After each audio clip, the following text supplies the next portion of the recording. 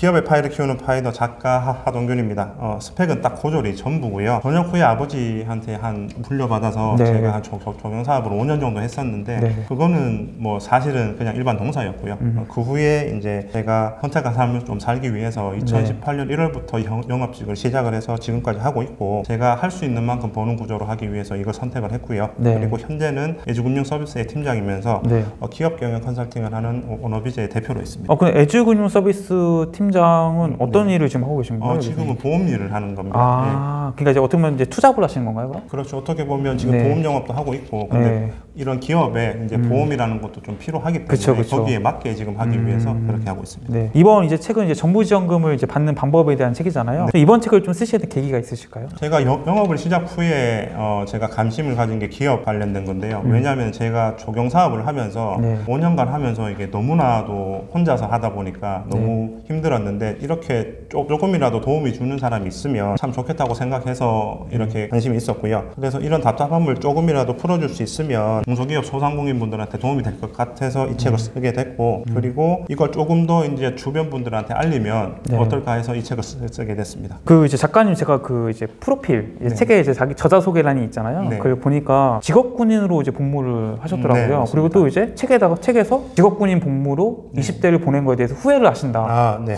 왜 왜 왜 그러신가요? 이게? 어, 이게 제가 어, 직업군인을 선택한 게 사실은 제가 고졸 스펙밖에 없으니까 음. 아무리 2003년도라도 네. 어, 좀 옛날이라도 그때도 사실은 사회에 나가면 네. 직업을 구할 수가 없을 것 같더라고요. 음. 그래서 저 형태로 제가 어, 부사관을 선택을 하다 보니까 네. 음. 어, 조금 후회도 마- 많았고 그리고 그때는 당, 당시에는 좀 웃긴데 부사관 지원을 하면 700만 원이라는 지원금을 줬어요. 음. 오, 네. 그래서 조금 그게 그때는 상당히 커 보여서 그거 플러스 이제 제가 나가면 할 수가 음. 할수 있는 게 없을 것 같아서 제가 좀 그렇게 선택을 하고 하니까 이거는 한번 선택을 하면 최소 4년은 복무를 해야 네, 되거든요. 네. 거기에 제가 좀 퍼져 있었고 그리고 이제 장기 선발을 하면 또 3, 3년에서 4년 정도는 또 복무를 해야 돼요. 그러면 그렇게 하다 보니까 총 8년 정도가 흘렸더라고요. 음. 네. 그러- 어, 그, 래서 제가 원래는 20대는 모든 걸 도전을 하고 음. 해야 되는데 이걸 못 하고 이제 20대를 다 소비를 하다 보니까 네. 조금 후회는 많이 됐죠. 아 그럼 만약에 다시 20대로 돌아간다면 직업군인 안 하십니까? 저는 안 할 것 같아요. 어, 네. 어, 그렇게 이제 직업군인을 이제 그만두시고 네. 하신 게 이제 보험 영업직 네, 맞아요. 맞나요? 네. 근데 그럼 보험 영업직을 선택하신 건 어떤 이유에서?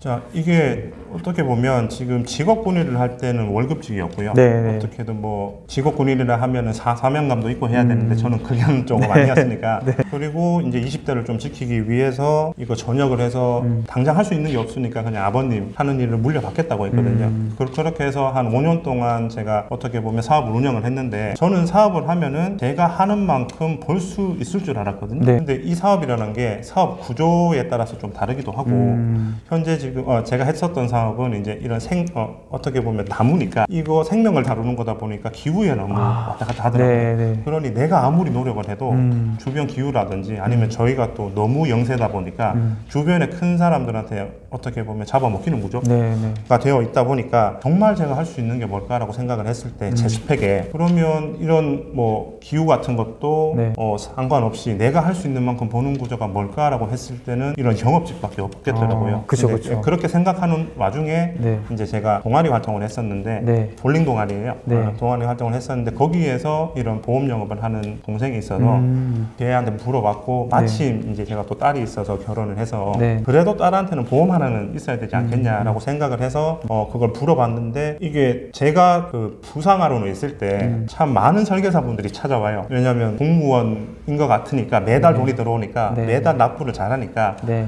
많이 찾아오는데 그런 사람들하고는 설명도 좀 달랐고 음. 오히려 이제 도피처로 이걸 생각을 하면 보험 영업직을 절대로 하지 말라고 하더라고요. 하는 만큼 벌 수는 있는데 네. 그냥 단순하게 하는 만큼 번다고 해서 내가 노, 노력을 안 하고 이제 어떻게 보면 회사원보다 더 많이 음. 공부를 해야 되는 거지 단순하게 내가 할 게 없어서 올 것 같으면 하지 말라고 딱 자르더라고요. 그게 어떻게 보면 다른 회사랑 좀 달라서 음. 선택을 하게 됐습니다. 아, 그럼 실제로 이제 보험 영업 일을 해보시니까 네. 내가 한 만큼 벌리던가요 돈이 어땠나요? 네, 한 만큼 벌리긴 하죠. 왜냐하면 제가 안 하면 진짜 하는 게더 없는 거거든요. 그쵸, 그쵸, 예. 이게 제가 하는 만큼 그리고 제가 고객한테 신경 쓰는 만큼 그리고 제가 공부하는 만큼 제가 도와주면 도와줄수록 어떻게든 그분들이 저를 소개를 시켜주고 하니까 하는 만큼 벌리는 구조는 확실해요. 어. 네. 아 근데 실제로 되게 열심히 하셨더라고요. 네. 보통 이제 1년에 자동차 타면은 보통 제가 알기로는 한 2만 3만. 보통 그렇게 타도 네. 많이 타죠. 근데 작가님께서 1년 만에 10만 킬로미터를 타셨다고. 네. 이게 다 이제 보험 영업 다니시느라 그렇죠. 자동차에 하신 거죠? 네. 음. 그렇게 10만 킬로미터를 막 다니시면서 어떤 생각이 드셨나요? 처음엔 정말 단순했어요. 처음엔 네. 정말 단순한 이유가 제가 지금은 서울에서 이제 보험 영업을 하고 있는데 음. 처음부터 어, 서울에서 했는데 사실은 제가 대구가 고향이거든요. 네네. 그러면 거기에 지금 와이프도 있었고 네. 지금 그때 갓 태어난 아기도 있었는데 어떻게 보면 팽개치고 네. 어, 제가 서, 어, 서울에 올라와서 영업을 선택을 한 거잖아요. 음, 단순했습니다. 그냥 제 가족들을 먹여 살리기 위해서 그냥 열심히 한 것뿐이었어요. 음. 네. 어떻게든 하나라도 더 보험 설명을 해야 됐고 네. 만 원이라도 팔기 위해서 어떨 때는 뭐 거, 거제도도 갔고요. 음. 그리고 어떨 때는 하루에 한 진짜 7, 8km, 어, 7, 800km 이상 운전을 하기도 했고요. 음. 처음에는 이렇게 좀 단순했는데 네. 단지 처음 시작할 때는 정말 단순하게 돈 많이 벌자. 음. 이거로 갔는데 운전을 너무 많이 하다 보니까 네. 와이프가 걱정을 너무 많이 하더라고요. 그쵸. 이게 맨날. 돌아다니고 네. 거의 잠을 한 3, 4시간밖에 안 자고 네. 뭐 새벽도 운전하고 다니니까 네. 특히 또 빨간색 제가 모- 모닝이었으니까 경차예요. 완전 네. 경차. 근데 제- 제가 좀 덩치가 있다 보니까 네. 이게 불편했겠네요, 좀. 불편하기보다는 이제 혹시라도 사고 나면 경차는 크게 나니까 맞아요, 예, 맞아요. 이게 너무 걱정된다고 음. 그렇게 이야기를 해줬지만 당신은 제가 할 수 있었던 거는 그렇게 열심히 뛸 수밖에 없었습니다. 음. 그럼 이제 그렇게 이제 10만 킬로를 타면서 네. 보수가 좀 만족스러우셨나요? 호수가 뛰는 만큼 정말 나왔어요. 네, 오, 정말요? 네, 오. 이게 제가 월급을 네. 현재는 뭐 그때 군인 생활을 할 때는 음. 부사관 생활을 할 때는 제일 처음 임관하고 나서 첫 달이 한 120만 원인가 130만 원 받았을 거예요. 네. 이제 그렇게 받고 이제 아무리 제가 중사로 전역을 했는데 음. 중사 진급을 해도 제일 많이 받았을 때가 한 240, 50 정도거든요. 그리고 전역해서 이제 제 사업을 한 5년 했다 그랬잖아요. 네. 근데 그때는 고정 수입도 없었고 이게 정말 수입이라고는 거의 없었다시피 하고 그냥 정말 먹고 사는 정도로만 했는데 네. 지금 이거는 어, 보험 영업직을 했을 때는 어떨 어, 거의 평균적으로 한 7, 800 이상은 벌었던 것 같아요. 와. 네. 아, 그래도 진짜 10만 킬로 뛴 만큼 나왔네요. 네, 뭐 어떨 때는 네. 정말 한 1000대 이상도 찍어보기도 네. 했고요. 아. 그래서 진짜 이거는 하는 만큼 아 진짜 되는구나 이거는 어. 어, 제가 안 지치면 되는 거구나 네. 네, 그렇게 생각을 했죠. 그렇게 이제 700만 원, 800만 원 어떻게 보면 1000만 원까지도 이제 네. 버셨는데 네.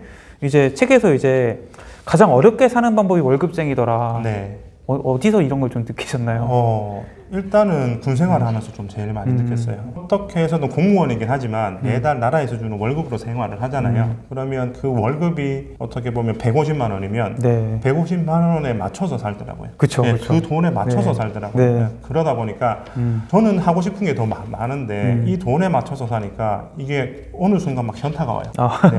어떤 거는 지금 이제 와이프도 있고 그때 애기는 없었지만 네. 내가 뭔가를 하고 싶은 게 있고 음. 내가 뭔가를 더 하고 싶은데 이 음. 돈에 딱 맞춰지니까 벗어날 수가 없어요. 음. 근데 당신은 그, 그것도 저는 정말 감사하긴 했거든요. 근데 이게 지금 와서 생각하면 너무나도 잘못된 생각이었죠. 음. 네, 거기에 지금 받쳐서 하니까 저도 이제 와서 든 생각인데 그 네. 월급이라는 거에 조금 많이 취해 있었고 음. 그 월급을 받기 위해서는 어떻게든 제 시간을 소비를 했잖아요. 네. 근데 많이 소비를 하든 적게 소비를 하든 네. 들어오는 건 똑같았죠. 음. 네, 너무나 똑같았고 음. 특히 그 군대라는 직업 특성상 네. 일반적인 자기 일만 하는 게 아니라 뭐 훈련도 해야 되고 검열 도 해야 되고 음. 네. 각종 뭐 돌발 사항이 있는데 그런 네. 건 아무리 잘해도 똑같았어요. 음. 거기서 너무 많은 현타가 왔어요, 솔직히. 네. 아, 그래도 7, 800만 원에 뭐 1000만 원 정도면 그래도 좀 네. 월급이 7만 했을 텐데. 어 근데 이거는 네. 지금 당장은 어떻게 보면 7, 800, 어, 7, 800만 원이 많을 수 있는데 네. 경업직이라는 것 자체가 제가 딱 멈추는 순간 혹시라도 제가 그쵸. 아프거나 네. 다치거나 멈추는 순간 없어요 음. 한 푼도 그게 어떻게 보면 참 많이 버는 것 같지만 어떻게 보면 줄다리기를 하고 있는 것 같은 사,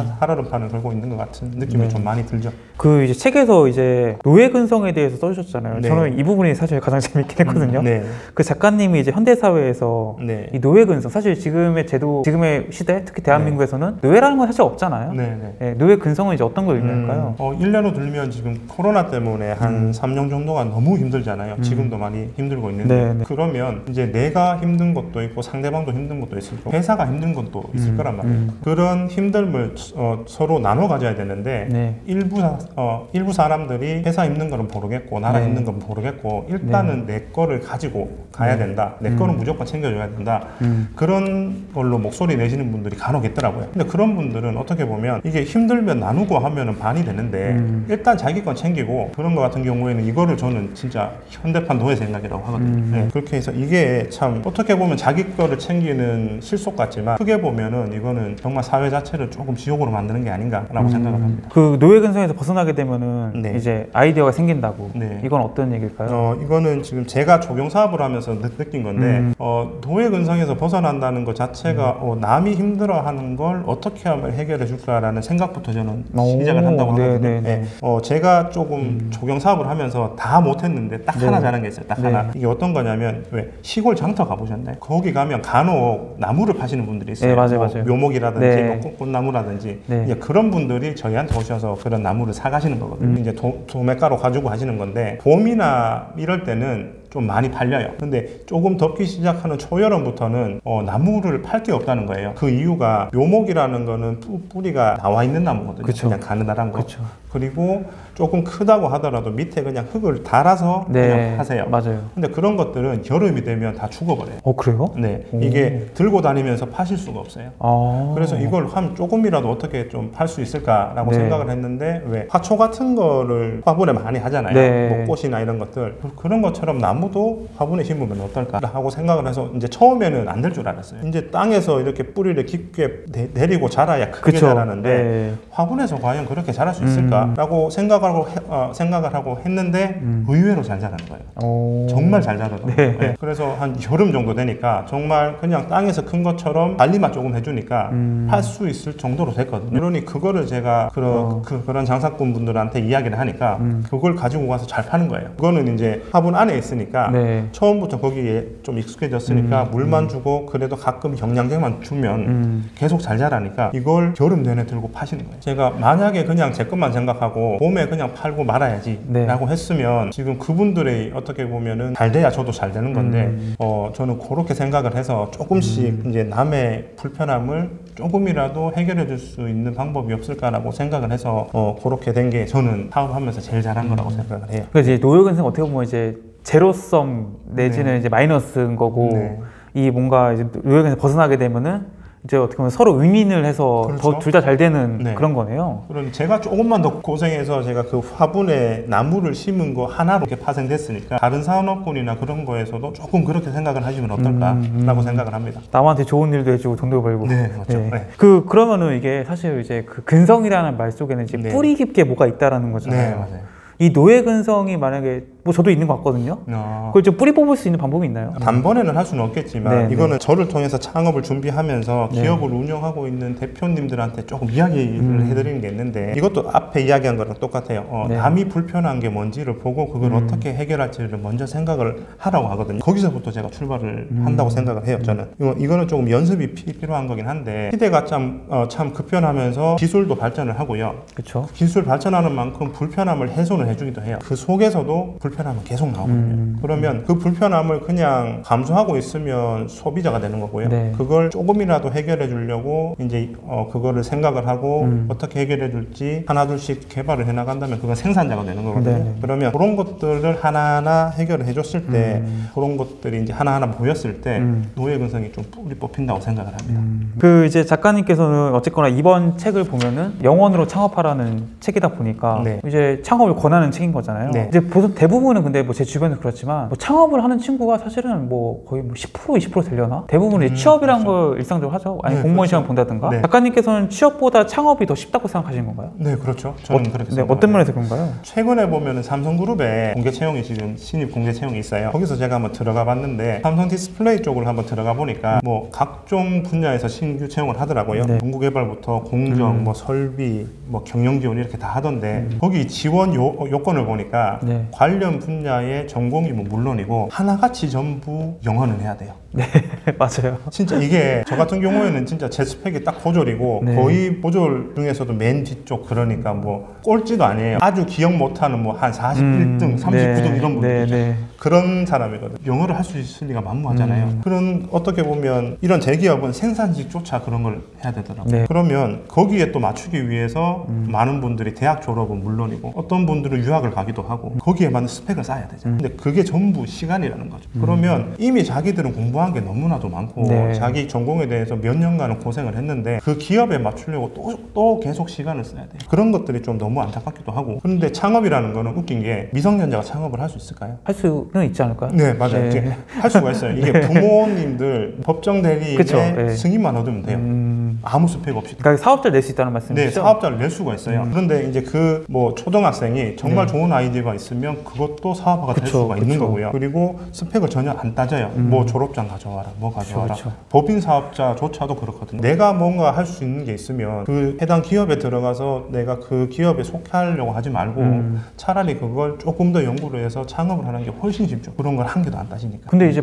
대부분 이제 창업을 좀 주저하는 이유가 네. 망하면 어떡하나 이게 망하는 게 높은 거 아니야 이 생각 때문에 보통 두려워서 못 하는 거잖아요. 네. 거기에 대해서 좀 어떻게 생각하세요? 저도 그게 좀 안타까운데 음. 창업을 할 때 가장 많이 하시는 게 누가 이거 하면 된다다. 그쵸, 뭐 그쵸. 치킨집, 네, 그렇죠. 프랜차이즈 요즘 이게 하잖아요. 유행이다더라. 이거를 하니까 대부분이 그러신 것 같아요. 이게 저 같은 경우에는 그렇게 요청을 하시면 저는 한 번 더 생각을 하라 하거든요. 음. 그러면 저는 항상 그분들이 이때까지 어떻게 살았는지, 네. 자기 전공은 어떤 건지, 네. 그리고 내가 만약에 이때까지 음. 월급직으로 일한 게 있다면 그 전공이 어떤 건지를 다 듣거든요. 거기에 맞춰서 자기 아이템을 하나 더 추가를 해서 창업을 해야 되지 그냥 유행 따라서 해버리면 아. 망하는 게 99%거든요. 1%도 안 될 거예요 아마. 네. 그러니까 그렇게 하다 보니까 그렇게 창업을 하는 분들이 너무 주변에 많다 보니까 네네. 창업은 힘들다, 무조건 망한다 이렇게 생각하시는 것 같아요. 음. 그러니까 이제 내가 이제 해온 일들 뭐 네. 이른바 뭐 커리어, 경력 이런 네. 것들 종합적으로 봐서 나한테 맞춰서 창업을 해야지 뭐가 뜬다더라 이런 게 네, 뜬다더라 이런. 걸 따라해서 하면은 망한다는 말씀이시죠? 그렇죠. 이게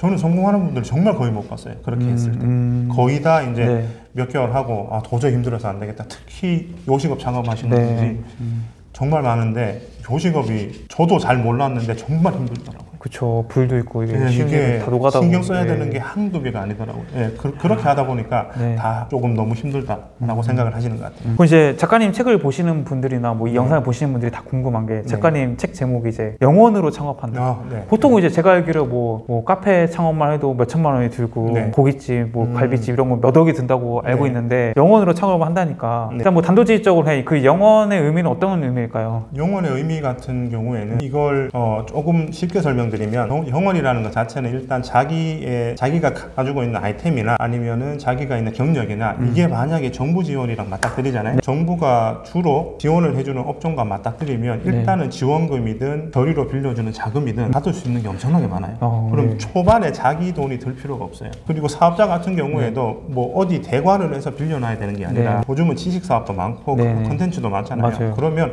우선 자기 집에서 시작을 해도 돼요. 사업자 자체를. 그러면 그런 것들로 시작을 했을 때 요즘은 차- 창업하는 거 대부분이 컨텐츠라든지 아니면 지식 산업 기반이나 아니면 서, 서비스업 쪽으로 하는 분들이 음. 많거든요. 근데 서, 서비스업도 요식업 이런 거 말고 네. 지식 서비스로 좀 마- 많이 음. 하시거든요. 음. 그러면 그런 것들 위주로 내가 커- 커리어만 된다고 하면 거기에 맞는 정부 시업, 정부 지원 사업에 지원을 해서 하면 처음부터 이렇게 지원을 받고 시작하실 수가 있어요. 조금 조금 이제 쉽게 조금 극단적으로 얘기해 보면은 네. 내가 그냥 뭐 집에 있다가 네. 어 뭐 아이디어 떠올랐어요. 그럼 이 아이디어를 가지고 돈을 저렴하게 빌릴 수 있고 네. 혹은 정, 정부의 지원을 받을 수 있고 이거를 이제 쓴- 그 사업자가 없는 상태여서도 이런 것들이 받으면서 만들고 해서 다 가능하다는 말씀이시죠? 그렇죠. 이게 그 사업 중에 어떤 게 있냐면 네. 기업을 어, 사업자를 내고 받는 지원금이 있고요. 음. 사업자를 내기 전에 네. 그, 그런 것들을 검, 검토해서 다 이제 승인이 되면 네. 그 후에 6개월 안에만 음. 혹은 3개월 안에만 사업자를 내시면 돼요. 어. 그런 것들도 있어서 지금 우리가 모르고 있는 것들이 너무 네. 많거든요. 지금 창업을 안 했어도 음. 창업 예정인 사람들한테 음. 해주는 것도 정말 많아요.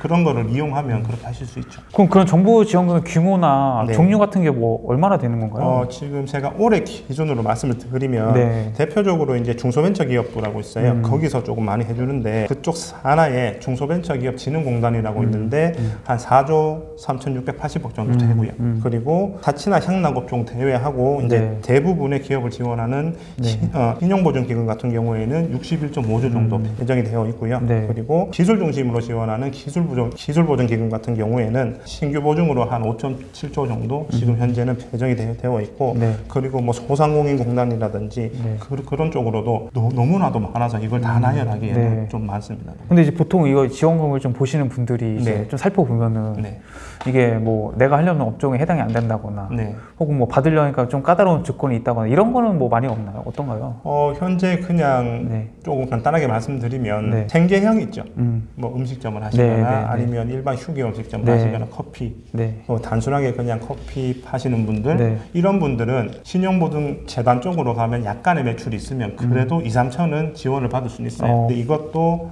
일반 지원은 아니고 융자예요. 이제 그런 거의 물론 대, 부분의 사업자가 일반적으로 이제 생계형이겠지만 네. 여기에서도 이제 어떻게 하는가에 따라서 이게 사업이 될 수도 있고 진짜 말 그대로 생계가 될 수 있거든요. 음. 그쵸, 그쵸. 네. 이, 네. 런 것들을 조, 조, 조금만 차이만 알면 음. 이걸 정말 내가 사업처럼 키울 수 있는 방법도 있어요. 음. 그 이제 보니까 네. 제가 이제 사실 정부 지원금에 대한 책들을 몇 권 보긴 했는데 네. 좀 눈에 띄었던 게 네. 작가님이 이제 정부가 밀어주는 업종이 따로 있다. 네. 이 맞습니다. 업종들은 뭐 밀어준다는 건 어떤 의미고 없던 업종 등인가요? 실어주는 업종들 같은 경우에는 네. 어, 2023년도를 기준으로 보면 음. 이것도 전부 공문에 나와 있거든요. 네. 중소벤처기업진흥공단 공문을 보시면 네. 지금 10대 업종으로 해서 음. 주요 업종들이 있어요. 네. 좀 대표적으로 말씀을 드리면 네. 뭐 혁신 성- 성장 분야라든지 그린 환경 쪽 네. 그리고 비대면 분야 쪽으로 해서 네. 한 10개 분야를 집중적으로 지금 지원을 해준다는 거거든요. 음. 집중적이라는 거는 단순해요. 이것만 해주겠다 예요. 그러니 중, 중점이라는 것 자체가 네. 뭐 여러 업종이 들어왔을 때 이거 얼마 이거 얼마가 아니라 음. 이쪽 업종만 오면 좋겠다라고 이제 음. 이야기를 한 거거든요. 네, 공문에. 네, 네, 네. 그러면 그쪽 업종 위주로 해줘요. 근데 음. 이번이 작년하고 또 다른 게 작년에는 일반 뭐 정보통신업이나 이런 것도 됐는데 네. 이제는 좀 많이 줄었어요. 그 이제 혁신 성장 분야, 그린 네. 분야, 비대면 분야 뭐 이런 써주신 걸 보니까 네. 일단은 뭐 그린 분야 뭐 환경 비슷한 것 같- 네. 같고 혁신 성장은 뭐 어떤 것들 이 있는 건가요? 어, 혁신 성장 같은 경우에는 이게 종류가 너무 많아서 네. 이제 뭐 나라에서 뭐 중점적으로 뭐 반도체라거나 네, 네. 아니면은 뭐 4차 산업이라거나 음. 이런 것들이 공문에 심란에 네. 거기 다 나와 있어요. 어. 업종들이 다 나와 있고 네, 거기에 해당되는 업종들이 음. 지금 거의 몇 천 개는 되거든요. 어, 그러면 이제 네. 종합적으로 그런 걸 보시고 네. 이제 아 내가 이 분야에 되겠다라고 음. 하면은 이 기관에 가시는 거고요. 네. 음. 만약에 중점 지원 분야에 없다 그러면 사실은 내가 아무리 좋은 아이템을 가- 가지고 있어도 이쪽 기관에 가면 안 되는 거예요. 아, 네, 이거를 구분을 해서 그러니까 무작정 넣는 게 아니고 네. 그리고 이런 중소벤처기업진흥공단에서는 이제 중소벤처기업진흥공단이잖아요. 네. 소상공인은 또 안 돼요. 오. 소상공인은 지금 안 되는 네. 게만 4대 보험으로 해- 하는 직원이 5명 미만이면 소상공인으로 보거든요. 네, 네, 네. 제조업은 10인 미만으로 네네. 하면은 이제 보통 안 되는데 음. 항상 공문에는 번외라는 게 있어요. 음. 예외 조항. 그러니까 예외 조항에 혁신선장 분야, 그, 네. 그 그림 분야, 네. 비대면 분야가 있어요. 그런 것들은 공문 마다 매년 나오는 공문마다 달라요. 음. 그런 걸 보고 네. 내가 소상공인이라도 갈 수 있는 거면 도전을 하셔도 돼요. 어. 근데 제조업은 웬만하면 다 돼요. 네. 우리나라는 아직도 네. 제조업 위주로 거의 정책이 나와요. 근데 이제 제조업이라고 하면은 뭐 네. 이제 뭐 떠오르는 게뭐 네. 공장 공장 뭐 이런 네. 건가요? 이런 것도 있고요. 네. 자, 만약에 커피집을 해요. 만약에 커피집을 하는데 로스팅을 직접 하는 사람도 있죠. 그런데 안 하는 사람도 있잖아요. 하는 사람은 일정 요건만 맞으면 제조해요. 생각보다 밀접하네요 제조업이. 네, 이게 제조가 음식을 이제 원두를 가지고 와서 가공하는 거잖아요. 네네네. 가공하는 것도 제조거든요. 이렇게 해서 지금 하면 네. 카페인데 누구는 일반 음식점이고 네. 뭐, 이- 뭐 일반 휴게 음식점인데 네, 네. 누구는 제조업을 가지고 있는 거죠. 그럼 이건 또 이제 이야기가 달라지는 거예요. 그럼 이제 만약에 내가 카페를 똑같이 하더라도 그 원두를 좀 전략적으로 네. 지원금을 노리고 해도 괜찮겠네요. 또 이제 근데 조건이 어, 떤 게 있냐면 로스팅을 할 수 있는 자격이 있어야 되고요. 없으면은 직원이라도 있어야 되고요. 네. 그리고 커피를 파는 판매 판매하는 곳과 제조하는 곳의 경계가 명확해야 돼요. 그러니까 아, 좀 공간이. 나눠져 있어야 돼요. 음. 명확하게. 근데 음. 그- 그걸 뭐 이렇게 정말 벽처럼 하- 경처럼 안 하셔도 되고 네네. 왜 요즘은 안에 제조 과정을 볼 수 있게 통유리로 많이 하잖아요. 네네네. 그렇게만 하더라도 제조로 인정이 돼요. 그 정부가 좋아하는 업종으로 창업을 해야 된다라는 것은 음. 이게 뭐 밀어주는 업종과 또 다른 업종인 건가요? 어, 거의 비슷하다고 생각하시면 되는데 네네. 이게 정부 지원 사업 그돈 자체가 세금으로 이루어지거든요. 네. 예, 이게 세금이 이제 전체적인 세금에서 일부 예산이 떨어지는 건데 그러면 이렇게 세금을 준다는 거는 국가도 이 세금을 통해서 발전을 해야 되잖아요. 네. 매년마다 이제 국가가 경쟁력을 갖추기 위해서 중점적으로 육성해야 되는 업종도 있어요. 물론 다 해주면 좋지만 네, 네. 이게 그렇게 하기에는 국가가 경쟁력이 없기 때문에 음. 빌어주는 업종들이 있어요. 그러면 거기 업종마다 어떻게 보면 주로 이렇게 자금이 배정되는 경우가 많거든요. 네, 네. 그러면 뭐 예- 예를 들어 이런 거죠. 지금 농사를 짓는다고 해서 쌀 농사를 짓는다고 해서 네. 정, 정부에서 많은 지원금은 안 줘요. 쌀 직불금 이렇게 뭐 네. 사주는 거 있죠. 그쵸. 그쵸, 예. 그 정도만 있는 건데 음. 근데 대신에 여기에 농사를 하는데 AI나 아니면은 음. IoT 기술 같은 거를 접목을 하면 주차 산업으로 되는 그쵸, 거거든요. 그쵸. 근데 그렇게 되면 또 이해가 달라져요. 같은 오, 농사인데도. 오. 그러면 이렇게 융- 융합을 했을 때는 조금 더 이제 빌어주는 업종이 되는 음, 거거든요. 음. 1차 산업이랑 뭐 지금 내가 하고 있는 아이템이 네. 조금 현재 산업이랑 안 맞다. 음. 그러면 현재 빌어주는 산업이랑 어떻게 조화를 시킬까라고 생각하시는 것도 좋은 음, 방법이에요. 그지 그러겠네요. 근데 네. 지원이 많으니까. 네. 네. 그 이제 사업자가 이제 네. 개인 사업자가 있고 법인 사업자가 있잖아요. 네. 아, 개인 사업자 같은 경우는 진짜 말 그대로 인터넷으로 신청만 해도 네. 나오더라고요. 네, 맞아요. 근데 이게 좀 정부 지원금을 받을 때 네. 개인과 법인의 차이가 좀 있을까요? 엄격히 따지면 있어요. 왜냐하면 네. 개인 사업자라는 거는 개인이 그냥 가서 음. 나 사업하고 싶어요. 네. 라고 하면은 보이 조건 안 보고 그쵸. 뭐 어떤 거 하실 거예요? 네. 하고 그냥 줘요. 수죠. 예. 그러면 그리고 거기에서 발생되는 이익은 네. 모두 개인이 독차지를 해요. 근데 법인 사업자라는 거는 만들 당시부터 네. 뭐 정관도 있어야 되고 뭐 주주 어떻게 되냐 이게 다 음. 어떻게든 절차가 막 있잖아요. 네. 음. 그러면 그 절차를 거쳐야 되고 그리고 법인이 만약에 대표 돈으로 설립을 했다 해도 네, 네. 생기는 순간 법인이랑 대표는 완전 별개거든요. 그렇죠, 그렇죠. 그러면 이제 법인은 하나의 인격체가 되는 거고 음. 그 인격체가 대표를 어떻게 보면은 대신 일하게 하는 위임 관계가 그쵸, 되는 거거든요. 그쵸, 네. 그냥 그러면 위임이 됐으니까 계약서를 쓸 거고 음. 계약서대로 일을 해야 되고 네. 계약서대로 돈을 가지고 가야 돼요. 그러니 근데 많은 대표님들은 내가 차렸는데 내가 그쵸. 왜 돈을 네. 쓰냐 라고 네. 하시는데 네. 이게 법적 절차가 있는 거라서 음. 만약에 그렇게 썼을 때는 배임이 될 수도 있고 횡령이 될 수도 있거든요. 그러면 네. 이게 어떻게 보면 신뢰성 문제예요. 그러니 개인은 내가 돈을 마음대로 쓸 수 있지만 정부에서 봤을 때는 그 탈세 의혹도 있고 뭐 그럴 수도 있잖아요. 음. 그쵸, 그쵸. 그럼 이게 좀 쉬우니까. 근데 네. 법인은 그런 절차를 지키면서 돈을 써야 되고 음. 법인 돈을 함부로 못 쓰니까 어떻게 보면 신뢰성이 있다고 생각을 하는 거예요. 음. 그래서 만약에 네. A라는 사업체와 B라는 사업체가 네. 아이템도 똑같고 네. 규모도 똑같고 음. 모든 아- 모든 것들이 똑같다고 가정했을 때는 네, 네. A가 만약에 개인이고 B가 법인이면 B에 지원을 해요. 음. 요즘은 이제 1인 법인들도 많잖아요. 네. 그럼 작가님께서는 뭐 작가님 책을 읽고 내가 정부 지원금을 좀 받아 받아서 사업을 좀 해봐야겠다. 네. 그러면 개인 창업을 하실 것을 권하세요? 아니면은 좀 번거롭고 하더라도 법인을 만들 걸 권하세요? 저는 법인을 만들 걸 권해요. 시작부터? 예, 왜냐하면 이게 많은 분들이 개인 하다가 법인 넘어가는 이유가 그쵸, 예. 이제 개인을 하다가 네. 이제 매출이 많아지면 네. 이제 이걸 전환을 해서 조금 그쵸. 세금을 아껴보자 네, 네. 하고 하는 건데 이제 처음부터 차라리 그냥 법인을 만들어서 네. 체계를 만들어 나가- 나가면 네. 오히려 이제 개인보다 도 더 신뢰성을 계속 쌓을 수가 있는 거죠. 어. 네. 그러니 저는 처음부터 법인을 네. 만들려고 이제 추천을 합니다. 나중에 또 법인 바꾸려면 또 이제 이게 규모가 작을 때는 괜찮은데 네. 규모가 조금 커지고 전환할 때는 네. 그 절차도 좀 복잡하거든요. 그냥 이렇게 나 법인 만들어 주세요. 네. 되는 게 아니라서 아. 이걸 모두 계산을 하고 뭐 네. 양도 양수도 해야 되고 좀 복잡해요 어, 절차가. 그러면 네. 그런 것들을 하려면 또 전문가를 써야 되고 돈이 나가고. 음. 그러니 차라리 처음 할 때부터 네. 하시는 걸 추천드립니다. 네. 뭐 내가 지 원금 따려면은 뭐 서류도 내야 되고 네. 면접도 보고 해야 될 거 아니에요. 네.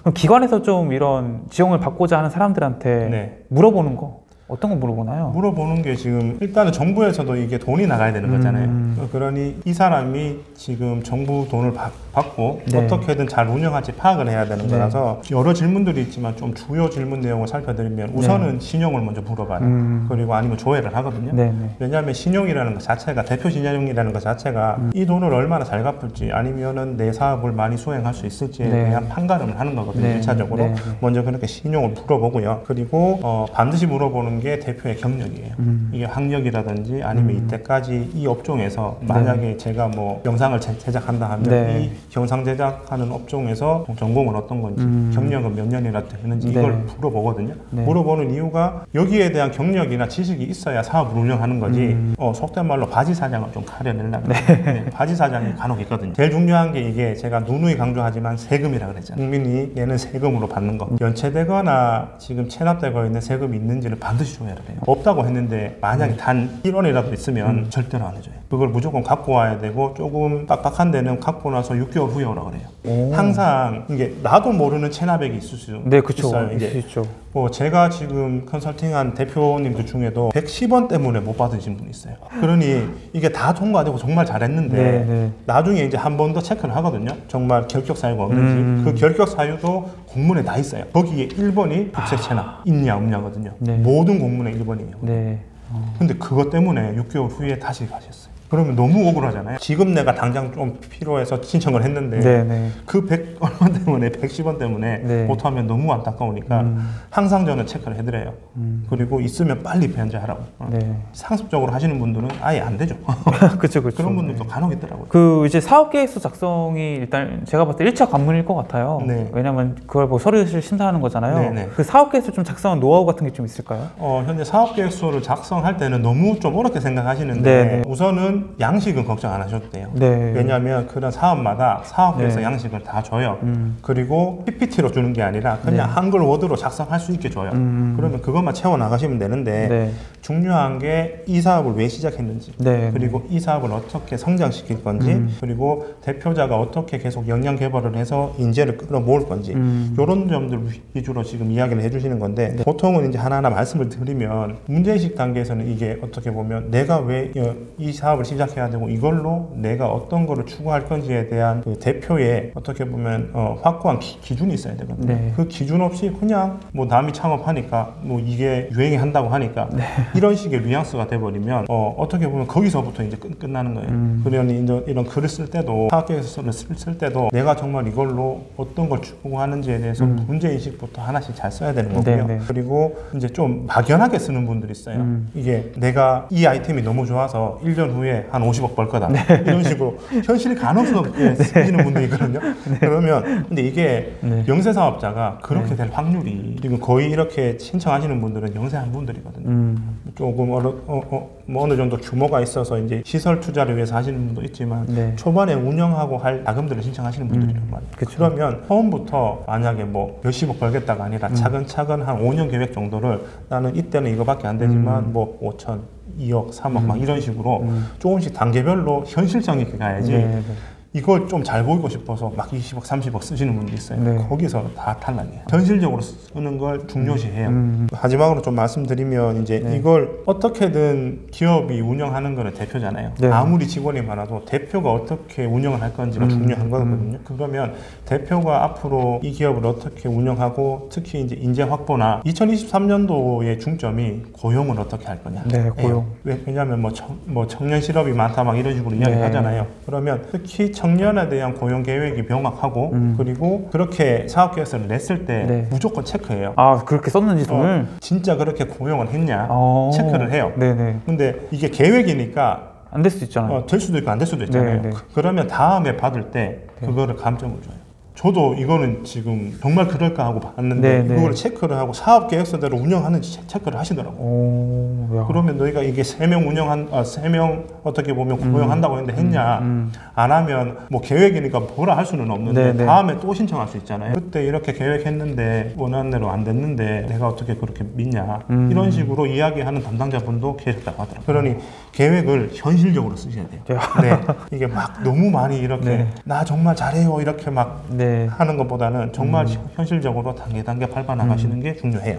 그러니까 이게 그러니까 말 그대로 진짜 이게 내가 뭔가 합격을 위해서 막 쓰면 안 되겠네요 이게 진짜 네. 진짜 할 거를 써야겠네. 네, 진짜 할 걸 써야 돼요. 네. 이게 많은 분들이 계획이라고 거창하게 쓰잖아요. 예. 어, 심지어는 아 이, 이건 진짜 꿀팁인데 네. 매년 이런 중소기업진흥공단이나 이렇게 예산이 배정될 때 네. 보통 1월 말에서 2월 초 길면 2월 말까지 네, 네. 이렇게 정책 자금이나 R&D나 음. 설명을 해요. 음. 이 모든 사람들이 와서 들, 들을 수 있도록 네. 주관을 하거든요. 네, 그럼 네. 가서 제가 이번에 들은 거는 그거예요. 사업 계획서 잘 쓰면 의심할 거다. 왜냐하면 혼자서 사업을 하거나 한두 명이서 사업을 하는 거 많은데 네. 대표가 현장에서 일을 할 거잖아요. 그렇죠. 근데 이걸 어떻게 PPT로 화려하게 쓰고 아. 할 거냐 이거죠. 그게 현실적으로 맞거든요. 그러면 이걸 너무 잘 쓴다는 거는 누구의 손을 탔다는 그쵸, 거예요. 그쵸. 어떻게든. 예, 예. 그거를 식별하겠다는 거예요. 그런 말을 기관 담당자가 직접 해요. 매년 그런 데를 가보시는 것도 저는 추, 추천드려요. 어, 어, 진짜 꿀팁이에요. 네, 그런 거를 가셔야 돼요. 음. 그래야 오- 올해 그런 정책 자금에 대한 아니면 지원금에 대한 방향성이라든지 네. 음. 기관이 중점적으로 보- 보는 것들을 팁을 하나씩 줘요. 그리고 거기에 참석을 하시면 네. 어떻게 보면 세미나 후에 상담 받을 수 있도록 변명이 또 있어요. 그러면 어. 상담하다 보시고 실현 네. 가능성 이 있는지. 네. 원래 이런 걸 오픈을 하면 컨설턴트 분들은 안정하겠죠. 네. 그 이제 사업계에서 작성할 때 네 가지 이제 문제 인식, 실현 가능성, 성장 결과, 대표자 역량 개발 네. 말씀하셨잖아요. 이 네 개 중에서도 더 중요한 게 혹시 있나요? 현재 네 개 중에서 더 중요한 거는 지금은 실현 가능성이랑 대표가 아. 어떻게 운영할지 그리고 영순위가 고용이에요. 아, 네, 영순위가 고용. 일단은 고용을 많이 하는 게 일단은 네. 조금 유리하긴 하다. 그렇죠. 이제 네. 고용을 그러니 1인 대표로 시작을 하면 고용 인원이 없는 거잖아요. 그쵸, 그쵸. 러니 한 명이라도 음. 고용을 하고 가는 게 훨씬 좋죠. 그럼 이제 실현 가능성에 내가 이제 어떤 어떤 계획을 고용 몇 명 하겠다고 네. 담는 게 중요하겠네요. 네, 그렇게 담는 것도 조금 중요해졌어요. 음. 네, 올해는 특히 고용 쪽으로 좀 네. 많이 비중을 두두, 어, 두, 두시더라고요. 네. 그 이제 가점 사항에 대해서 여쭤보고 싶은데 네. 이 가점 사항이라는 거는 이제 뭐 진짜 뭐 형식적으로 딱 이거 하면은 돈을 가- 점수를 더 드리겠습니다요? 아니면은 뭐 이런 것들이 있으면 이제 심사위원들이 조금 더 점수를 더 주는 거예요? 형식 이게 점수가 몇 점씩 배점 된다고 공문에 나와 있는 경우도 있어요. 네, 어, 네. 이 대표적으로 이제 이런 어떻게 보면 우대 사항인 건데 네, 네. 조금 대표적인 걸 말씀드리면 첫 번째가 노란 우산 공제예요. 음. 도란 우산 공제라는 게 이제 소상공인 분들이나 이런 네. 분들이 뭐 혹시라도 폐업을 하거나 음. 뭐 이런 걸 했을 때 그래도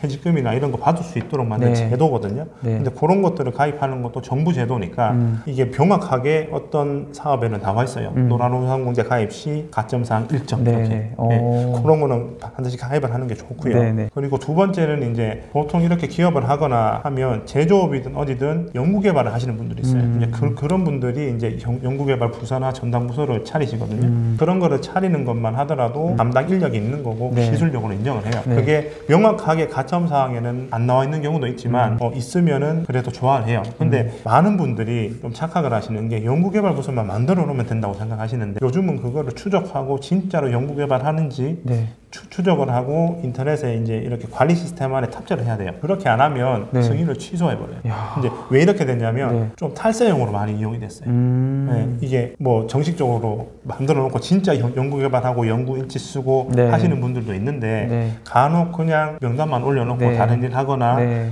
왜, 왜냐면 이 연구 개발 인력에 대해서는 또 세제 혜택이 있거든요. 어. 네, 그러면 이걸 활용하기 위해서 하는 건데 그게 너무 많아지다 보니까 네. 매년 점검을 해요. 아. 그러니 정말 하실 분들만 만드시는 거고요.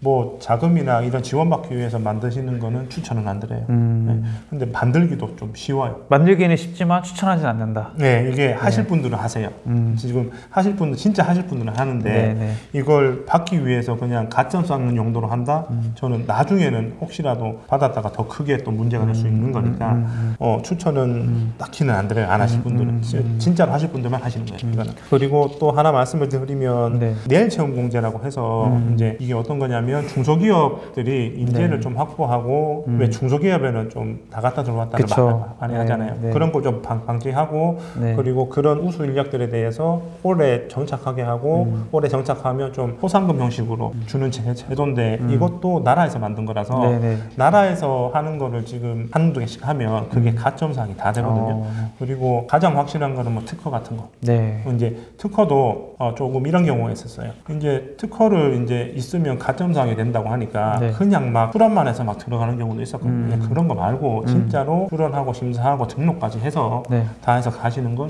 추천드려요. 그 이제 보통은 이제 어, 정부 지원금 그렇게 서류 통과하고 면접 네. 통과해서 받으면은 네. 아 이제 끝났다 음. 이렇게 생각하기 쉬운데 네. 작가님 얘기 좀 들어보니까 막 추적도 하고 하는 네, 것 같아요.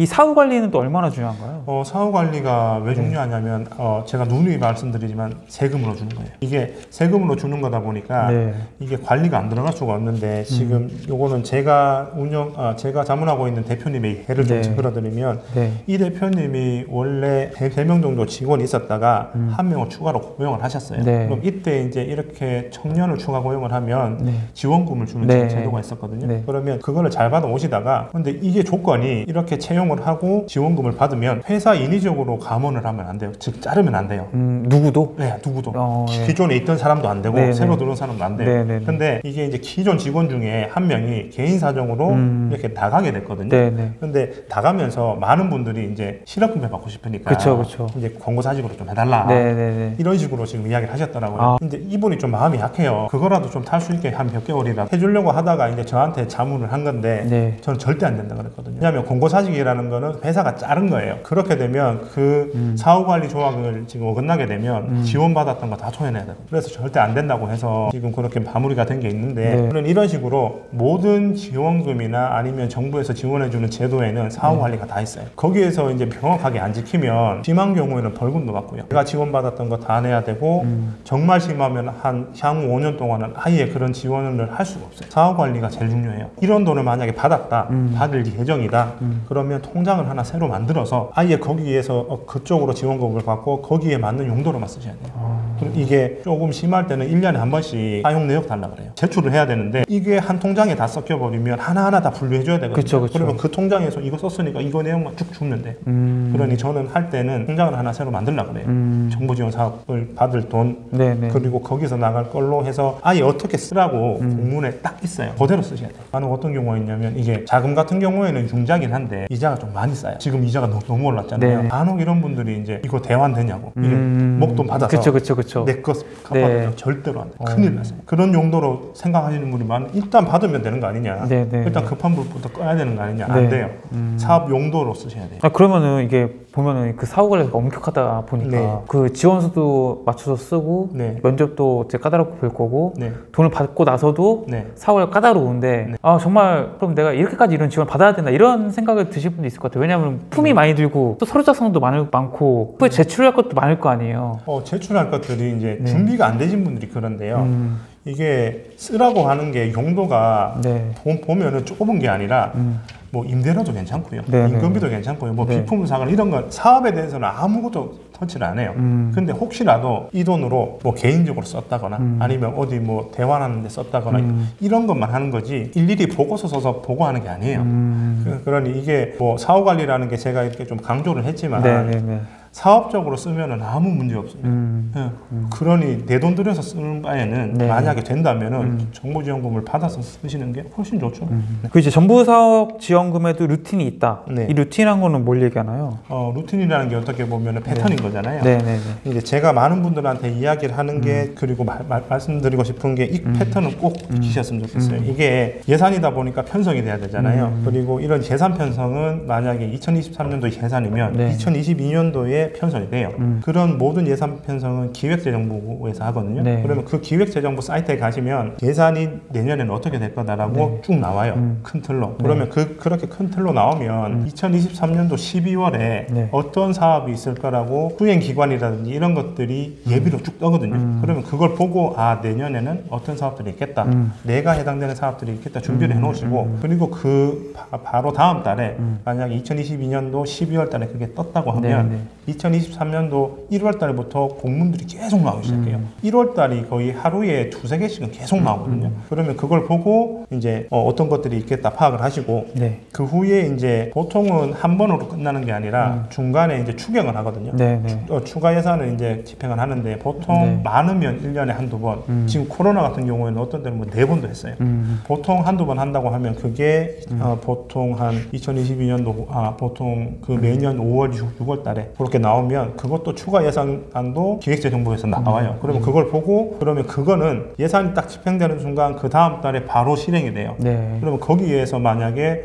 정부가 뭐 추가로 지원하는 게 있다거나 음. 아니면 기업에 지원하는 게 있다거나 네. 인건비 지원을 하는 게 있다거나 네. 라고 하면 거기서 바로 집행이 되니까 음. 그것도 이제 보시면 되죠. 그러니 매번 지금 요 루틴대로 하시면 되는데 자세한 사항은 책에 좀 나와 있어요. 네. 그 창업을 한 사람들이 받을 수 있는 창업 지원금 어떤 예. 종류가 있을까요? 어, 창업 지원금 같은 경우에는 어, 물론 이제 뭐 창업도 지원을 하지만 지금 당장 운영하고 있으시는 분들도 있잖아요. 네, 그렇죠. 그러면 이제 그분들이 할 수 있는 게 있는데 네. 대표적으로 중소벤처기업진흥공단에서 7년 전후로 나누거든요. 음. 어, 7년 전 같은 경우에는 초기 창업으로 봐서 어, 네. 이제 초기 창업자분들이 할 수 있는 자금이 따로 있고요. 음. 근데 여기에 청년이면 또 따로 있어요. 자금이. 오, 네. 그리고 여기에서 뭐 운영 자금 있고 사업 자금 있고 네. 그리고 개발 자금도 있거든요. 음. 예, 그런 것들도 있고 그리고 7년 이상 됐으면 어느 정도 성숙됐다고 보고 네. 7년 어, 7년 이상만 창업 후 7년이 지난 기업들만 네. 어, 신청을 할 수 있는 자금이 또 따로 있어요. 뭐 이렇게 좀 나눠져 있고 네. 그리고 뭐 기술 보존 기금이라든지 음. 신용 보존 기금이라든지 뭐 이런 데들은 어, 보통은 이제 중소벤처기업진흥공단은 한 달에 한 번씩 예약을 해서 들어가는 시스템이면 네네. 얘들은 그냥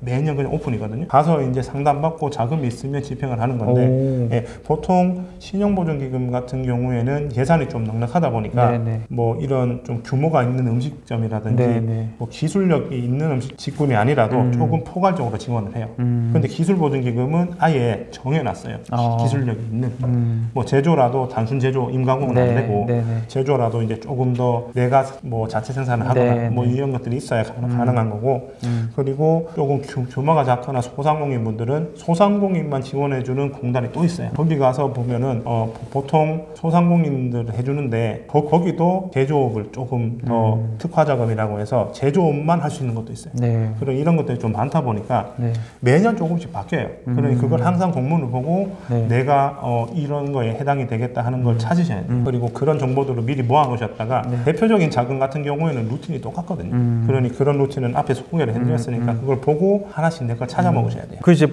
그 정보를 작가님께서는 이제 몇 년간 쭉 봐오셨으니까 네. 아 어떤 업종에 어떤 거는 여기 들어가면 있어라는 걸 알고 계시잖아요. 네. 근데 이, 이 책을 보- 처음 보신 분들은 네. 당장 이제 내가 그런 지원금 공지 네. 뭐 사업 안내 네. 어디서 볼 수 있을까 약간 모르실 것 같거든요. 네. 어디서 좀 볼 수 있나요? 어, 이거를 조금 통합적으로 볼 수 있는데 사이트를 하나 알려드리면 음. 기업마당이라고 있어요. 네. 네이버에 네. 기업마당이라고 검색을 하거나 음. 비즈인포라고 치세요. 그러면 거기에 네. 우리나라에서 지금 시행하고 있는 네. 자금이나 아니면 지원금, 네. R&D 종류 다 나와요. 근데 거, 거기가 일반 기관보다 하루 이틀은 늦어요. 총합적으로 다 그쵸, 해줘야 그쵸. 되는 거라서 예, 예. 거기서 보시면 웬만한 건 다 있고요. 음. 그리고 거기에 뭐 자료실이나 이런 데 보면 사학계에서 양식 같은 것도 있고요. 네, 네, 예, 네. 그런 것들이 있으니까 그쪽에서 좀 많이 활용을 하시면 되는데 음, 음. 저는 많이 알려드려도 잘 안 보시더라고요. 그쵸. 네, 이게 보기만 그냥 네. 뭐 한두 시간도 아니고 음, 10분, 20분만 거기 특정 직군도 선택을 할 수 있거든요. 네. 선택해서 그냥 조회를 해보시면 오, 자기 것만 다 네, 봐지는데도 네. 정- 정말 어떻게 보면 모든 게 다 오픈이 되어 있는 음, 장소인데도 활용하시는 분들이 잘 없긴 하더라고요. 음, 근데 그게 좀 안타까워요. 이제 모든 걸 오픈을 하려고 다 하는 건데도 음. 잘 적용을 안 하시더라고요. 그래도 좀 이제 어렵다나 하시는 분들이 네. 만약에 뭐 작가님께 뭐 뭔가 의뢰를 했다. 네. 작가님 어차피 그런 일을 하시니까. 네, 네. 그럼 작가님이 어디서부터 어디까지 해주시는 건가요? 어, 저 같은 경우에는 우선은 일단은 이런 창업 지원금이나 네. 음. 아니면은 뭐 정부 지원금이나 네. 아니면 자금을 받으시는 분들은 어떻게든 내 거를 만들어 보려는 분들이잖아요. 음. 그러면 초기에 이제 음. 사업을 어떻게 시, 작해야 되는지 음. 그리고 내 아이템 같은 것들을 음. 어떻게 단계적으로 밟아 나가야 되는지 네. 그리고 운영을 하면서 법인으로 만약에 시, 장을 하신다고 가정을 하면 초기에 이제 어떻게 제도를 만들고 음. 그리고 이거를 어떻게 발, 발전해야 되며 그리고 인원이 들, 들어왔을 때 챙겨야 되는 서, 서류들이 좀 많아요. 그쵸. 그리고 뭐, 네. 뭐 근로계약서라든지 아니면 음. 이런 것들도 많, 거든요 네. 그런 것들이 있으면은 하나씩 이제 어떻게 구성을 해야 되고 음. 어떻게 준비를 해야 되며 인, 이, 뭐 인- 인원이 몇 명 이상 느, 늘어났을 때 어떤 걸 준비해야 되고 이런 것들을 하나하나 다져가는 거거든요. 네, 그러면 그렇게 준비를 해주고 그리고 내가 이제 추후에라도 지원금이나 자금을 받을 수 있, 어, 있을 음. 네. 만한 요건을 하나씩 채워가서 음. 정말 필요할 때 받을 수 있게 확률을 높게 만들어주는 음. 거지 제가 뭘 더 많이 해서 뭐 누구를 알아서 이렇게 하는 건 아니고요. 음. 그러니 경험이 좀 있다 보니까 이렇게 준비했을 때 네. 확률이 높아진다. 그러니 이렇게 준비를 해나가시자라고 해서 어, 어떻게 보면 하나씩 정말 같이 성장해 나가도록 네. 그렇게 하나씩 음. 지금 이야기를 해드리고 있는 거죠. 음. 그럼 혹시 그냥 뭐 정말 특별한 뭐 테크닉이나 기술이 있는 거 말고 대중화되고 일반적인 좀뭐 네. 컨설팅 사례가 있을까요? 업적. 어, 이게 있는 게 어떤 거냐면 네, 네. 지금 직장인 그 제 그 제가 지금 컨설팅 해드렸고 하는 분인데 음. 네, 네. 이분 같은 경우에도 처음에 직장인이었어요. 완전 네. 직장인. 어, 네, 네. 네. 근데 이분이 전공이 네. 국문과 쪽이에요. 근데 네. 졸- 졸업하신 것도 아니고 이제 은퇴를 하신 거거든요. 네, 네. 근데 이분이 IT에서 네. 아, IT 업체에서 이제 아웃소싱하는 업체예요. 음. 이분이 뭐 아, 요- 이게 아웃소싱하는 업체인데 네. 여기에서 여- 영업 총괄로 한 7년을 일을 하신 거예요. 음. 근데 국문과 출신인데 이게 아웃신 뭐 그냥 어떻게 보면은 돈 벌려고 간 거죠. 그쵸. 어떻게든 배워, 배워서라도 네. 그러면 갔는데 거기서 이제 이게 아웃소싱이다 보니까 음. 이 업체가 뭐 다른 기업에서 의뢰가 들어오면 프로그래머를 연결을 해주는 거예요. 네, 네. 그럼 이 연결을 하면 원래는 사후 관리가 돼야 되고 이런 관리가 잘 돼야 음. 되는데 그쪽 업계가 뭐 저는 잘 모르- 모르겠지만 네, 네. 그 대표님 말로는 사후 관리가 잘 안 된다는 거예요. 음. 그러면 일을 시키는 업체에서도 불만인 거고 그쵸, 그쵸. 리고 프리랜서도 불만인. 그 프로그래머 도 네. 그럼 이거를 차라리 관리가 잘 되도록 플랫폼을 만들면 어떻겠냐라고 해서 그거 아이디어 그 아이디어를 가지고 네. 퇴사를 하신 거예요. 네, 네, 네. 퇴사를 하셔가지고 2020년도 10월 달에 창업을 하셨거든요. 네. 그분이 창업을 하시면서 저랑 이제 지금 인연이 돼서 제가 하나하나 컨설팅을 했는데 네. 지금 이제 올해 2022년도 말 기준으로 지금 매출이 한 13억 되거든요. 와. 그 이게 네. 지금 어떻게 보면 직장인이었잖아요. 네, 그쵸. 직장인이 경험을 하다가 네. 그 업계 생태를 알게 됐고 그 이야. 업계 생태 중에서 불편한 걸 하나 찾아낸 네, 거예요. 그럼 네. 이거를 관리만 잘해주면 되겠는데 음. 라고 해서 아이디어를 얻어서 창업을 하신 거죠. 그러니 거기서부터 이제 초반부터 뭐, 뭐, 정, 뭐 정부 자금이나 지원금이나 조금씩 받으셨고 이제 업종 네. 자체가 그때는 뭐 하나 IT 뭐 정보통신이나 이런 거를 잘 해줬을 때니까 음. 그렇게 받고 그리고 그걸 기술화 조금 발전시켜서 실제로 연구개발 부서도 있고 네, 네. 연구개발도 하고 계시고 네. 그리고 거기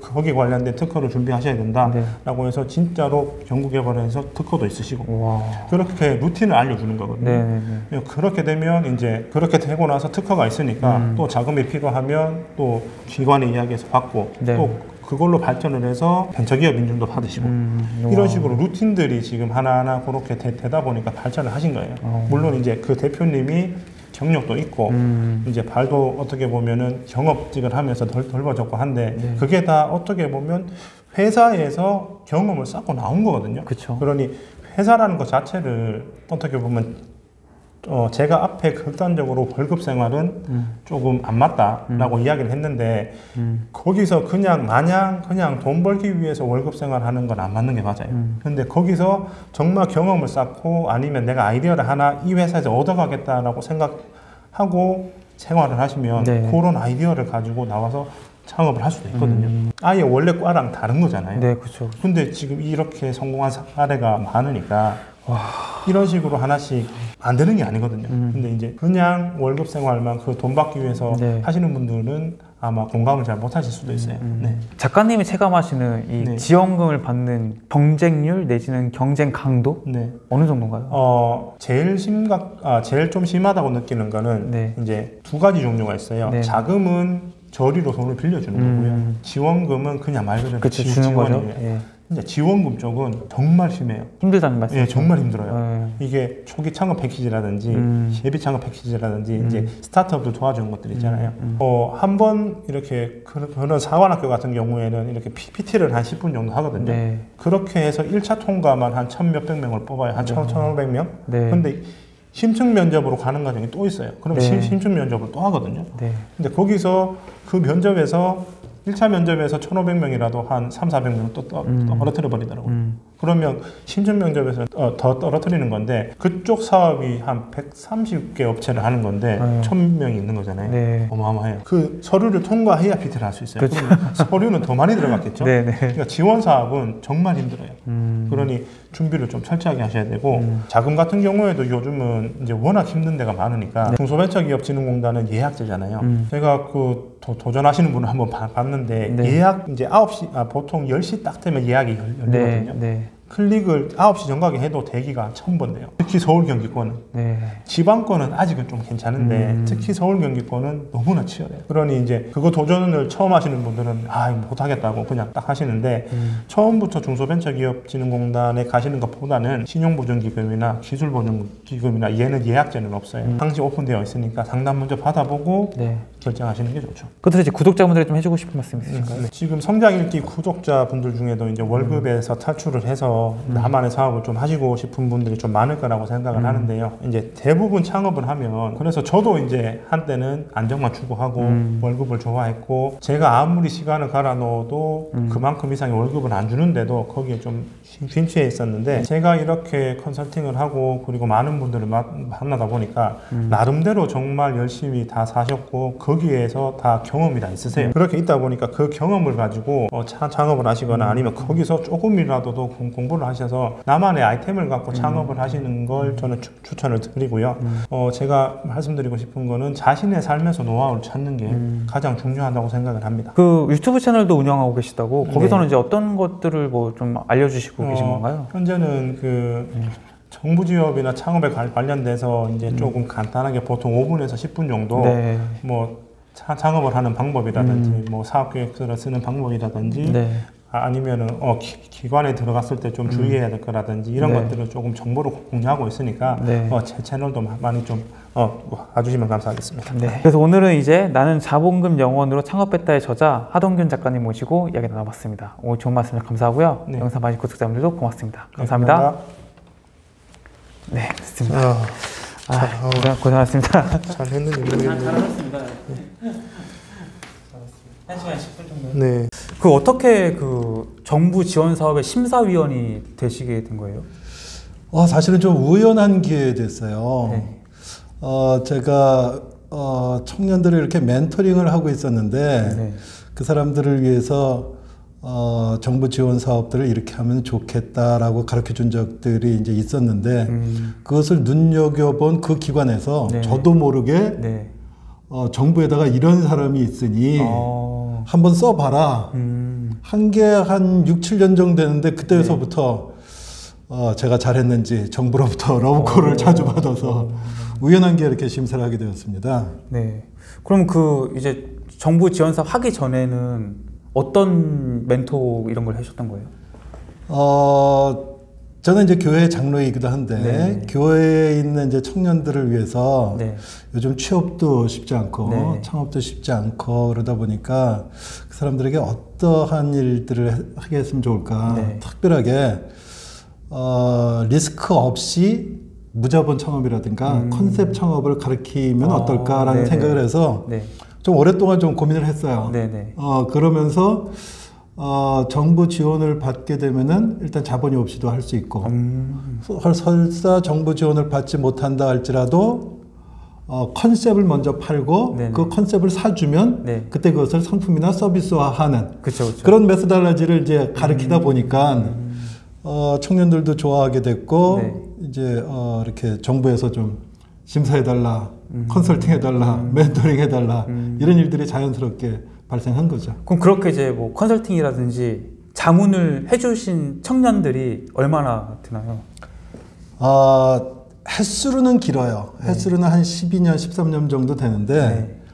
아, 1년에 많으면 뭐한 10명 정도? 음. 그래서 실질적으로 뭐, 뭐 수만 명을 한 건 아니고요. 네네. 어, 그래도 한 100여 명? 음. 이렇게 했는데, 그 중에, 어, 꽤, 네. 어, 나름대로, 어, 자기 길을 찾은 사람들이 있어서, 네, 제가 네. 보람차게 생각하는 사람들이 있죠. 네. 아 그럼 그분들이 명절 때 뭐 선물이라도 보내나요? 아니요. 제가 밥 사줍니다. 아 네. 어, 그 이제 정부 지원 사업에 대해서 한번 여쭤보고 싶은데 네. 요즘에 정부에서 워낙 스타트업이라든지 창업을 많이 격려 장려하고 있잖아요. 네. 그래가지고 굉장히 저도 지원금이 많다라는 건 알고 있어요. 네. 근데 실질적으로 정부에서 얼마만큼의 지원을 하고 있나요 지금? 아, 제가 처음 할 때에 비해서 지금 거의 배 정도로 늘었어요. 오, 네네. 그러니까 어, 사회적 이슈가 제가 어, 처음에도 말씀드렸지만 네. 아, 청년들이 창업도 어렵고 네. 취업도 어렵고 네. 그러다 보니까 정부가 자기가 할 수 있는 일을 이제 하다 보니 네. 음. 나름 성과가 있어서 이제 확대하고 있는데 네. 어, 이- 금년도 예산 기준으로 보면은 네. 대상 기관 94개 기관 378개 사업을 하고 있어요. 음. 그러니까 제가 할 때좀 해도 대충 200개였었는데 아 네네. 이 정부 지원 사업의 합격 노하우 중에 하나가 네네. 제가 뭐라고 얘기하냐면은 네. 이거 아이디어 싸움 아니다. 음. 손가락 품 파는 거다. 아. 이 클릭 정보를 자기한테 맞는 것들을 음, 네. 빨리 발견해내는 것도 중요한 노하우거든요. 음. 그래서 정부 중앙 정부에서 하는 것도 있고 네. 음. 지방 정부에서도 하는 것도 있고 공공 기관에서 하는 것도 있고 네. 또 민간 기관에서도 하는 것들이 있기 때문에 음. 그런 것들 봐야 되는데 지금 74개 기관 378개 사업이 있고요. 어, 전체적으로 보면 예산 규모가 3조 6,668억 원. 어, 3조. 예. 예. 어, 만만치 않은 돈입니다. 네. 예. 그래서 혹자들은 이거 눈먼 돈이다. 네, 그렇죠, 그렇죠. 예. 빨리 안 가져가면 손해다 네, 이런 네. 생각하는데 어, 초창기에는 그런 면이 없지 않아 있었는데 음. 이제 정부도 이렇게 스크리닝하는 방법도 아, 알고 있고 네네네. 심사위원들도 많이 지혜로워졌어요. 어. 그래서 만만하게 생각하실 건 네. 아니다. 음. 이렇게 말씀드릴 수 있을 것 같아요. 음, 그럼 이게 3조 6천억 원이나 되는 돈들이 이게 그냥 빌려주는 게 아니고 그말 그대로 이렇게 주는 건가요? 어, 빌려주는 돈까지 합치면은 이 규모는 거의 한 17조 원을 돼요. 어, 그러니까 요 3조 6,600억 정도에 네. 되는 돈은 네. 어, 뭐 청년들뿐만 아니라 네. 시니어들까지 포함되어 있는 건데 네, 그 네. 사람들이 자기 꿈을 네. 마음대로 펼치라고 음, 어, 그 심사를 해서 네. 어, 그것들이 사회에 기여할 수 있고 본인의 뜻을 펼칠 수 있다라고 생각하면은 음. 어, 무상으로 주는 거죠. 상환하지 않아도 되는. 어, 그렇죠. 예, 물론 음. 네. 어, 그 증빙이 네네. 좀 까다롭습니다. 그러니까 지출에 대한 증빙을 예, 까다롭게 한다는 예, 거죠. 예. 음. 그럼 이 정부 지원 사업을 그 내가 받기 위해서 경쟁은 어떤가요? 경쟁. 아, 일률적으로 경쟁이 어떻다라고 말씀드리기는 쉽지는 않아요. 네. 네네. 그 왜냐하면은 어, 각 지자체라든가 네. 또 이렇게 공공기관에서 자기의 특성에 맞게 네. 예를 들면은 뭐 농어촌에 그 특화된 사업 같은 경우에는 네. 어, 지원자들이 없어서 이제 오. 어, 그런 경우도 이- 있어서. 잘 보시면은 어, 그냥 어, apply만 하면은 어, 저- 될 받을 수 있는 어, 네. 그런 경우도 있는데. 어, 자기 분야가 아닌데 이렇게 들어가서는 네. 서로가 피곤하죠. 그쵸, 그쵸. 예. 근데 일반적으로는 이제 한 어, 4대 1, 음. 5대 1 정도 이렇게 된다라고 보시면 되고 네네. 어, 서류 심사에서 대충 2배수를 아. 걸러냅니다. 네네. 그리고 파이널에서 이제 어, 프레젠테이션을 통해서 네. 어, 질의응답하고 그래서 이제 어, 반 정도 뽑는데 음. 일반적으로 4대 1에서 5대 1 정도라고 보면 되는데 네. 어, 제가 이렇게 많이 해보니까 네. 첫해 떨어진 사람들이 네. 어, 그 다음에 와서 많이 붙더라고요. 아. 예, 그러니까 혹시 이런 거 준비하시는 분들이 있으면은 네. 첫 번째 안 됐다라고 낙담하지 말고 음. 왜 떨어졌는지를 네. 잘 살펴보시고 네. 왜 떨어졌는지를 살펴보는 어, 좋은 방법 중에 하나가 네. 어, 제 깨알 홍보하겠습니다. 아, 네네네. 제 책을 보는 아, 것도 네네. 좋은 방법 아 정말 중에 잘, 하나다. 잘, 잘 예. 써있다 하더라고요 정말. 예, 예, 예. 근데 그게 그러면은 심사위원들이 심사를 할 때 작년에 지원했던 사실을 알 수 있나요? 어, 서류상이나 이런 데는 없어요. 음, 그런데 네. 하다 보면은 아, 자주 보는 사람들이 보일 때도 있어요. 아, 네네네. 예, 그리고 심사위원들이 꼭 그 위치에 그 자리에 있- 있는 건 아니거든요. 네네네. 그래서 대부분 모르는 경우가 많은데 네.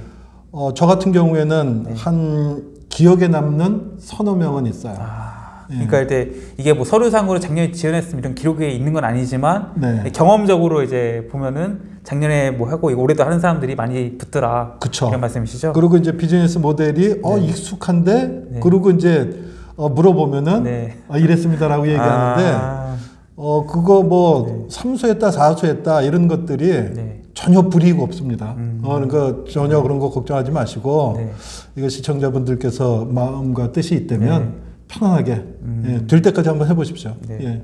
근데 아까 4대 1에서 5대 1 정도라고 하셨는데 우리가 이제 뭐 공무원 시험도 보면 경쟁률 100대 1이라고 하는데 뭐 결시자도 있고 공부 안 하는 사람들 실질적인 경쟁률이 좀 떨어지잖아요.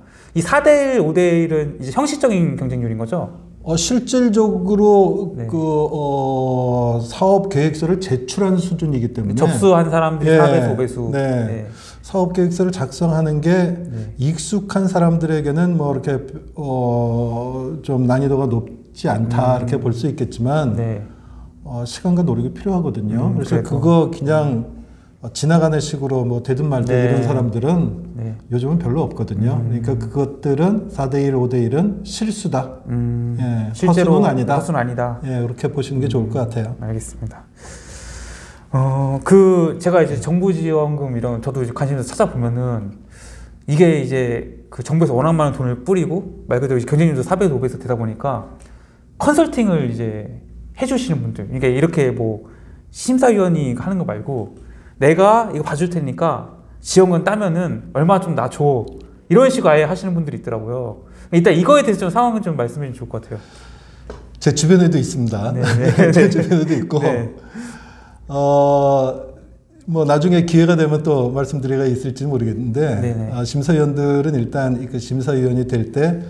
청렴 음, 그 각서도 쓰고, 윤리 뭐 서약 뭐 예? 윤리 서약 다 네. 하고 또 비밀 유지 각서 네. 어, 엄격하게 하기 때문에 네. 어, 심사위원들을 하면서 이제 그런 컨설팅이나 이런 것들은 그 어, 하면 안 된다라고 동시에는 이제 안 된다. 예, 네. 그, 안 된다라고 이제 보여지고요. 네. 실제로 그 컨설팅 하시는 분들이 있죠. 네. 그리고 어, 본인들이 이제 사업 계획서를 어, 대신 써주고 네. 그런 것도 이제 보입니다. 근데 네. 심사위원 심사위원 이렇게 하다 보면은 네. 아 내용은 없는데 깔끔하게 만들어진 것들을 봐요. 어. 그리고 포맷이 똑같은 것들을 봅니다. 아, 그러면 예. 이제 심중이 가죠. 감이 오는구나. 아, 요거는 네. 돈 들였구나. 아, 아, 이것도 괜히 헛돈 들였구나. 이런 것들이 이제 보이거든요. 그래서, 어, 저희들이, 어, 정부에 대해서 많은 그 건의를 했어요. 네. 그래서 초창기에는 진짜 전문가가 아니면은 작성하지 못할 정도의 네. 어, 난이도가 높은 사업 계획서를 작성해야 됐거든요. 음, 그래서 제가 네. 장차관이 있는 자리에서 제가 따졌습니다. 네. 음, 이런 사업 기술 나도 못 만든다. 예, 대기업에서는 만든 수준인데 네. 이제 막 사업을 시작하려는 사람들 네. 또는 소상공인들 네. 또는 사회적 약자들한테 이런 것들을 하려는 것들은 네. 무리다. 그렇죠, 그렇죠. 근데 이제 또 어, 이 공무를 수행하시는 네. 분들 입장에서는 어, 체크해야 될 것도 그쵸. 체크해야 되고 공정성도 유지해야 되니까 이제 그런 것들이 들어갈 수밖에 없었는데 네, 네. 지금 많이 개선이 돼서 네. 어, 지금 포맷은 어, 웬만하면 작성하실 수 있어요. 음, 아, 본인이 진짜 그 일에 대해서 관심이 있고 네, 네. 어, 그것을 할 수 있는 역량이 있다. 네. 그러면은 그냥 첫 번째 작성을 해더라도 70점 내지 80점짜리는 할 수 있다. 아. 이런 생각이 드니까 네. 구태여 그 컨설턴트를 네. 찾아가실 필요 없어요. 음. 그러니까 컨설턴트를 찾아가시는 이유가 어, 빨리 합격하고 싶다라는 이유 때문에. 갈 거 아니에요. 네, 그쵸, 그쵸. 예. 그런데 컨설턴트가 아이디어를 제시해 주는 것도 아니고요. 네. 예. 그리고 컨설턴 그 실행을 어차피 네. 어, 사업 계획서를 제출하시는 분들이 할 거라면 네. 어, 주변에 제 동료들, 그러니까 친한 사람들이 그거 하는 사람들도 있는데 네, 네. 혹시 이 방송 보면 저를 욕할지는 모르겠지만 네. 구태여 그렇게 안 하셔도 될 것 같다. 이게 저의 평상시 지론입니다. 예. 그러니까, 그러니까 지원자 입장에서는 이런 것 같아요. 어차피 정부에서 돈을 공짜로 주는데 여기서 일부 좀 떼줘서 따면 어쨌거나 좋은 거 아니냐. 뭐 아예 못 따는 것보다 나으니까 그런 생각에서 하는 건데 이제 작가님이 하시는 말씀은 어, 뭐 그게 정말 쓰는 게 정말 어렵다고 한다면은 뭐 전문가 도움 받을 필요도 있을 수 있겠지만 그런 형식적인 요건들이 많이 낮아져 가지고 이제 충분히 내가 정말 이- 여기 사업에 대해서 진정성이 있으면은 그걸 굳이 전문가의 손길을 받, 받으나 안 받으나 차이가 없다라는 말씀이시죠? 그렇죠. 네. 그러니까 심사위원들이 보는 게 네. 사업 계획서를 보는 게 아니거든요. 네. 예, 제 책에서 제가 처음부터 끝까지 계속 강조하고 있는 게 네. 그 정부 지원 사업의 합격 노하우는 네. 사업 계획서가 아니다. 네. 예. 그래서 근데 대부분 사업 계획서에 공을 들이세요. 음, 그러다 보니까 사업 계획서를 만들어 주십시오라고 얘기를 하는데 네. 그 이전에 네. 훨씬 더 중요한 것이 이 사업을 자기 본인이 가지고 있는 명확한 컨셉. 음, 나는 누구를 대상으로 네. 이 사람들의 이러한 고민을 해결해 주겠습니다. 이 명확한 컨셉만 있으면은 음. 네. 나머지들은 기계적으로 채워져요. 음, 그리고 그 철학을 모르는 상태로 네. 그렇게 하신 분들의 대부분이 네. 컨셉을 못 잡기 때문에 컨설, 컨설턴트한테 음, 부탁을 하거든요. 음, 본인이 컨셉을 못 잡으면 네. 컨설턴트도 컨셉을 못 잡습니다. 그쵸, 그쵸. 네. 그러면은 형식 요건만 그럴 듯해 보지 네. 내용은 음. 아무것도 없거든요. 음. 그러면 심사위원들은 그냥 일단. 예, 서류 심사에서 음. 어, 떨어질 확률이 높다. 그러니까 어, 컨설턴트의 조력을 받는 것이 무조건 나쁘다는 얘기는 아니지만 네네. 더 중요한 게 있으니 네. 그 포인트를 깨우치는 게 좋겠다. 음. 이렇게 말씀드릴 수 있을 것 같아요. 그 책에 보니까 이제 1천여 개가 넘는 기업들을 이제 심사를 이제 하신다고 하셨는데 이게 매년 그렇게 보시, 보시는 거죠? 어, 이게 1천여 개를 하려면은 네. 어, 대충 그 6, 700개는 서류 심사를 그쵸, 그쵸. 예, 예. 예. 그러니까 이 대면 심사로는 그렇게 하려면은 시간 이 많이 그쵸, 걸려요. 예. 이게 이제 서류 심사 같은 경우에는 네. 어, 하루에 40개 내지 50개 기업을 이렇게 이제 심사를 합니다. 음. 네. 그러면 10개만 10일만 하더라도 그 4, 500개가 되죠. 네, 그렇죠. 이게 이제 1년에 그 하루씩만 하더라도 한 5년이면 이제 네. 서류 심사로 뭐 4, 500개 네. 어 그런 것들을 한 개 기간만 하더라도 그런데 그쵸, 몇개 예. 기간만 하면 이제 네. 어, 천여 개는 금방 넘습니다. 음. 그런데 이제 대면 그 네. PT 하는 경우는 어 하루에 이제 맥시멈 한 20개 정도밖에 어, 못 하죠. 네. 그래서 대면 심사 같은 경우에는 저는 한 2, 300개 정도 한 게 같고요. 음. 어, 서류 심사 이제 한 6, 700개 이렇게 네. 한것 같아요. 예. 그렇게 많은 숫자들의 그 기업의 서류라든지 뭐 대면 면접들을 보면서 어떤 거 생각이 좀 드시나요? 일단 네. 그 제일 먼저 드는 게그 네. 사업을 하겠다라는 이제 간절함은 있었겠죠. 네. 그 간절함의 발로이겠지만 네. 대부분의 사업 계획서가 나는 이거 이거를 잘해요. 이거 할 수 있어요. 음. 좀 나쁘게 표현하자면 자기 자랑만 적어오거든요. 아. 근데 사업이라는 거는 네. 여러분들도 잘 알겠지만 그 사업을 통해서 어, 편익, 네. 이익, 그게 시간이 됐든 돈이 됐든 네. 그걸 얻을 사람, 고객이 무엇을 원하는지를 얘기를 해야 되는데 네. 고객의 needs와는 관계없이 아. 자기 얘기들만 끊임없이 적어놓는 분들이 있어요. 네. 근데 그런 분들이 또 꾸준히 apply 하시는 아, 분들이 네, 있어요. 안타깝죠. 음, 그쵸, 그럼 그쵸. 저는 네. 속으로 네. 컨설턴트들이 이거나 좀 가르쳐 주지. 아. 어, 그런 것들을 좀 걸러내질 못하는구나. 음. 그런 안타까움들이 좀 있습니다. 그러니까 이제 사업이라는 게 어떻게 보면 사람들의 뭔가 필요라든지 문제를 해결해 주는 건데 그런 거에 대한 걸 쓰지 않고 나 뭐뭐 할 수 있다 이것만 쓴다는 말씀이죠. 그렇죠. 음. 예, 그래서 네. 제일 중요한 거는 고객의 pain point. 네. 어, 내가 이 사업을 하는 이유가 우리 일반적으로 보니까 내 주변에 있는 사람들이 네. 이런 고통을 겪고 있더라. 또는 이걸 너무 당연시하더라. 네. 그래서 그건 당연한 게 아니다. 더 해소할 수 있다. 어, 좀뭐 너무 진부한 표현일지 모르지만 네. 어, 택시는 왜 꼭 길바닥에 가가지고 손 들고 택시를 네. 타야 돼? 네. 예. 그냥 저 옆에 놀고 있는 네. 우리 이웃집 아저씨 자가용을 내가 그쵸. 빌려 타면 안 될까? 네, 그렇죠, 그렇죠.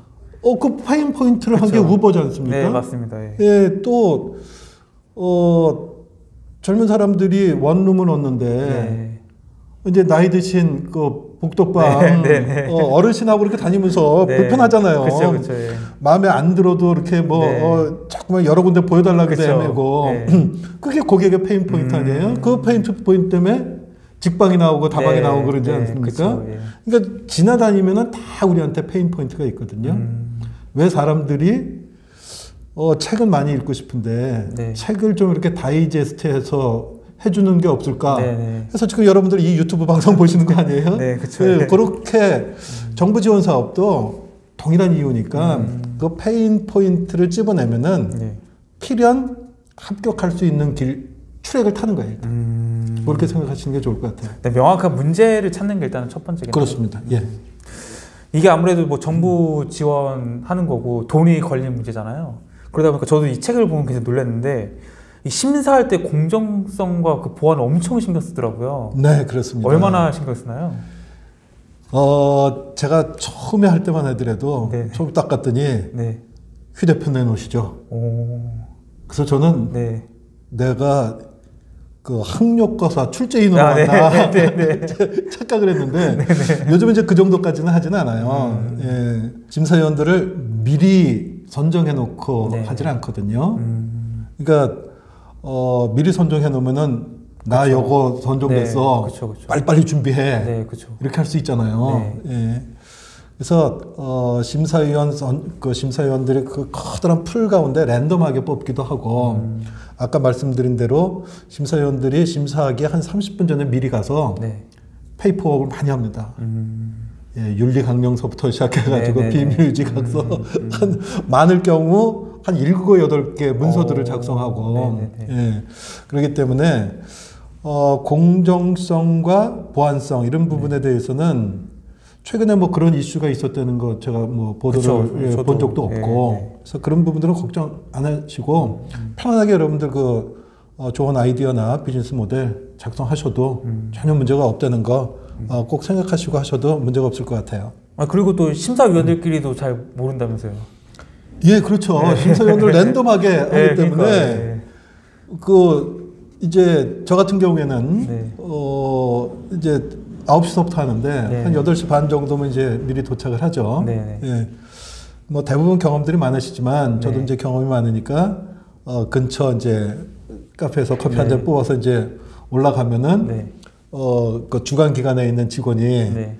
어 이제 수인사 하고 난 다음에 막바로 이제 다큐멘터리를 줍니다. 그러면 네. 이제 정신없이 뭐 윤리강령서부터 해가지고 그 어, 사인하고 네. 그거 하고 나서면은 이제 사람들 이렇게 이제 심사위원들 오거든요. 네. 적으면 4명, 뭐 많은 경우에 8명. 음, 제가 제일 많은 경우는 12명이 이제 심사해 본 음. 적도 있는데 어 그러니까 본인들 그거 하고 나서 네. 자기 자리에 앉아서 네. 이제 뭐 심사 서류 심사 같은 경우는 4, 50건, 네. 발표 심사 같은 경우는 이제 20건에서 30건. 네. 뭐가 들어왔나 이거 보느냐고 네. 서로 수인살 저기도 없고 음, 기껏해야 이제 점심 먹을 때 이제 네. 잠깐 이제 어? 통성명하고 그런 네. 정도지. 어. 그렇기 때문에 이제 서로 심사위원들이 서로 모르기도 할, 할 뿐더러 음. 어, 가끔 가다 보면 이제 지난번에 다른 심사장에서 만난 네, 분들을 이제 그렇죠. 만나는 경우들이 네, 네. 뭐 어, 가끔 있습니다만 음. 어, 심사위원들끼리도 모르기 때문에 음. 뭐 우리 어디를 밀어주자라고 하는구나 이런 거 그러니까요. 할 시간도 없고 어, 공정성에 대해서는 네. 어, 제가 99.998% 보장합니다. 나머지 0.02%는 네. 제가 모르는 곳에서 네. 무슨 일이 있을지도 모르기 때문에 아, 저도 제 책, 저 작가님 쓴 책 보고 야 정말 이거 공정하게 하는구나 그 느낌 확실히 받더라고요. 네 그렇습니다. 그럼 정부 지원 사업은 어떤 심사 과정을 거치게 되나요? 어, 일반적으로 보면은 네. 일단 그 사업 공고를 하죠. 네. 여기서 팁을 하나 드리자면은 해당 사업은 네. 매년 그 시기 비슷할 때 공고가 됩니다. 음. 그러니까 자기가 어떤 사업의 공고를 그때 네. 어, 불합격이 했다. 네. 그러면은 내년 그 언저리에 그 사업이 나온다라는 것을 미리 아실 수 있어요. 음. 그러니까 미리 준비하면 되는 거죠. 네, 네. 나중에 기회 되면 말씀드리겠습니다만 공고를 보고 준비하는 사람들은 사업 확률이 떨어집니다. 어, 그래요? 예. 음. 어, 일단 공고가 나, 네. 나게 되고요. 그리고 공고에 어떻게 작성하라고 네. 포맷이 다 있습니다. 네, 네. 서류는 뭐 어떻게 작성해라. 음. 그 포맷이 다 있기 때문에 네. 그대로 해서 서류 이제 제출을 하면 되고요. 네. 그러면은 그것을 가지고 서면 평가를 합니다. 음. 예, 심사위원들이 앉아서 네. 서면 평가를 하는데 대부분 그 동일한 것들을 네 사람이면 네 사람, 여덟 사람이면 여섯 사람이 이제 채점을 하죠. 네. 나중에 그것을 이제 취합해서 점수 높은 순으로 음. 이제 뭐 40개 중에서 20개를 선정한다 그러면 이제 20위까지가 이제 선정이 되는 거죠. 음. 그렇게 선정된 것들이 네. 서류 심사에서는 최종적으로 2배수 정도를 어, 선정을 합니다. 네. 그래서 파이널로 프레젠테이션을 통해서 이제 음. 발표와 질의응답에서 이제 어 1배수 네. 그 합격자를 이제 발표하게 되고요. 네. 그리고 어 창업 심사 같은 경우에는 실사 같은 거는 하지는 않는데 네. 정부 지원 사업인 경우에 어, R&D 사업이라든가 네. 계속 적으로 진행되는 사업들도 있어요. 네. 그런 경우에는 어, 담당 공무원이 네. 실제로 그 현장들 기업을 방문하는 경우도 있는데 어, 이걸 보고 하시는 분들의 대부분들은 실사 나오는 경우는 그쵸. 어, 어, 예. 없다 이렇게 네. 생각하셔도 무방할 것 같습니다. 음. 예, 그리고 이제 그렇게 되면은 네, 이제 그 지정된 구조로 돈을 주거든요. 네, 네, 어, 중요한 거는 그 돈을 네. 그 해에 다 써야 된다는 거예요. 어, 남기면 어떻게 돼요? 반납이죠. 반납이에요? 예, 아, 그것도 네, 12월까지가 아니고 네. 11월까지 다 쓰셔야 됩니다. 아, 왜냐하면은 네. 정부 회계년도가 12월 말까지이기 음. 때문에 12월 말 11월 말까지 다 쓰고 난 것들을 네. 담당 공무원이 취합해서 그쵸, 결제도 맡고 네. 다 하는 그 서류 프로세스가 필요하기 때문에 네, 네. 그래서 어 국회에서 예산이 네. 확정이 되고 네. 각 부처의 그 예산이 하달되면은 네. 그때 정부 부처에서 계획을 작성하고 어 정부가 정부 부처가 직접 하는 경우는 드물거든요. 음. 그 사업들을 할 수 있는 대행 기간을 정부가 또 선정을 합니다. 아, 네, 네. 그 작업하는데 최소 20일에서 한 달이 걸려요. 음, 그러면은 공고가 나오는 게 빨라야 2월이거든요. 네, 네. 그러면은 서류 준비하는데 일주일 정도 그렇죠. 줘야 되고 네. 서류 심사해야 되고 발표하고 그러면 또 최종 선정하는데 빨라야 20일에서 한 달 걸리거든요. 네. 그러면은 그게 이제 3월이에요. 아, 그러면은 3월 말서부터 네. 보수적으로 보면 4월서부터 11월까지 그쵸. 다 써야 되는 거예요. 음. 4, 5, 6, 7, 8, 9, 10, 11. 음, 8개월 동안에 네. 돈다 쓰셔야 되니까 아, 돈 쓰는 게 이렇게 힘들구나라는 거를 네. 직접적으로 체험하시게 될 겁니다. 아, 그것도 네. 돈에 꼬리표가 붙습니다. 요 돈은 직원 인건비로 쓰십시오. 아, 요거는 네. 어, 마케팅 비용으로 쓰십시오. 음. 요거는 어떤 용도로 쓰십시오. 네. 그래서 그 용도가 다 정해져 있기 때문에 네. 용도별로 써야 되는 그런 지혜도 필요하거든요. 근데 사실은 네. 이제 그거는 되고 난 다음에 고민해도 그쵸, 될 그쵸. 부분이니까 예. 예, 설사 조금 들 써서 반납하더라도 네. 속은 상할지언정 네. 쓴 만큼 이익이니까. 그쵸, 그쵸, 그쵸. 그리고 한 9월, 10월쯤 되면은 네. 어, 담당 공무원이나 네. 이 멘토링 하시는 분들이 와서 돈 어떻게 쓰라고 음. 예, 그 어, 항목에 맞도록 쓰는 방법을 그때 그때 이렇게 어, 어떻게 쓰면 돼요? 이거 잘 안 돼요 라고 물어보면 가르쳐 주니까 음. 돈 쓰는 부분은 없어서 못 쓰지 뭐 있는데 그쵸. 못 쓰는 예. 경우는 드무니까 네. 예, 그렇게 생각하시면 될 것 같습니다. 그 정부 지원 사업에서 사람들이 많이 떨어지는 이유, 그 서류도 어차피 많이 써지잖아요. 어디 때문에 많이 떨어진다고 생각하세요? 계속 제가 반복을 하고 있는데 네. 어, 정부 지원 사업의 합격을 좌우하는 거는 네. 사업 계획서가 아닙니다. 음. 대부분 사업 계획서라고 생각하기 때문에 네. 떨어지는 거군요. 컨설턴트도 네, 고용하는 네, 그쵸, 거고, 그쵸, 그쵸. 예. 그 주변에 조력을 많이 받는데 음. 실제로 심사위원들이 보는 것들은 음. 이 사람들이 이 일을 실제로 할 수 있는가 음. 그거예요. 네. 할수 네. 있는가? 할 수 있는가 이전에 이게 타당한가, 음. feasibility 네. 스타디가 돼 있는가인데 할 수 있는가가 증명이 되면 FS는 증명이 된 거죠. 음. 그러니까 실제로 심사위원들이 제일 많이 보는 것들은 이것을 할 수 있는가인데 그 할 수 있는가는 네. 사업 계획서에 나오는 것이 아니라 네. 내가 이러한 사업 계획을 평상시에 관심을 가지고 이미 이렇게 이렇게 해왔습니다. 음. 예를 들면은 네. 내가 새로운 네. 건강에 좋은 신발을 만들고 싶은데 네.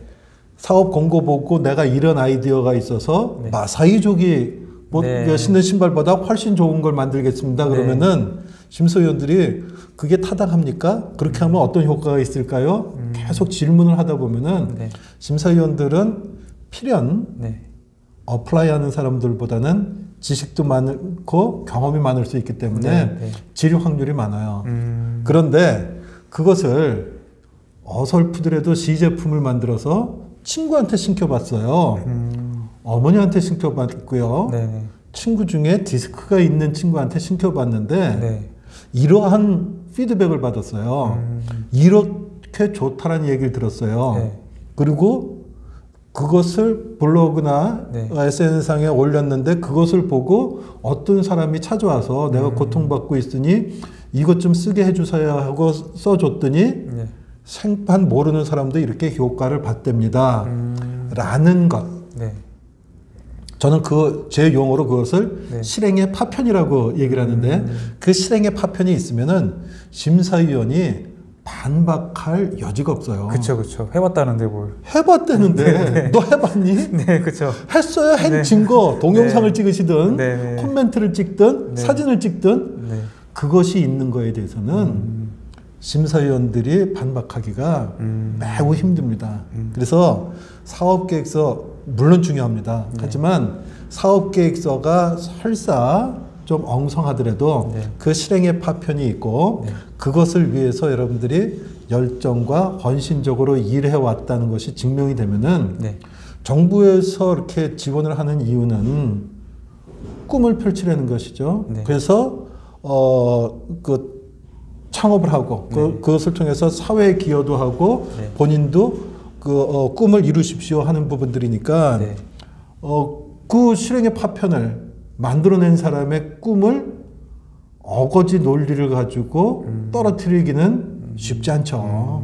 그러니까 저는 사업 계획서보다는 네. 그 실행의 파편을 만드는데 네. 증거를 내가 할 수 있다는 증거를 만드는데 더 시간을 들여라.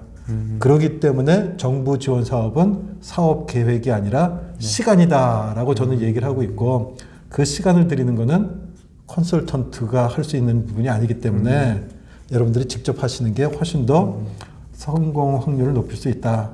이렇게 말씀드릴 수 있을 것 같아요. 그럼 그 사회계획, 사, 사업 계획서를 검토하시면은 그 실행의 파편을 이제 적은 사람들, 그 제시한 사람들 얼마나 돼요? 많지 않기 때문에 제가 안타까워서 음. 이것을 이제 계속 강조를 하고 있는 거죠. 어, 뭐 정확한 통계는 아닙니다만 제 그 감각으로는 네. 쓰시는 분들이 그렇게 하시는 분들이 한 30% 미만이 되는 어. 것 같아요. 그러면은 네, 10건 중에 네. 그렇게 한 3건은 네, 저 같은 경우는 이- 일단 네. 합격 칸에다가 일단 넣어놓습니다. 음, 그쵸, 그쵸. 예. 그래서 그 여러분들이 아직 많잖아요. 예. 그런 쪽으로 좀 네. 더 이것들이 이제 보편화되면은 그쵸. 예, 많아질 수 있거든요. 네, 음. 네. 아직 초기입니다. 아, 너무 좋은 꿀팁인 것 같습니다. 그렇습니다. 예. 그렇습니다. 아, 알겠습니다. 어, 많은 분들이 사업하면은 가장 고민 많이 하시는 게, 아, 나 뭐 하지? 아이템에 대한 고민일 것 같아요. 아이템에 대해서는 어떤 조언을 좀 해주고 싶으세요? 아까도 말씀드렸다시피 네. 아, 아이템은 일단 pain point로부터 시작을 하는 게 좋을 거예요. 네. 근데 뭐 내가 발견한 pain point라고 그래서 네. 내가 거기에 재능이나 달란트나 또는 이렇게 흥미가 없음에도 불구하고 네. 그것을 하기는 어렵겠죠. 네, 그쵸. 예, 그러니까 먼저 발견해야 될 부분들이 네. 나의 재능은 어디 있는가? 이게 나의 강점이 되겠죠. 네. 나는 어떤 영역에 대해서 어, 흥미로운가? 음. 어, 또 하나는 이것이 실제로 시장에서 예. 반응을 할 수 있는 영역인가? 음. 요 카테고리 내에서 골라내면 좋을 것 같고 네. 그 세 개가 중첩되는 영역을 소위 우리가 얘기할 때 이제 스위스폿이라고 이제 얘기를 음, 하는 네, 영역이죠. 네, 네. 그 sweet spot 영역 내에서 네. pain point를 발견할 수 있다면 음. 그거는 설사 네. 실행의 파편이 애매하더라도 네. 합격할 확률이 높아요. 어. 왜냐하면 시장이 증명됐죠. 그쵸, 그쵸. 자기 할 수 있다는 것, 달란트가 있, 네. 있다는 게 증명이 됐잖아요. 자기의 뭐 career path 중에서 그쵸. 있, 든가 네.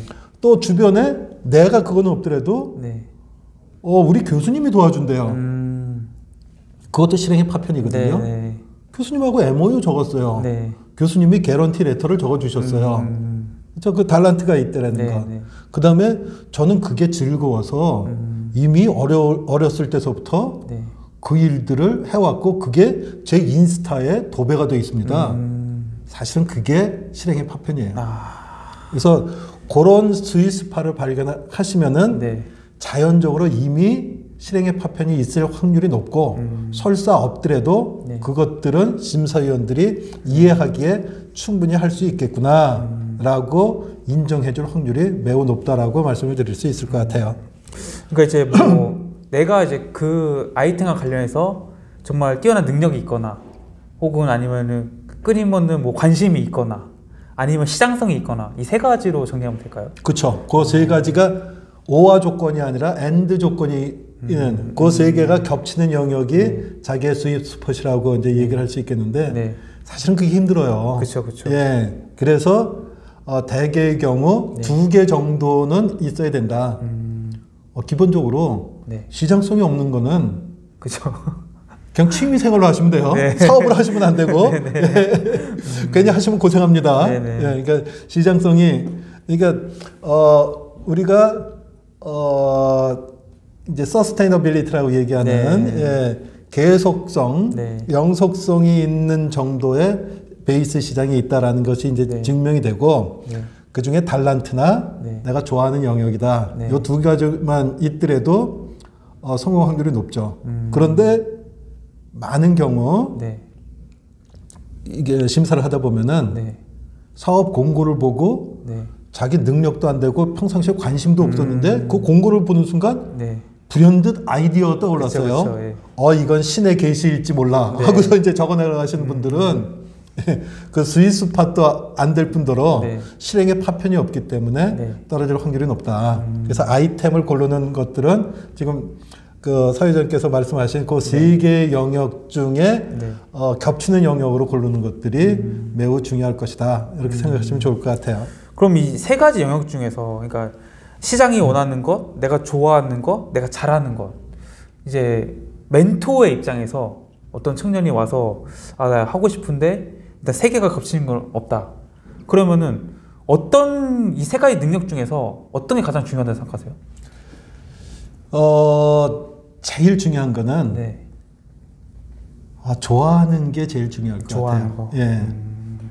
왜냐하면은? 역량이 없으면은 네. 역량은 사올 수 있거든요. 아. 잘하는 친구한테 네. 같이 하자라고 얘기할 수 아, 있는데 네네네. 자기가 열정이 없고 관심이 없으면은 네. 친구가 같이 하자고 그럴 때 쫓아올까요? 안 쫓아오죠. 네. 그렇죠? 그렇죠. 예, 그러니까 자기가 좋아하는 게 제일 중요해요. 음. 예. 그런데 그게 시장성이 있어야 돼요. 네. 시장성이 없으면은 다시 말씀드리지만 취미 생활로 하세요. 사업하지 마시고. 네. 알겠습니다. 내가 좋아하는 거 나로부터 시작을 해야겠네요. 그렇습니다. 예. 그 컨텐츠를 잡을 때 USP 전략을 사용하면 좋다. 이 USP 전략은 뭔가요? 어, 이- 뭐 USP는 문자 그대로 이제 말씀드리자면은 이제 unique selling proposition, 네. 예, 뭐 또는 unique selling point라고 얘기를 하는데 네. 어, 쉬운 예를 들자면 네. 아, 식당에서 네. 우리 식당은 맛도 좋고요, 네. 반찬도 많아요, 네. 서비스도 좋고요, 네. 식당 분위기도 좋습니다. 네. 이렇게 모든 식당이 다 그래요. 네. 어느 식당에 어느 식당을 가든 우리 식당 맛 없어요. 네. 예, 우리 식당 불친절합니다. 이렇게 네. 얘기하는 사람은 없어요. 없죠, 예, 없죠. 예. 근데 모든 식당이 다 똑같이 얘기하니까 네. 사람들은 어디를 가야 될지 모르죠. 그렇죠. 모르죠. 그러니까 뭐를 보냐면은 맛집이라고 이름 나고 줄 서 있는 곳을 가는 거예요. 네, 그렇죠. 그렇죠. 줄 서 있는 곳에 가서 모두 우리가 사진 찍어서 어? 별그램에도 올리고 네. 그럽니다만 네. 어, 가서 진짜 100점 만점에 100점이다라는 집이 다였을까요? 어, 저 같은 경우는 아닌 경우도 네, 꽤 있었어요. 그쵸, 그쵸, 네. 그런데 남들이 다 그렇다고 그러니까 네. 나 혼자 맛없다고 하기도 힘든 거예요. 음. 무슨 얘기냐면은 네. 사람들이 거기 가니까 우리가 가, 거든요 네. 가는 이유는 네. 여러 가지 이유가 있을 수 있어요. 진짜 맛있어서 가기도 하고 네. 어, 셀카 찍기에 좋은 네, 분위기일 그쵸. 수도 있- 있고요. 그쵸? 예. 요즘 뭐 빵집을 대규모로 교회에서 하는 것들이 네. 보면은 어, 거기 가서 탁 트인 데서 그 집들만이 주는 어떤 value가 있는 거거든요. 네. 그렇죠. 예. 그거를 USP라고 생각을 하시면 돼요. 그러니까 우리 식당은 네. 남들이 다 얘기하는 걸 하지 말고 네. 우리 식당은 커다랗게 뭐 큰 식당도 아니고 화려하지도 않지만 네. 주머니가 가벼운 네. 샐러리맨이 음. 회식하기 좋은 곳입니다. 음. 그래서 회식하러 오는 사람들한테는 네. 어 서비스 안주 미리 하나씩 좀 더 주고 음. 그래서 중요한 거는 회식하기 제일 좋은 식당이 네. 대한민국에서 제일 좋은 식당이 아니어도 돼요. 음. 중요한 거는 누가 먼저 그 얘기를 하느냐가 중요한 거예요. 아. 예, 내가 설사 1등이 아니더라도 네네. 그래서 볼보가 네. 볼보 자동차 하면 안전한 안전, 자동차 네, 이렇게 그쵸. 얘기를 하잖아요. 예, 예. 볼보 자동차가 세계에서 가장 안전한 자동차라고 증명이 된 다음에 우리 자동차는 안전합니다라고 얘기하고 시작하지 않았어요. 음, 우리 자동차는 안전합니다. 네. 그 얘기를 하면서 네. 안전하게 만들어 갔어요. 음, 지금 모든 자동차가 볼보 자동차만큼 네. 또는 볼- 볼보 자동차보다 훨씬 더 안전합니다. 그쵸, 그쵸. 예. 그럼에도 불구하고 네. 다른 자동차 회사들이 음, 우리 자동차는 안전합니다라는 얘기를 못 해요. 음, 그쵸. 그 얘기를 하는 순간 자기 자- 회사 자동차를 선전하는 게 아니라 볼보 그쵸, 자동차 예. 선전하는 게 돼버리기 그쵸, 때문에 예. 이 중요한 얘기입니다. USP는 네. USP는 내가 가장 탁월할 때 쓰는 전략이 아니라 네. 가장 탁월할 때 써도 됩니다. 네. 하지만 탁월하지 않더라도 누구보다 먼저 내가 그 화두를, 네. 그 value를, 네. 그 proposition을, 네. 그 포인트를 먼저 얘기할 수 있다면 음, 우리를 알리는데 네. 매우 중요한 전략이 될 수 있고 그 포인트가 사업 계획서의 컨셉이 될 수 있고 그것을 심사위원한테 얘기를 해주면은 네. 심사위원이 음, 다 탁월한 것보다 네.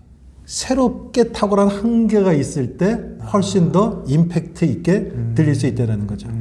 그것을 USP라고 생각하시면 될 것 같습니다. 여기 약간 지향점하고 좀 비슷한 것 같네요. 그럴 수 있죠. 예, 어. 지향, 지향점인데 네. 어, 자기가 잘한다라는 것보다는 네. 나는 이러한 쪽으로 같이 추구를 할 거야. 음, 음. 예, 그러니까 그렇게 생각하시면 뭐 지금 당장 이걸 할 수 있는 능력이 없더라도 네. 이걸 먼저 보여줘서 어떻게 선점, 이미지적으로 그쵸. 선점하는 게 중요하다는 예. 말씀이시죠? 그런데 생판 진짜 어뭐 100점 만점에 1, 20점인데 그거 하면은 네, 네. 실제로 못 이뤄내죠. 예, 그런 USP는 네. 금방 허물어집니다. 그쵸, 그쵸. 오래 갈 수가 없어요. 예. 그러니까 대충 그 정도로 하려면은 네. 어, 제 용어로 한 70점 정도 되면은 일단 시작해도 무난하다. 음, 그래서 사람들이 계속 격려를 해주고 네. 그것을 관심 있게 자기가 계속 선언을 하다 보면은 네. 자기 스스로 거기 관심을 갖고 더 노력을 하게 되거든요. 네. 그러면은 진짜 그렇게 되는 음. 어, 그런 효과를 누릴 수도 있다. 음, 알겠습니다. 어, 같은 맥락인 것 같아요. 사업 계획서의 제목은 카피라이팅처럼 써야 된다. 이거 같은 얘기죠? 같은 얘기이기도 하고요. 네네. 예. 어, 제가 사업 계획서를 네. 쓰라고 그러면은 이건 책에 안 나와 있는 꿀팁을 하나 네, 예, 우리 네. 시청자들에게 드리자면 제가 제목을 잡을 때 항상 어떻게 잡으라고 그러냐면은 네. 뭐뭐뭐를 위한 네. 뭐뭐뭐 해법 오, 네. 이렇게 얘기를 하거든요. 네. 뭐뭐뭐를 위하는 네. 타겟이에요. 음, 그러니까 어, 대부분 사업 계획서들 보면은 네. 어떻게들 작성을 하냐, 하냐면요. 네. 어, 전국에 있는 사진관, 네. 스튜디오, 스튜디오의 네. 영업 활성화를 위한 네. VR 네. 어, 사업 확대. 네. 통상 이렇게들 해요. 음, 자, 그럼 잘 생각해 보십시오. 네. 사진관, 네. 스튜디오, 네. 두리뭉실하잖아요. 그쵸, 그쵸. 어떤 스튜디오는 네. 돌 전문 스튜디오도 있을 테고, 그쵸, 그쵸. 네. 프로필 네. 사진을 전문으로 하는 데도 있을 테고요. 그쵸. 다 다르잖아요. 네. 그렇죠? 네. VR 그래도 VR 영역이 많잖아요. 네. 그러니까 그렇게 하면은 심사위원이 일단 이 사람이 뭘 하려고 하는 거지 음, 컨셉이 안 잡힙니다. 네네네. 심사위원이 컨셉이 안 잡히면요, 네. 그 사람들이 발표 서류 심사일 때는 그 서류 심사 이만한 거를 처음부터 끝까지 다 봐야 된다는 거고 네네. 그쵸. 눈에 안 들어오잖아요. 네. 다 봤는데도 그걸 이해를 못하겠다. 그쵸. 이해 못했다는 얘기는 합격시켜줄 근거가 없다는. 얘기예요. 떨어진다는 얘기죠. 네. 아니 이해를 못했기 때문에 떨어뜨릴 수도 없어요. 그래요? 네. 그러니까 점수를 애매하게 주는 아, 예. 거죠. 애매하게 주는 거는 음, 상위 점수로 올라갈 확률이 떨어지는 거죠. 음, 제목만 보고 이해가 된다면은 네. 그 다음에 툭툭 그쵸. 툭 서류를 넘겨가면서 중요한. 포인트 하면서 내가 생각하고 있는 중요한 포인트를 만족시키거나 그쵸, 그쵸. 그쪽으로 지향점을 가지고 있다면은 합격 확률이 높은 쪽으로 일단 놓을 수가 있죠. 그런데 그게 없다면은 아. 네. 심사위원 서류 심사 하루에 네. 50건을 하려고 하면요. 네. 그죠? 하루 8시간 중에. 네. 예. 50건 하려면은, 그, 저, 뭐야, 8시간 중에 네. 대충, 어, 그, 시간당 오, 5개 내지 6개를 해내야 그쵸. 되거든요. 네, 그렇죠. 그렇게 기계가 아니잖아요, 심사위원도. 네, 그쵸. 화장실 갔다 와야 되고, 좀 쉬어야 되고, 네. 뭐 하면은 서류 하나당 채 10분 이상을 주기가 그 힘들어요. 그렇죠. 그리고 마지막 30분은 그 전체 심사한 것들을 점수 취합하고 순위도 매기고 음. 네, 이런 작업이 네. 있기 때문에 그 시, 간당 네. 여섯 개 내지 일곱 개가 될 확률들이 높아요. 음. 그래서 10분 이상을 그 하- 할애하기 힘든데 네, 네. 그것을 앞뒤로 계속 두세 번 봤는데 모르겠다 그러면 이미 10분 지나가거든요. 그럼 심사위원들은 여러분들의 사업 계획서를 애정 어린 눈으로 보긴 하지만 네. 그렇다고 해서 여러분들 아빠처럼 네. 이거를 일과가 끝날 때까지 그것만 붙잡을 수는 없어요. 그렇죠. 그렇죠. 주어진 소임이 있잖아요. 그쵸, 예. 다른 사람들도 똑같은 자식 같은 입장이고 네. 똑같은 절박한 부분이기 때문에 네. 그것들을 봐줘야 되기 때문에 이해 못했으면은 일단 애매한 위치에다가 놓고 다른 것들을 볼 수밖에 없어요. 그렇다면은 네. 뭐뭐뭐를 위한 네. 뭐뭐뭐 해법 네. 이렇게 되면 컨셉이 명확하게 잡혀요. 네. 그렇게 제목을 질 수 있었다는 얘기는 뭐냐면은 네. 타겟도 명확하고 음. 스위스 팟을 맞췄을 확률도 높고 USP를 아. 발견했을 확률이 높다라는 거예요. 그리고 거꾸로 얘기하면은 네. 그세 개를 잘하면은 제목이 제대로 나온다라고 볼 수도 있고요. 그렇죠. 그렇죠. 그래서 제목은 카피라이팅이라고 생각하고 그렇죠. 우리 광고들 보면 멋진 것들 네, 있잖아요. 네, 그렇죠. 네, 그렇게 생각하고 하시면 되는데 꿀팁은 네. 뭐뭐뭐를 위한 뭐뭐뭐 해법 이러면은 제일 명확하다. 이렇게 생각하시면 될 것 같아요. 그럼 이 모모모를 위한 모모모 해법이라고 했을 때이 모모모를 얼마나 구체적으로 들어가야 되는 거예요? 타겟은 네. 좁으면 좁을수록 좋습니다. 음. 그래서 네. 우리가 영유할 만큼의 시장 사이즈가 되는 범위 내까지 네. 좁히면 좋아요. 어, 그렇게 되면은 네. 어, 거기서는 네. 타겟을 좁혀놓고 네. 그 사이즈를 시장 사이즈를 좁히면은 네. 심지어는 네. 사업 계획서에 나는 그 영역에서 1등을 할 수 있습니다라고 자신 있게 얘기를 할 수 있어요. 아. 재미난 예를 들게요. 내가 미정원을 하고 싶어요. 네. 어, 미정원을 한다고 사업 계획서 내면은 잘은 안 돼요. 근데 예를 드는 겁니다. 네, 네, 네. 내가 미정원을 하는데 네. 꿈이 많은 청년이 저는 세계에서 가장 머리를 잘하는 사람이 되겠습니다. 음. 그 꿈은 네. 가상하지만 심사위원 입장에서는 점수를 줄 수가 없어요. 음. 어떻게 할 수 있는지도 모르겠고요. 네, 네. 그렇죠? 네. 그만한 역량이 있는지도 증명이 안 그쵸. 돼요. 네. 나중에 그- 그렇게 되기를 네. 박수는 쳐줄 수 있을지언정 네, 네. 심사위원 입장에서는 그걸 할 수가 없어요. 네. 그런데 만약에 미정을 한다는 사람이 네. 우리 집 근처에서 네. 반경 5km 원을 근 다음에 네. 근처에 있는 미장원을 다 다녀보는 거예요. 음. 여러분들 사업계획에서 쓰는 거 꿀팁 드리는 거예요, 이것도. 이건 네. 책에 안 나오는 거예요. 네. 반경 5km를 긋고 네. 그 미장원들을 다 다니면서 어느 점은 좋고 어느 점은 미흡한지를 분석해내는 거예요. 아, 시장의 파편이네요. 예. 네. 그러면은 잘하는 것들은 네. 내가 더 잘할 수 있으면은 이렇게 하겠다라고 하면 그쵸, 되고 그쵸. 못하는 부분들은 내가 이러한 밸류를 줄 수 있어요. 음. 그게 USP가 되는 겁니다. 음. 그래서 내가 네. 적어도 이 영역 안에서는 내가 1등을 할 수 있다. 음. 그러면 사업 계획서 내에 네. 예, 전, 전 세계에서 1등이 아니라 네. 예? 압구정동에서 1등을 할 수 있는 네. 미장원 이렇게 적어내는 거예요. 음. 네가 어떻게 1등을 할래? 네. 제가 다 돌려봤거든요. 비교표 딱 만들어서 A라는 집 돈 많으신 50대, 60대 사모님들이 다니세요. 네. B라는 집 네. 10대와 20대가 다녀요. C라는 집 쭉 분석해 봤더니 네. 제가 봤더니 남성 중에 파마를 하고 싶어 하는 사람들도 꽤 있고 여성스러운 미장원에서 어, 헤어를 만지고 싶은 사람도 있는데 네. 압구정동이 없어요. 음. 저는 그것을 하겠습니다. 그럼 타겟이 명확해지죠? 네네. 그렇죠? 그리고 아무도 없으니까 네. 하면 무조건 1등이에요. 그렇죠, 그렇죠, 그렇죠. 네.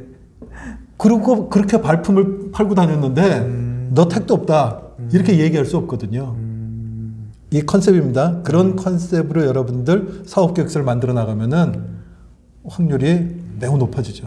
아그 사를 예를 들어서 그런데 우리가 이제 정부 지원 사업을 한다 그리고 요즘에 또뭐 4차 산업혁명 얘기 나오다 보니까 이런 사업에 지원을 해준다라고 생각하면은 이제 IT 관련해서 뭐 앱을 만든다든지 이런 거를 좀 떠올리는 게 많은 것 같거든요. 근데 이런 쪽에 사업만 해당되는 건지 아니면은 뭐 예를 들어 뭐 작은 카페를 하겠다 뭐 이런 것도 뭐 지원이 되는 건지 어떤가요? 예. 네, 좋은 질문 해주셨고요. 네. 일단 다 됩니다. 오. 우리가 생각하는 네. 부도덕한 거, 네. 사행성 네네. 이것만 아니면 됩니다. 아. 제품도 되고요, 네. 상품도 되고 음. 서비스도 됩니다. 음. 예, 첨단 IT도 되고요. 네네네. 예, 다 상관이 없어요. 모든 게 됩니다. 네. 모든 게 되는데 네. 남들이 다 하고 있다고 그래서 내 주변을 봤더니 다 그거 해. 네. 네. 다 카페를 해. 네. 그래서 내가 카페를 한다 그러면 될까? 그렇게 생각하지 마시고 그 카페에 음. 네. 새로움을 부여하면 돼요. 음. 그게 USP입니다. 아. 그러면 될 수가 있어요. 음. 그래서 요거를 통해서 나는 어떻게 확장을 해나가겠다. 네네. 이렇게 얘기하면 되는 거거든요. 음. 압구정동에서 1등 비정을 하고 난 다음에 네네. 저는 청담동으로 갈 겁니다. 음. 발전 전략을 그렇게 네. 만드는 거죠. 근데 청담동에서의 발전 전략은 네. 압구정동에서 했던 전략을 그대로 사용하지 않겠습니다. 음. 왜? 압구정도의 인구 분포, 네. 데모그래피라고 얘기하죠. 네. 청담동의 인구 분포는 다르기 때문에 음. 저는 또 다시 발품을 팔 겁니다라고 코멘트를 딱 하면은 네. 심사위원들이 고개를 끄덕거릴 수밖에 아. 없죠. 예, 시- 그 발표 같은 거 할 때, 음. 예, 그런 한 마디가 심사위원의 마음을 음. 확 끌어당기죠. 그러니까 이게 뭐 앱 이런 거 아니어도 되는 거군요. 그렇습니다. 애- 앱이면은 훨씬 더 중요한데 네. 최근 들어서 우리 뭐 메타버스 이런 쪽에 네. 많이 관심이 있지 않습니까? 네. 근데 여러분들 잘 생각해 보십시오. 네. 제가 며칠 전에 네. 구글 트렌드 가서 봤는데요. 네. 메타버스 검색량이요.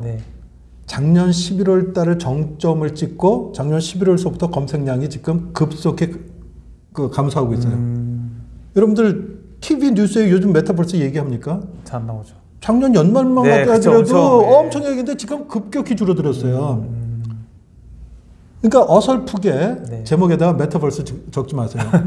왜냐면은 이미 네.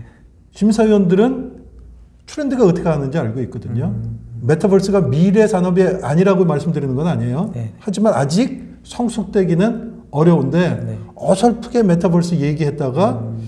메타버스 전문가한테 걸리면은요 네.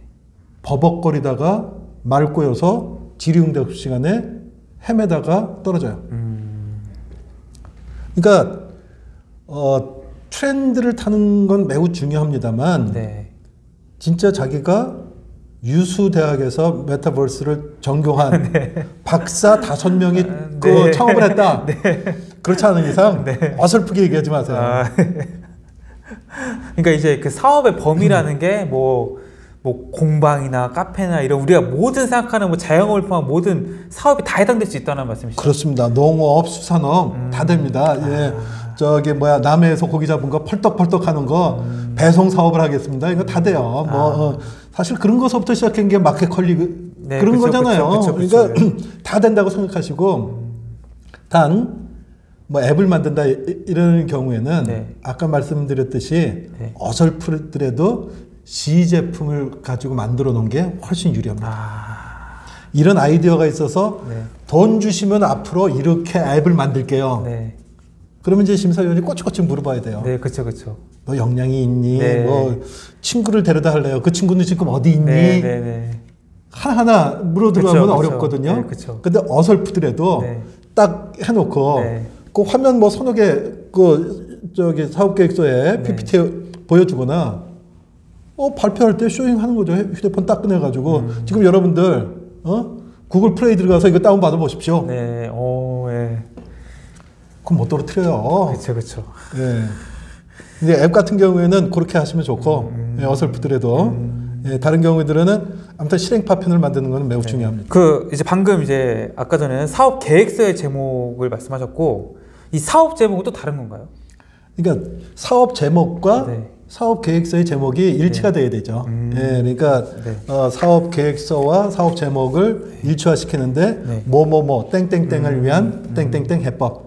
어, 이거 아주 꿀팁입니다. 네, 예, 요것만 여러분들이 발견해내면은 네. 어, 그 당첨 확률, 합격 확률 네. 아주 급속도하게 높아질 수 있습니다. 그러니까 그런 제목을 만들 수 있는 자체가 이미 스위스팟을 잘 맞췄기 때문에 그렇습니다. 된다는 말씀이잖아요. 네, 알겠습니다. 어 이제 그럼 이제 면접 네, 대면 심사죠. 그럼 PT를 갖고 하는 거죠. 네, 주로 PT를 네. 합니다. 예. 그럼 이제 PT를 하면은 이제 가장 이제 고민되는 게 복장부터 이게 뭐 청바지에 티를 입고 가도 되는 건지 정장을 입어야 되는 건지 이런 게 고민될 것 같아요. 어떤가요? 어, 특별하게 네. 어, 주간기관에서 네. 드레스 코드를 얘기하는 경우가 있어요. 음. 예, 많지는 않지만 그렇게 얘기하는 경우는 그 따르면 됩니다. 네네. 예. 대부분 드레스 코드를 지정하진 않아요. 네네. 그래서 이제 본인들 스스로 정해서 입고 가면 되는데요. 네. 어, 저는 그 TPO를 강조해요. 네네. 예, TPO는 time, 네. place, occasion. 음. 어, 어, 옷을 입는 때, 네. 때와 장소와 네. 상황에 맞게 옷을 입어라. 음. 이런 뜻이거든요. 네. 예를 들면은 제가 금융 관련된 앱을 네. 만들어서 비즈니스를 하고 싶어요. 네. 그런데 복장을 네. 힙한 네. 힙한 복장으로 하고 가면은 그 맞아 떨어지지가 않겠죠. 네, 그렇죠, 그렇죠. 어 그럴 때는 정장을 입고 가는 게 음. 아무래도 심사위원들한테 신뢰를 주고 아저 사람들은 뭔가를 할 수 있겠구나 이런 네. 마음이 들 거예요. 음. 거꾸로 이수만 씨가 버금가는 네. 뭐 SM 엔터테인먼트를 네. 능가하는 엔터테인먼트를 하겠다 해놓고 네. 아주 블루 톤의 네. 정장 입고 가는 거는 네. 애매할 수 있겠죠. 그렇죠, 그렇죠. 예, 그러니까 복장은 편하게 하면 되는데 예. 가끔 뭐 염색도 하시고 네. 반바지에 뭐 어, 이, 샌들. 저기, 어, 샌들 입고 신고 오시는 분들도 있어요. 네. 예. 어, 호불호가 갈립니다. 도 아니면 뭡니다. 음. 예. 그래서 제가 어, 가장 무난한 거는 네. 예, 무난한 건 그냥 캐주얼 정장이 제일 좋더라. 음. 예, 캐주얼 정장은 네. 어, 이 윗옷은 어, 이렇게 칼라가 있는 깃이 있는 네. 옷을 입고 음. 어, 그 윗옷은 네. 바지 속으로 이렇게 들어가게 음. 와이셔츠를 입듯이 네. 어, 요즘은 뭐 이렇게 조금만 집어넣고 겉에 네. 이렇게 어, 팬시하게들 입습니다만 네. 네. 뭐 전체적으로 집어넣고 네. 어, 이제 허리 띠는 하는 게 좋고 네, 네. 예, 그리고 어, 거기에 맞는 음. 뭐, 뭐 젊은 사람이면 젊은 사람에게 맞는 자켓을 걸쳐도 되고 음. 뭐 가디건을 걸쳐도 되고 네. 예, 아니면 뒤에다가 이렇게 가디건 이렇게 어, 저 동요매도 되고 네. 예, 그 정도 되면은 어, 그 무난하게 모든 것들에 설사 그게 이제 IT 비즈니스라 할지라도 그런 것들은 어울릴 수가 있으니까 음. 그래서 그렇게 하면 이제 무난할 수 있겠다. 음. 그래서 복장에 때문에 신경은 너무 많이 쓰지 마시되 네. 너무 어, 튀, 튀게 하는 것들은 호불호가 갈릴 수 있으니 네. 예, 그것 때문에 합격할 수도 있어요. 네. 예, 근데 그것 때문에 떨어질 수도 있으니까 네, 네, 네. 비즈니스 캐주얼을 저는 어. 적극 권장합니다. 그 일반적으로 가장 많이 입고 오는 복장은 어떤 복장이에요? 대부분 그렇죠. 음, 비즈니스 캐주얼. 네, 그러니까 뭐 대부분 이제 진 종류죠. 블루진이 있기도 하고 이제 뭐 데님 음. 네. 형태 그런 거 하고 여름철에 반바지도 꽤 입고 오세요. 어. 어, 근데 그거 처음에는 네. 낯설었거든요. 네. 어, 근데 요즘은 그렇게 오는 것들 네. 나도 심사위원 아니면 저 반바지 입고 하면 시원하고 좋을 텐데 이런 아, 마음이 들고 음. 그래서 복장은 자유롭게 하는데 너무 힙하거나 네. 너무 그러니까 formal한 거 네. 이런 것들은 상황이 그렇지 않으면은 네. 어, 배제하는 게 좋겠다. 어, 그럼 발표를 할 때는 발표자들이 이제 어떤 걸 좀 신경 쓰면 좋을까요? 발표할 때 이제 제일 중요한 것들이 아까도 말씀 사업 계획서에도 이제 말씀을 드렸지만 네. 제일 중요한 것은 어, 자기 자랑하지 마라. 자기 자랑. 음. 고객의 pain point를 어떻게 해소해야 되겠다라는 그 얘기를 하면 돼요. 음. 그런데 대부분 난 이걸 잘해요. 이것도 잘하고 네. 할수 있는 게 너무 많아요. 음. 그러다 보니까 심사위원이 그래서 뭘 하시려고요? 네. 아. 지금 스타트업 하면서 네. 지금 친구 두 분이서 하면서 그 많은 걸 하시겠다고요? 음. 영향이 되시나요? 음. 그 한마디에 무너져 버리는 거거든요. 그러니까 어, 그 할 수 있다라고 믿어요, 우리는. 네. 하지만 심사하는 입장에서는 네. 제일 중요한 거 한 한 가지. 그래서 저는 그걸 원픽 전략이라고 하거든요. 음. 네. 한 가지만 끄집어서 네. 사업 계획서도 그것을 강조를 하세요. 그리고 음. 나중에 나중에 이것을 중점적으로 음. 어, 강화시켜 놓고 그것이 안정화되면 네. 확대해 나갔습니다라고 얘기를 해야 되지. 네. 내가 할 수 있는 것들을 여러 개를 얘기를 하는 게 결국 자기 자랑밖에 안 되고 네. 자기 자랑은 필요한 그걸 할 수 있니? 네. 라는 의심을 가져올 수 있으니 네. 그렇게 발표할 때 그렇게 하는 것들이 매우 중요하겠다 이렇게 생각이 듭니다. 그 자기 자랑하고 할수 있다는 역량을 그 보여준다고 할까요? 그 둘 사이에서 뭔가 균형을 맞추는 게 좀 어려울 수도 있을 것 같아요. 그러니까 네. 타겟과 네. pain point가 명확해지면은 네. 자기 자랑이 네. 고객을 위한 솔루션이 돼버려요. 음. 타겟과 아. 예, 타겟과 네. 이 저기 그 자기가 하고자 하는 네. 예, 그 pain point가 네. 없거나 불명확하면은 음. 결국 허황된 자기 자랑뿐이 되거든요. 아. 근데 그 두 개가 네. 나는 이 사람들을 위해서 이런 일을 하겠습니다. 음. 그것 때문에 저는 이러이러한 일을 했고요. 네. 그게 없으면 자기 자랑이지만 음. 그게 있으면은 자기 백그라운드가 되는 거예요. 실행 파편이 되고. 음. 그래서 똑같은 얘기를 하더라도 네. 뭐뭐뭐를 위한 뭐뭐뭐 해법 하면은 네. 마음대로 자랑하십시오. 그거는 박수를 받습니다. 이 사업 아이템 그 이제 pain point 찾는 게 모든 게 이제 시작이네요, 이게. 그렇습니다. 아, 이게 명확하지 않은 데서 모든 게 이제 다 잘못 단추가 껴지는 거죠. 예, 대부분 그것들을 발견을 못 하고 와요. 음. 알겠습니다. 예, 열정으로 가오는구나. 젊은 사람들은 열정으로. 네. 나이 들으신 분들은 경험으로 경- 밀어붙이는데 네. 내가 뭐 어떤 기업이 있었다 뭐 이런 예. 거. 아. 그러면 이제 속으로 그래 네. 어쩌라고. 그러면 이제 이제 말씀을 계속 들어보니까 내가 이제 어떤 기업을 할 건지를 심사에 잘 전달하는 게 굉장히 중요한 것 같아요. 그렇습니다. 그리고 잘 전달할 수 있는 팁 같은 게 혹시 있을까요?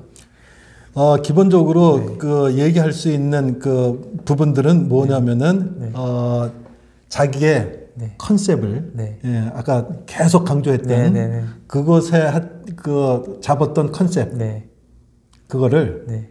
60초 안에 일단 심사위원 머릿속에 딱 집어넣으면은 성공 확률 계속 게이지 올라갑니다. 어. 그 60초 안에 그걸 못하면요. 네. 네. 계속 버벅거리게 돼요. 음. 계속 자기 자랑밖에 안 됩니다. 그러니까 사- 60초 내에 하려면은 USP가 나와야 돼요. 네. 아. 60초에 하려면은 네. 컨셉이 나와야 되고 음. 뭐뭐뭐를 위한 네. 뭐뭐뭐 해법. 네. 음. 그거를 가지고 네. 어그 정부나 공공단체에서 제시하는 그 포맷에는 없는데 네. 저는 항상 어, 교육을 할 때맨 네. 앞에 이규제키티브 서머리를 하나 집어넣어라. 음. 내가 왜 이 일을 하는지, 이것을 위해서 내가 뭐를 이루고자 하는지, 음. 그거를 딱 하나, 예, 경영에서 우리가 이제 네. 이규제키티브 서머리라고 하지 않습니까? 네, 네, 네. 그 종합표를 하나를 딱 해주면은 네. 제목이 명확한데 거기다가 한 표로 딱 저기가 되면은 네. 심사위원 그다음부터 흐뭇한 모습으로 안 듣습니다. 음. 위아래 보면서 아 이건 표도 잘 만들었네 비교표도 잘 만들었네 음. 여기다 사진을 넣으면 더 좋았을 텐데 에이 아쉽지만 그래도 할 수 있는 능력이 있구만 음. 이런 생각을 하면서 듣게 되는데 그것이 없으면은 심사위원이 계속 그 사람을 주목해서 쳐다보면서 뭘 하려고 그러지 그걸 쫓아갈 수밖에 없어요 음. 그럼 심사위원이 여유가 안 생깁니다 그렇죠. 그렇죠. 심사위원이 여유가 안 생긴다는 얘기는 발표자와 심사위원 간에 교감이 없다는 거예요. 그렇죠. 교감이 되면 우리가 여행을 다닐 때 아는 만큼 보여요 이런 얘기도 하지 네, 않습니까? 네. 그렇죠. 그렇죠. 서- 심사도 마찬가지입니다. 음. 아는 만큼 성공률이 높아지니까 심사위원들을 알려주는 방법은 네. 60초 안에 우리가 하고자 하는 것들을 명확하게 하는 것인데 그것은 제목이 뭐뭐뭐를 위한 뭐뭐뭐 해법 그리고 이규제 서머리로 나는 왜 이런 일을 하는지 이것을 위해서 이것을 하면 무엇이 이득이 되는지 그리고 이것이 장차적으로 우리에게 어떤 의미를 주는지 네. 명확하게 적어주면은 예, 반 이상 넘어가는 겁니다. 그러니까 이제 발표를 할 때 처음에 딱 얘기를 하기 좋겠네. 뭐뭐뭐를 위한 뭐뭐 해법을 가지고 저는 사업을 하고 싶습니다. 그렇습니다. 이렇게 딱 시작해주고 시작하는 게더 네. 맞겠네요. 이게. 그러니까 사업 계획서도 네. 항상 어, 그 귀납법을 하지 마시고 네네. 예, 먼저 결론을 얘기하고 음, 예, 뒤에 세세적으로 풀어나가는 것. 네. 사업 계획서를 할 때 우리는 그동안 뭐뭐뭐를 했고 뭐뭐뭐를 해서 네. 이걸 할 겁니다. 이게 네. 아니고 우리는 무엇을 할 겁니다. 음, 그것 때문에 저는 무엇을 했고요. 네. 음, 이런 식으로 풀어나가야지 심사위원들이 바쁘면은 제목들만 이렇게 쭉 읽고 나가거든요. 네. 그럼 제목만 읽었는데 연결이 되면은 심사위원은 편하잖아요. 그쵸 그쵸. 그런데 이걸 다 읽어보라고 자기 일생 스토리를 다 얘기해놓고 그 다음에 결론을 얘기하면은 심사위원 피곤해지고 그 다음에 심사위원들이 이해도 못하죠. 그쵸 그쵸. 그리고 심사위원 잘못 생각하면은 지 자랑하는 꼴밖에 안 되는 거죠. 음, 제가 좀 의아했던 게 그 심사위원들을 이제 설득할 때 논리보다는 공감으로 해야 된다. 그러니까 사업이라는 것은 딱 이제 철저하게 숫자로 뭔가 해야 될 것 같은데 공감으로 해야 된다고 하셨어요. 이거 어떤 의미인가요, 이거는? 예, 주로 이제 이게 어, 발표장에서 네. 본인의 이제 PT를 하고 네. 그다음에 이제 질의응답을 하지 않습니까? 네, 네, 통상 한 팀에 20분 정도 시간이 할애가 돼요. 네. 어, 심함은 5분 정도 발표를 하고 15분 네. 질의응답 또는 10분 발표하고 10분 질의응답 이런 식으로 진행이 되거든요. 본인이 발표하는 거는 본인의 시나리오대로 끌고 갈 수 있어요. 음. 어, 중간에 심사위원들이 중간에 인터럽트 한 겁니다. 네, 네, 네. 예. 그러니까 자기 시나리오대로 가지만 네. 질의응답은 네. 전혀 자기 시나리오대로 가질 않죠. 음, 그다음에 심사위원이 한 사람이면은 네. 질문이 일관성 있게 나올 수 있는데 네. 심사위원들이 4명 또는 8명이다 그러면은 각자 보는 관점이 다르기 때문에 랜덤하게 질문이 돼요. 그러면 본인 이제 정신이 없죠. 네, 그쵸, 그쵸. 평상시 생각하지 않았던 질문이 나올 수도 있고. 네, 네. 그렇죠? 그쵸. 예. 그러기 때문에 그 질문을 생각해보지도 않았는데 그 질문이 나왔는데 네. 이것이 나한테 불리할 것 같아. 음, 대부분 그런 마음들이 들거든요. 그쵸, 그쵸, 그쵸. 많은 사람이 그래요. 네. 예. 그 마음이 드는 거는 잘못된 건 아니에요. 네. 하지만 그렇게 반응하는 것들은 마이너스가 된다 이런 얘기인 거죠. 자기가 생각을 안 해봤거나 네. 또는 생각해봤는데 그거는 나에게 매우 불리한 것들이야. 음, 그런데 저분이 그런 질문을 했어. 네. 그러면은 솔직해지는 거예요. 논리로 그거 대응을 하려고 그러다가 네. 진짜 명확한 논리가 있고 네. 그 정도 자신이 있으면은 네. 당당하게 얘기를 하면 됩니다. 네. 네. 원샷 원킬을 시켜야 돼요. 원샷 원킬을 못하면은 네. 옆에 있는 네, 심사위원이 또 질문하잖아요. 네, 그쵸, 그쵸. 그러면 이제 그거는 말린 거네요. 필패다, 네. 떨어졌다 이렇게 생각하시면 음. 좋고 그래서 원샷 원킬을 할 수가 없으면 네. 네 저도 그게 고민이라 음. 같이 일하는 사람들과 많이 토의를 했고 네. 저희를 지원해 주시는 뭐뭐뭐 교수님도 네. 그 부분에 대해서 많이 생각을 해주고 계십니다. 음. 아직 부족하지만 그 부분은 우리가 완성을 해놓고 이 사업을 하겠다는 게 아니지 않습니까? 그쵸. 예, 부족하지만 밀어주시면은 저희들이 그 해법도 넣어서 만들어 나가겠고 경험이 많으신 심사위원님도 음. 네. 애정을 가지고 저희들을 쳐다봐 주시고 필요한 솔루션을 그 어, 제공해 주시면은 네. 잘할 것 같습니다. 이게 공감으로 어프로치라는 아. 얘기거든요. 근데 결국 싸워서 이기는 팀도 있어요. 어, 예. 그런데 네. 제가 뭐라고 그랬냐면은 네. 넌 이겨서 자존심을 찾고 아. 심사에서 떨어지는구나. 아. 그렇죠? 예를 들면 그, 그 논리 싸움이 그쵸. 그 사업의 가장 핵심적인 거라면은 네. 상관이 없는데 네. 질의응답을 하다 보면은 진짜 부차적인 거 심사위원 입장에서는 어 그거는 어떡할까? 네. 그 사소한 영역을 한번 물어본 거에 불과한데 네, 네. 죽기 살기로 덤벼든 거예요. 네. 그래서 그게 본류가 돼버리는 경우가 훨씬 많아요. 어. 그러니까 모르면은 모른다고 얘기하고 네. 예? 심사위원들을 설득하려고 하지 마시고 네. 공감하고 맞습니다. 음, 그러면 심사위원이 음 뭐라고 생각할 거냐면은 네. 태도가 돼 있구만. 아, 저런 사업은 사람은 사업을 잘할 수밖에 없어. 음, 라고 생각할 수 있겠죠. 물론 심사 배점에 네, 태도 점수 몇 점 이거 없습니다. 네, 없죠, 없죠. 네. 하지만 네. 심사위원 머릿속에 그런 생각이 들면은 그렇죠. 다른 점수가 부해질 수 있을 공산이 크죠. 그렇죠, 맞습니다. 그렇죠. 우리는 로봇이 아니기 때문에. 네, 그쵸. 네. 그러니까 논리라는 말은 이제 싸워서 이기지 말라는 거군요. 싸우지 말라는 얘기군요. 그렇죠. 그러니까 그 사업의 본질인 경우에는 당연히 이겨야 되죠. 음. 그런데 그게 질문에서 나왔던 얘기는 뭐냐면은 네. 첫 60초 동안에 컨셉을 전달 못 했다는 거예요. 아, 그러니까 첫 60초 때문에 그걸 해- 했는데 네. 질문이 나, 나왔다면은 네, 또 다시 30초 동안 그것을 재반복해 주면 돼요. 그럼 명쾌해질 테니까요. 그렇죠, 그렇죠. 그런데 그걸 또 질문하면은 옆에 있는 심사위원이 아까 얘기했잖아요. 네, 음, 심사위원이 도와줍니다. 음, 근데 거기에 실패를 하게 되면은 네, 다른 심사위원도 그걸 몰랐거든요. 네, 그건 어떻게 되는 거죠? 그러면은 질의응답은 네. 자기가 10, 그 5분 내지 10분 동안에 시나리오 속에서 발표하지 못한 것들을 심사위원의 입을 통해서 내가 내 자랑할 수 있는 기회를 찾아야 되는데 10분 동안 해야 될 거를 완수를 못해서 나머지 10분을 허비해 버리는 거죠. 매우 마이너스입니다. 아, 너무나 공감이 됩니다. 그 이제 질의응답 시간을 뭐 바- 방금 말씀하신 거잖아요. 여기서 자주 볼 수 있는 유형들이 있다고 하셨더라고. 어떤 사람들이 좀 있나요? 예, 아주 여러 가지 사람들이 네, 있는데요. 네, 네. 이게 장단점이 있어요. 네. 어느 건 좋고 어느 건 나쁘다는 의미가 아니라, 네. 예, 어, 조금 그 질의응답 시간에 네.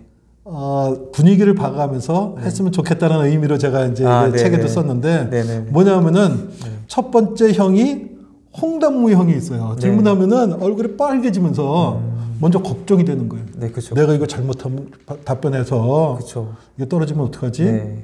네. 특별하게 이제 대표가 직접 발표하는 경우도 있지만 네. 그쵸. 함께 일하는 분들이 하는 네, 경우도 있거든요. 네. 이거 잘못하면은 가서 이제 회사 돌아가서 이제 큰일 날 생각해가지고 그쵸. 막 이렇게 얼굴 홍당무가 되면서 네. 버벅거리는 경우가 있는데 네. 그 사업에 대해서는 네. 심사위원들이 암만 잘 알더라도 네. 제일 잘하는 사람은 발표자입니다. 음. 심사위원은 아는 척을 하거나 네. 주변 지식을 가지고 하는 거지. 그 사업 계획을 발표한 사람은 최소한 심사위원은 그날 처음 그것을 접하지만 네. 사업 계획을 작성한 사람들은 적게는 3개월, 그렇죠. 6개월, 1년을 연구한 사람이기 때문에 내가 제일 잘한다라는 예, 아랫배에 힘을 주시고 네. 예, 걱정 마시고 발표를 했으면 좋겠다. 음. 예. 두 번째 네. TMI 형. TMI. 아, 나는 한 가지를 물어봤는데 네. 메타버스에 대해서 예를 들면 네, 이제 물었다 네. 합시다. 그러면 네. 메타버스의 배경은 말입니다. 아. 아. 주 학자가 돼요. 네, 이렇게. 네, 그러고서 네. 지금 메타버스는 뭐 네. 제페토서부터 시작해서 네. 뭐가 있지 않습니까? 네, 네. 아. 이런 형이에요. 음. 예, 그러면은 심사위원이 네. 어쩌라고 너 그렇게 잘났는데. 어. 그러니까 어, 그런 사람들이 대부분 네. 질문의 요지를 파악하지 못했어요. 그렇죠, 그렇죠. 예. 네. 그렇죠. 근데 이 TMI 형하고 거의 비슷한 형이 네. 완전 꼰대 형이 있어요. 꼰대 형. 네. 그러니까 대부분 어 많은 케이스 좀 이제 그 연배가 있으신 분들이 이런 형태인데 음. 어 요즘 젊은 꼰대도 많아요. 아 그래요? 네. TMI는 네. 팩트를 가지고 얘기하는데 네, 네, 네. 이 꼰대 형은 자기 경험을 거기다 실어서 아, 이거는 이렇게 되고 이렇게 네. 되고 이 사업은 제가 옛날에 해봤더니 이렇게 하면 안 되더라고요. 네, 이건 이렇게 돼야 되겠더라고요. 아. 그래서 내가 이렇게 하려고 그래요. 음. 이렇게 얘기를 하거든요. 아, 그 오류는 뭐냐면요. 네. 그게 전형적인 자기 자랑이거든요. 음. 고객의 pain point를 얘기를 안 하고 그렇죠, 그렇죠. 자기가 이래서 시- 실패를 했다는데 네. 지금 똑같은 실패를 하려고 작정하고 있는 거예요. 음. 그러니까 10분이라는 시간 짧습니다. 네. 가급적 네. 여러분들 소통 방법을 배우시면 알지만 네. 멘토가 멘티하고 얘기할 때 네. 멘티 얘기를 귀담아둬서 듣잖아요. 네. 그럼 10분 하는데 멘티가 9분을 얘기하고 멘토는 1분밖에 얘기 안 했어요. 네. 근데 멘티가 지 친구 만나서 뭐라고 얘기하면 우리 멘토는 말도 잘해. 음. 사람들은 자기가 말을 많이 하잖아요. 네. 그럼 상대방이 말을 잘한다고 느껴요. 그러니까 어떻게 그 역으로 이용하시면 되죠. 질문하면은 질문에 대한 대답을 짧게 하면서 역으로 저희는 이렇게 생각하는데 네. 심사위원님은 어떤지 말씀 좀 해봐 주실까요? 그럼 심사위원이 신나서 얘기해 주죠. 그럼 심사위원은 뭐 어떻게 생각하냐면 태도가 돼 있다. 저 친구 말 잘하네. 음. 그럼 점수가 네. 포지티브 할 그쵸. 확률이 높아지죠. 매우 높아지겠죠. 어, 계속 없어 하는 사람들이 있어요. 네. 잘 부탁이니까 좀 뭐 도와주세요. 아, 도와주세요. 예, 뭐 이렇게 얘기를 하는데, 어, 홍당무 형 때도 제가 말씀드렸지만, 네. 그 사업에 제일 잘하는 사람들은 그 당사자입니다. 음. 당당하실 필요가 있어요. 네. 예, 당당하십시오. 걱정하지 마시고, 뭐잘 부탁드립니다. 네. 대답은 안 하고, 네. 그잘 부탁한다는 소리만 연실 하는 사람들이 있는데, 음. 그거 꼰대형 이상으로 네. 아주 저 사람들이 사업을 제대로 할 수 있을까라는 아. 걱정을 하게 만듭니다. 아 근데 비굴형 읍수형이잖아요. 그게 네. 뭐 절하고 이런 사람도 있어요. 잘 부탁드립니다. 어, 그런 사람들은 이제 많지는 않은데, 많지 않고, 예. 예. 물론 이제 다 끝나고 가면서 이제 네. 어, 폴더형 인사를 아, 예. 하는 경우 있는데, 네. 예, 하세요. 하셔도 되고, 예, 뭐 이렇게 가벼운 목례를 하셔도 되고, 뭐, 어, 이제 뭐 그, 그거에 대해서 저기 하지는 않는데, 네. 어, 중요한 거는, 어, 겸손하되 당당한 모습. 음. 예, 그렇게 생각을 하시면 될 것 같고, 또 많은 케이스가 네. 동문서답이에요. 음. 저는 A를 물어봤는데, 네. B를 얘기를 해요. 자기 하고 싶은 말만 하는 거고. 어, 그렇죠. 예, 계속 자기 얘기를 하는데, 그건 두 가지예요. 두 가지 네. 중에 하나예요. 첫 번째, 경청을 안 하는 거예요. 네, 질문의 그쵸. 요지를 파악을 못 하거나, 그쵸, 예. 지- 질문의 요지를 파악 못 했으면은, 죄송합니다만 다시 말씀해 주시겠습니까? 그럼 물어봐야 되는데, 네. 어, 요지를 파악을 못 하거나, 계속 심사위원이 질문하는데, 네. 자기 답변만 먼저 생각하고 있는 사람. 음. 사람들은 필연 머릿속에 생각하면은 네. 자기가 의도하지 않더라도 생각한 게 입으로 나오도록 되어 있거든요. 음, 그렇죠, 그렇죠. 예, 그러니까 질문할 때는 질문을 들으시는 게 좋아요. 그, 그, 그랬을 때 어, 동문서답형 질문이 안 나온 케이스 가 많고 네. 동문서답형 나오면 일단 무조건 마이너스죠. 음, 그렇죠, 그렇죠. 예, 그러니까 피해야 될 것들은 뭐 비굴형, 네. 예? 업소형, 네. 그 다음에 그 어, 동문서답형 음. 이런 것들은 이제 어, 필연 피, 피해야 되는데 TMI형 같은 경우에는 네. 어, 상황에 맞게 네. 예, 예를 들면은 너무 공격적인 질문이 많이 나온다. 네. 그러면 본인의 답변을 통해서 시간을 다 써버려야 돼요. 음. 예, 그건 지혜죠. 네. 예, 어 이, 이상하게 아. 어, 심사위원들이 의도적으로 그러는 케이스는 그, 런 경우는 없는데 네. 저희들도 심사하다 보면은 어, 유독 어떤 팀에게는 네. 날카로운 네. 질문이 막 나갈 때가 있어요. 네, 네, 네. 어, 심사위원들도 이렇게 분위기 타는 그쵸, 경우가 있어요. 그쵸, 그런 네, 것들을 두세 사람이 질문하면은 네. 없던 질문이 갑자기 나한테도 생각이 나는 거예요. 예. 근데 그 사람을 공격하려고 그러는 게 아니라 이제 나도 궁금함증이 네. 생겼어요. 그래서 이제 물어보는 건데 네. 결국 그 사람들한테는 자꾸만 이제 힘들어지는 거죠. 그렇죠, 그렇죠. 그러니까 이제 위축되고 뭐그 읍소를 하거나 뭐 이렇게 이제 어, 홍당무형이 되거나 이- 이런 케이스가 있는데 네. 이럴 때는 그 본인이 대화의 주도권을 갈고 시간을 이렇게 계속 끌고 가는 답변을 거죠. 길게 하는 거죠. 네. 네. 예, 그뭐 그런 식으로 헤쳐나가는 이제 지혜도 있는데 네. 사실 지금 이제 드는 이- 그 어, 케이스 같은 경우는 어, 뭐 일반적인 케이스는 아니에요. 근데 네. 혹시 그런 것들이 여러분들 한다 그러면은 그렇게 어, 지혜롭게 넘어가셔라 이렇게 음. 말씀드릴 수 있겠습니다. 그러니까 이 비굴형은 그러면은 잘 부탁드립니다라는 말을 많이 하는 걸 얘기하는 건가요?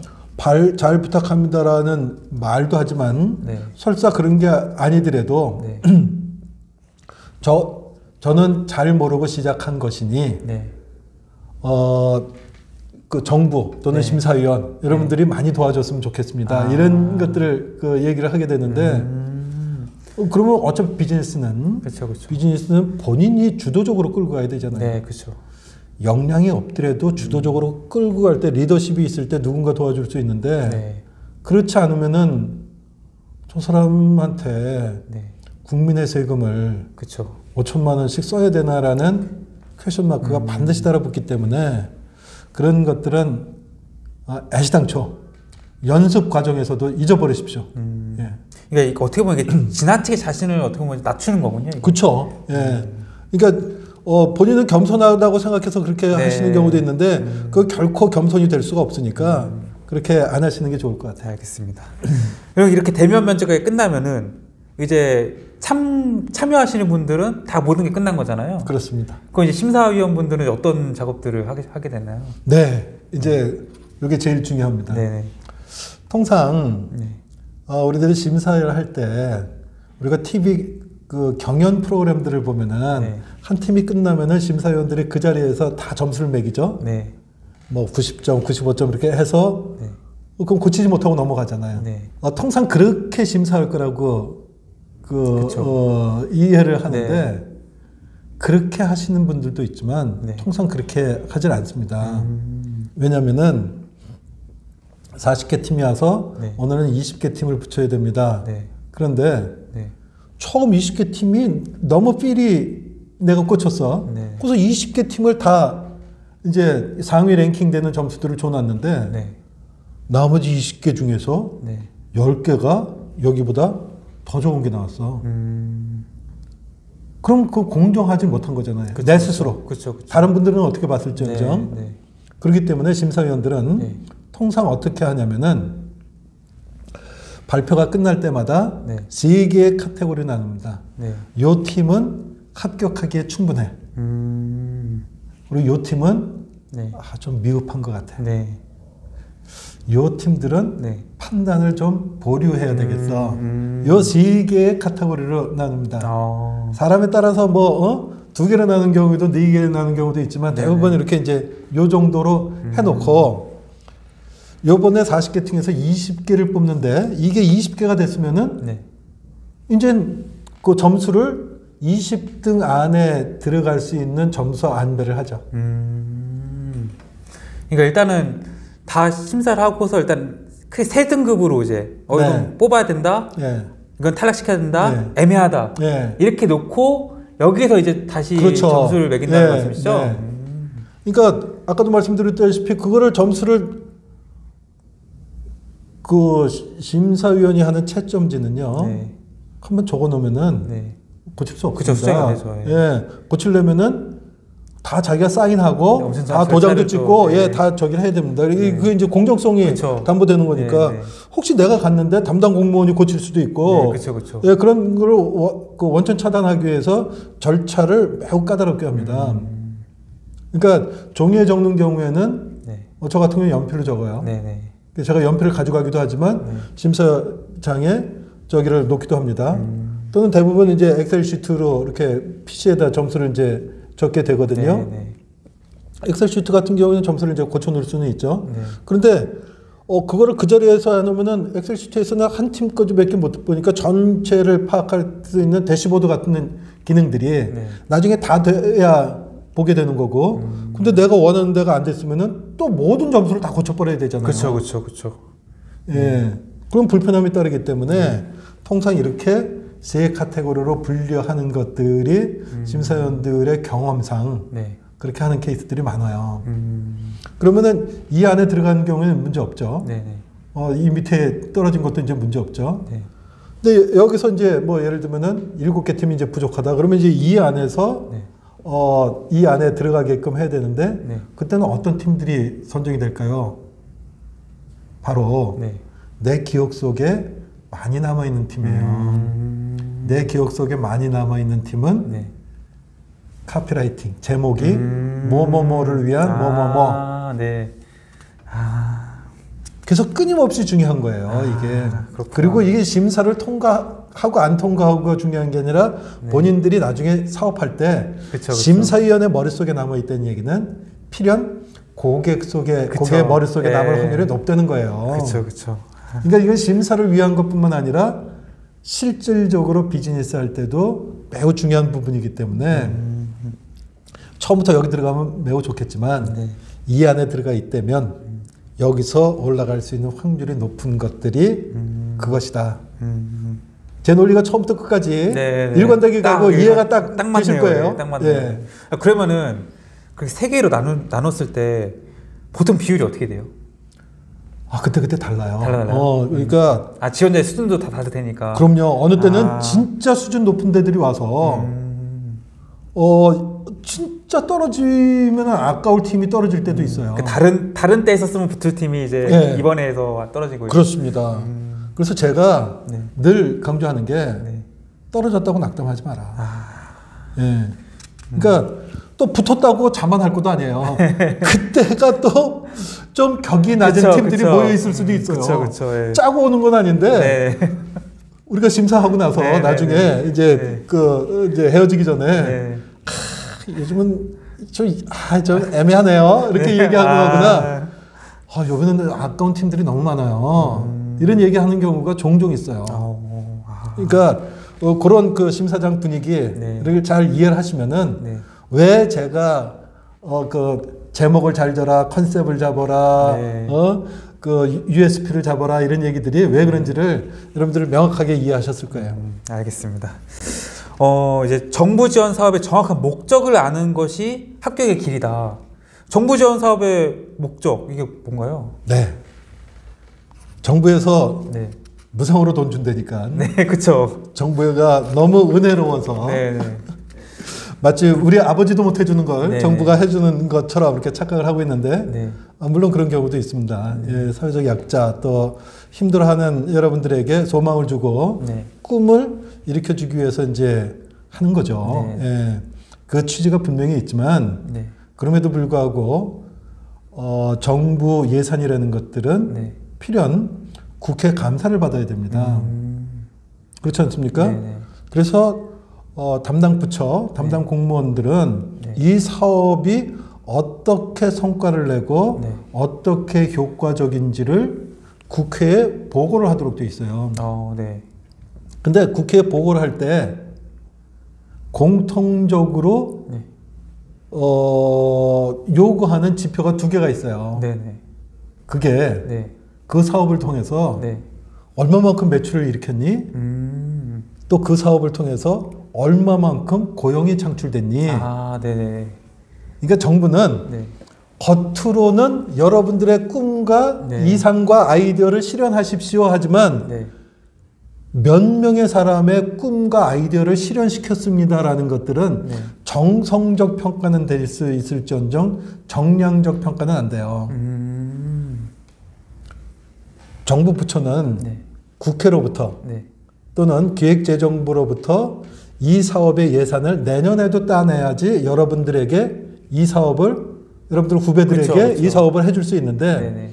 그 성과가 없으면은 국회에서 삭감되거나 음. 국회에서 삭감되기 전에 기획재정부에서 예산 심사할 때 네. 삭감이 될 수 있겠죠. 네. 그런 케이스는 드뭅니다만 삭감이 되는 거를 방지하는 길은 음. 네. 두 가지예요. 매출이 이것 때문에 매출이 얼마나 일어났어요. 네. 이것 때문에 고용이 얼마나 창출됐어요. 음. 그런데 매출은 네. 어떻게 보면은 전체적인 GDP에 기여를 합니다. 그쵸. 어, 중요하게 뭐, 그, 뭐 중요한 지표이긴 합니다만 네. 매출은 직접적으로는 그 사업을 한 사람의 이익으로 돌아가요. 그쵸, 그쵸. 예. 그런데 고용은 네. 자기 이익 때문에 고용한 거지만, 자기 네. 사업 때문에 고용한 거지만, 네. 정부에서 고민하는 그쵸. 청년 실업, 네, 일자리. 일자리 창출, 네, 네. 그것을 해주는 부분이기 때문에 음, 우리 사업을 통해서 네. 매출도 강조를 하지만, 네. 음? 또 당연히 매출이 일어나면은 고용도 늘어나요. 네. 근데 요즘 이제 뭐 4차 산업혁명 시대는 매출은 일어나는데 고용이 안 되는 경우도 있어요. 네. 그래서 어, 사업 계획 속에 고용이라는 부분들을 네. 어, 강조할 때, 아, 이 사람들이 고용에 대한 부분들. 네. 그러니까 우리가 고용을 신경 씁니다라고 표현할 게 아니라 네. 이 일들이 진행이 되면은 고용이 이만큼 일어날 수 있습니다. 음, 또는 우리 직원들을 이만큼 채용해야 됩니다라고 얘기를 할때 네. 이 사업의 사회적 파급 효과가 크겠구나라고 음. 판단할 수 있겠죠. 아, 그럼 그게 이제 뭐 심사 기준표에 점수화돼서 항목에 들어가나요?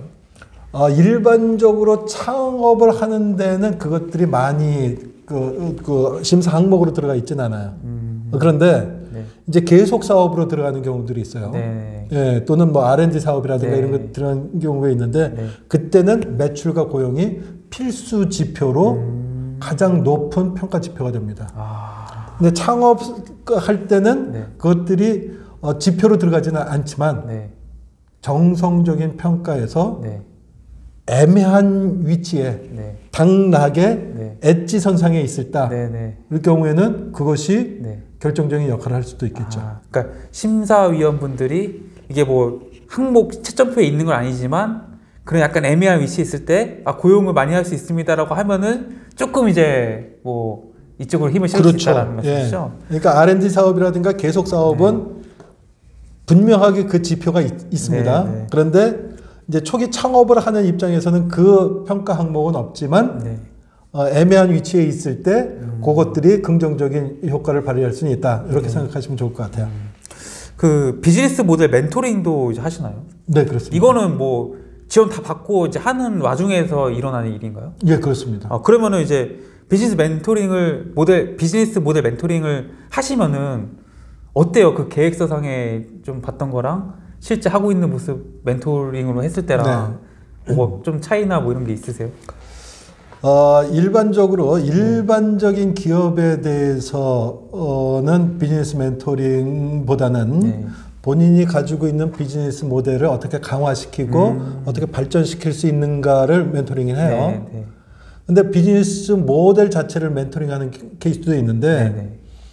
어, 여기 어, 시청자분들 중에서 특별하게 사회 사업 분야 쪽에 관심을 갖는 사람들이 있을 수도 네. 있어요. 사회 사업 네. 네, 어떤 거죠 구체적으로? 좀? 공익의 목적. 음, 네. 예를 들면은 어, 장애우들을 위한 어떤 편의 사업을 해야 되겠다. 음. 네, 네, 네.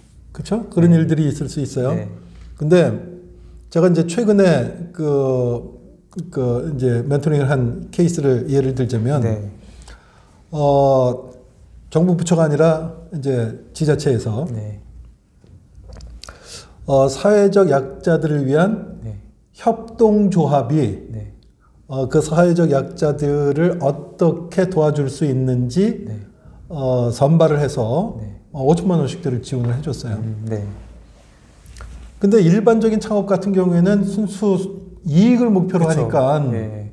어, 끊임없이 이익을 추구할 거 아니에요. 네, 네. 근데 이런 사회 사업은 어, 이제 실비만을 받거나 음, 네, 그렇죠, 그렇죠. 예, 또는 뭐 이제 뭐 어, 상징적인 금액만 받을 수도 있겠죠. 네.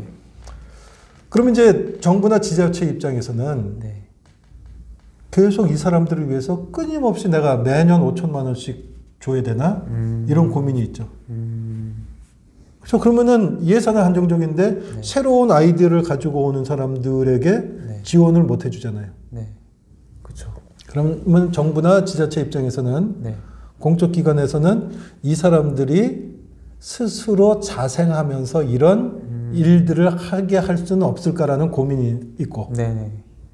당사자인 사람들도 네. 어 이것들을 네. 어떻게 잘할 수 있을까? 네. 그래서 그것을 어, 수익화하든 네. 또는 후원자로 하여금 네. 후원을 하게끔 만들 수 있는 네. 비즈니스 모델이 필요한 거죠. 음, 그래서 이제 그런 것들을 네. 끊임없이 이제 그 멘토링 해주는데 네. 그거 역시 네. 그거 역시 해법은 네. 뭐뭐뭐를 위한 뭐뭐가 아, 결정돼 있으면은 그 사람들은 고민을 안 해도 돼요. 그렇죠, 그렇죠. 근데 애시당초 그게 없이 음, 시각 장애인을 위한 이렇게 돼 버리니까 시각 장애인도요 네. 나이 드신 분이 있고 젊으신 그렇죠, 분도 그렇죠. 있고요 예, 다 다르죠. 조금 보이시는 네. 분이 있고 아예 안 보이시는 분이 있고 태어나면서 안 보이시는 분도 있고 뒤늦게 안 그쵸. 보이시는 분도 예, 있어요. 그렇죠. 그러니까 타겟이 명확하지 않으니까 네. 그 다음에 어떻게 발전해야 될지 모르고 음.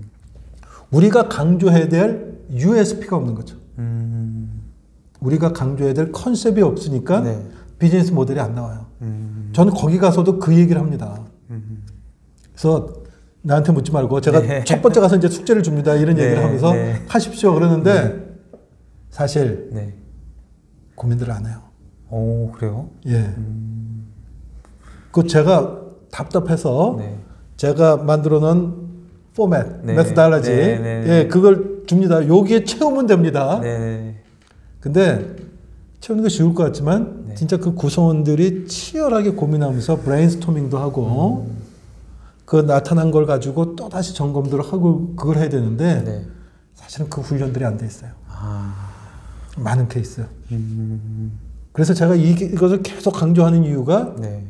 이걸 학교에서도 배운 적이 없고요. 네. 어디서도 배운 적이 없어요. 음. 또 컨설턴트들은 이걸 알고 있- 있고 자기 먹거리가 되니까 방법론을 안 가르쳐주고 자기가 써주죠. 음. 그래서 이 훈련이 안 돼서 그러니까 이거는 쉽게 나올 수 있는 영역이 아니니까 낙담하거나 포기하지 말고 해보는 거예요. 그러면 첫 번째 할 때하고 두 번째 할 때하고 자기 스스로 놀래요. 어머, 내가 이런 생각을 했어? 그거 열 번만 하시면 되는데 네. 그걸 못 하더라. 아 근데 정부 지원 사업에서 이제 그 합격을 하셔가지고 지원금을 탄 분들도 이제 그렇다는 거잖아요. 정부 지원 사업에 합격을 하고 네. 3년 만에 크로스하는 네. 율이 매우 높습니다. 음. 예. 지금 제가 공식적인 데이터를 가지고 있지는 않거든요. 네네. 어, 정부나 지자체에서 그 데이터를 내놓기 그렇죠. 쉽지 않죠. 네. 예, 그게 사회적 이슈화 되면은 그렇죠. 이게 왜 하냐. 오, 말도 말- 말도 많아지고. 국회에서 이제 시끄러질 네. 수도 있겠죠. 네. 생각보다 꽤 많은 수치입니다. 정부 지원 사업 받았다고 그래서 일반 창업가보다 훨씬 더 성공 확률이 높냐? 음. 그럴 수도 있고 아닐 수도 있어요. 예, 그렇기 때문에 어, 그 제가 말씀드린 네. 컨셉을 잡는 거는 매우 중요해요. 음. 심사를 통과 하고 안 하고가 아니라 그 컨셉을 잡으면요 네. 심사에 떨어져도 네. 그 사업은 성공해요. 음. 심사에 떨어져더라도요 네. 엑셀러레이터가 찾아와서 아. 야 우리가 지원해줄게. 저 실제로 그런 케이스 두 케이스 봤습니다. 어 진짜요? 예, 오. 심사에서 떨어졌는데 네. 그 심사위원 중에 엑셀러레이터가 있으셨어요. 오. 그래서 엑셀러레이터가 네. 그 제가 그분을 잘 아는 사람이라 네. 그거 어떻게 됐냐고 물어봤더니 네. 그 데려다가 저기 뭐야 자기네들이 저기 뭐야 훈련시켜서 오. 창업에선 떨어졌는데 팁스에 합격시켜가지고 야. 팁스 5억이죠? 맞나요? 뭐 네, 예, 이제 네. 금액은 다르긴 한데 네, 네. 예. 아 그런 경우도 있군요. 네. 그래서 컨셉만 잡아놓으면은 네. 성공 확률이 매우 높아져요. 그러니까 어떻게 보면 이게 뭐 창업 그 지원금을 받기 위해서 하는 거지만 어느 정도 이제 이 투자 관련된 사, 사람들에게 내 비즈니스를 보여준 무대군요 이게. 그렇습니다. 그래서 여러분들이 이 심사 받는 거를 네. 단순하게 정부 지원 사업을 받기 위한 심사라고 생각하지 마시고 음. 내 사업을 정부가 솔선수범해서 네. 우리 기업을 IR 할수 네, 있는 그러니까요. 훌륭한 사람들을 모아다 놓은 거예요. 음, 그래서 나- 거기서 IR을 발표한다라고 생각하면은 네. 너무나 고마운 거죠. 그쵸, 너무 그쵸. 소중한 기회죠. 그렇죠, 그렇죠. 예, 그렇게 생각하면은 네. 예기치 않은 행운이 옵니다. 아, 근데 그건 예기치 않은 행운이 아니라 네. 계획된 행운이에요. 그렇죠. 사실 그런 거죠. 그렇습니다. 네, 네. 알겠습니다.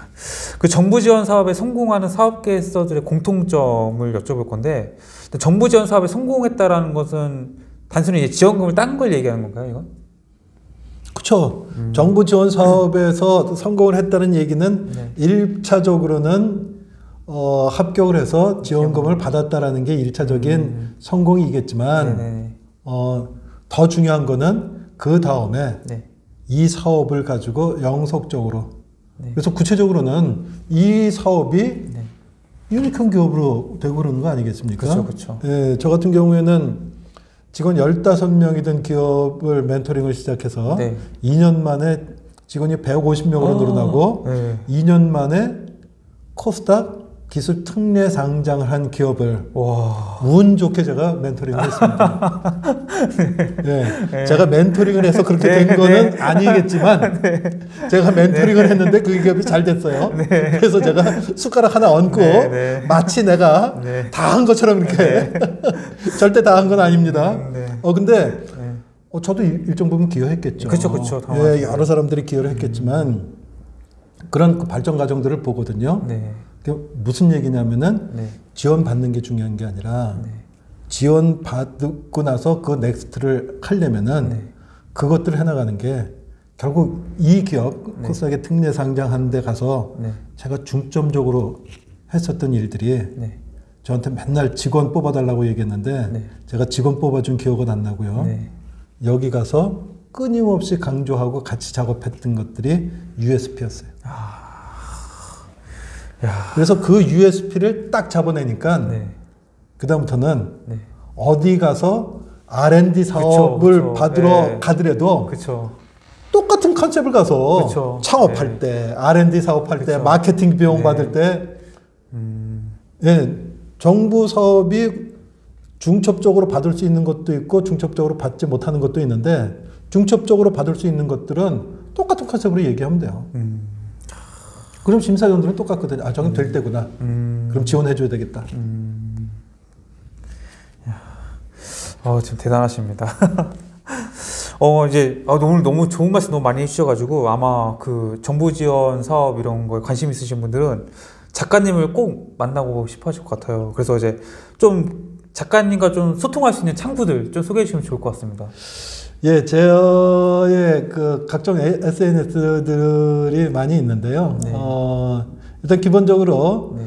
어, 네이버 검색창에 김형철이라고 치면은 네. 예, 저를 이제 발견하실 수는 있어요. 네. 근데 어, 다행인지 불행인지는 몰라도 어, 네이버에 김형철이라고 치면은 29명이 나옵니다. 네, 그쵸. 이름이 예. 네, 많아서. 예.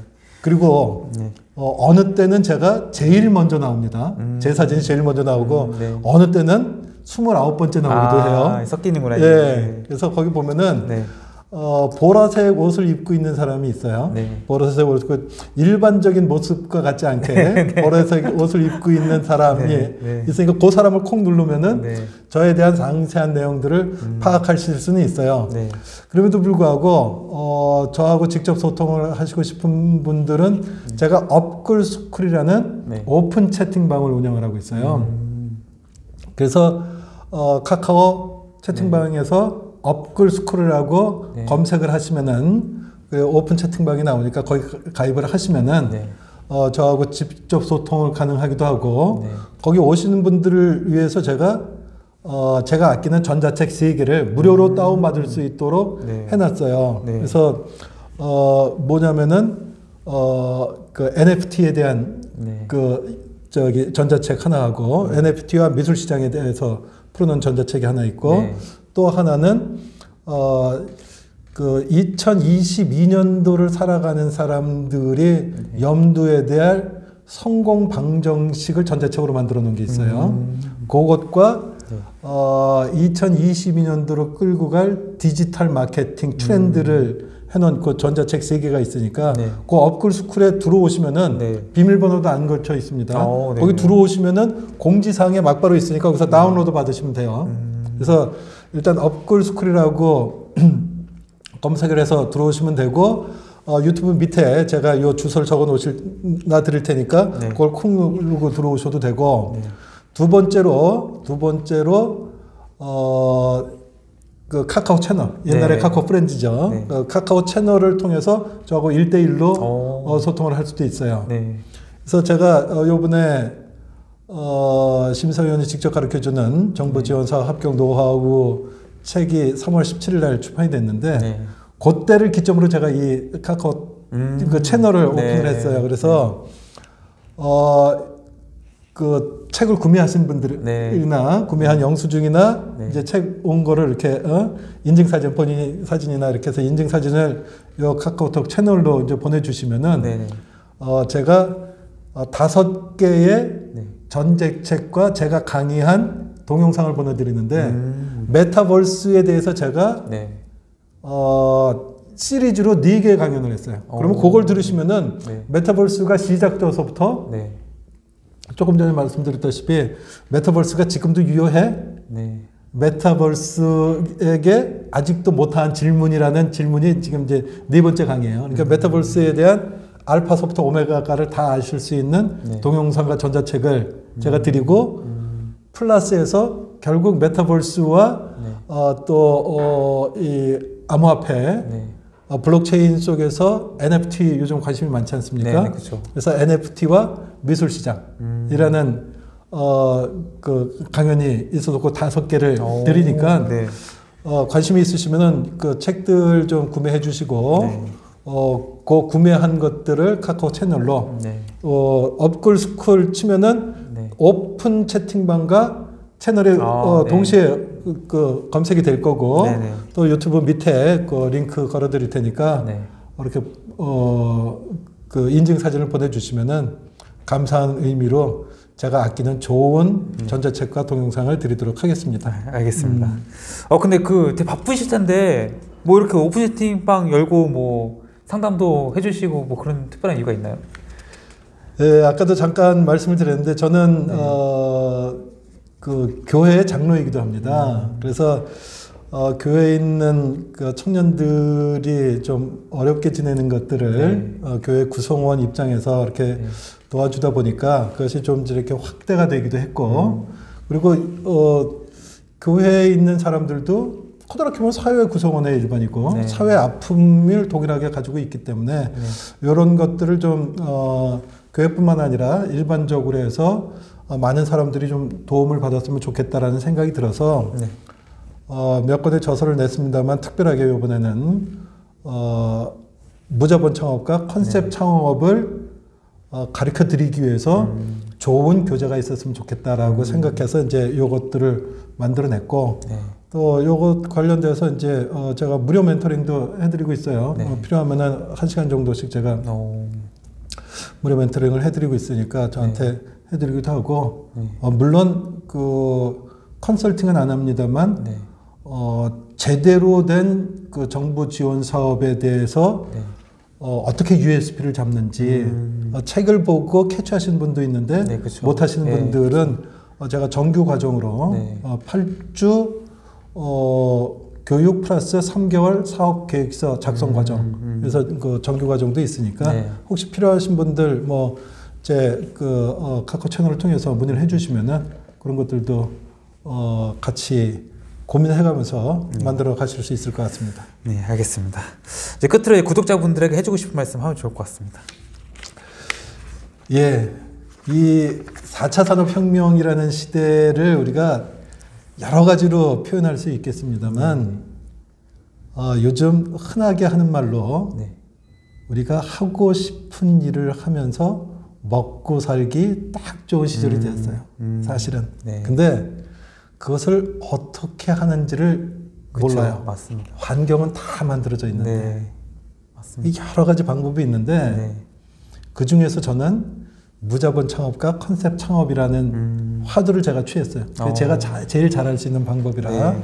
그래서 여러분들 이 책을 통해서 어, 무자본 창업 또는 컨셉 창업에 그 어, 기초를 깨우치시고 네. 거기에 도전하셨으면 좋을 것 같아요. 음. 도전하셔서 어, 힘들고 어렵지만 네. 사실은 해보면 어렵지 않아요. 음, 제가 어, 나이 드신 시니어나 음. 네. 어, 경단녀나 네. 또 청년들 공유하는 말이 있습니다. 네. 1g의 행동이 네. 1톤의 생각을 이깁니다.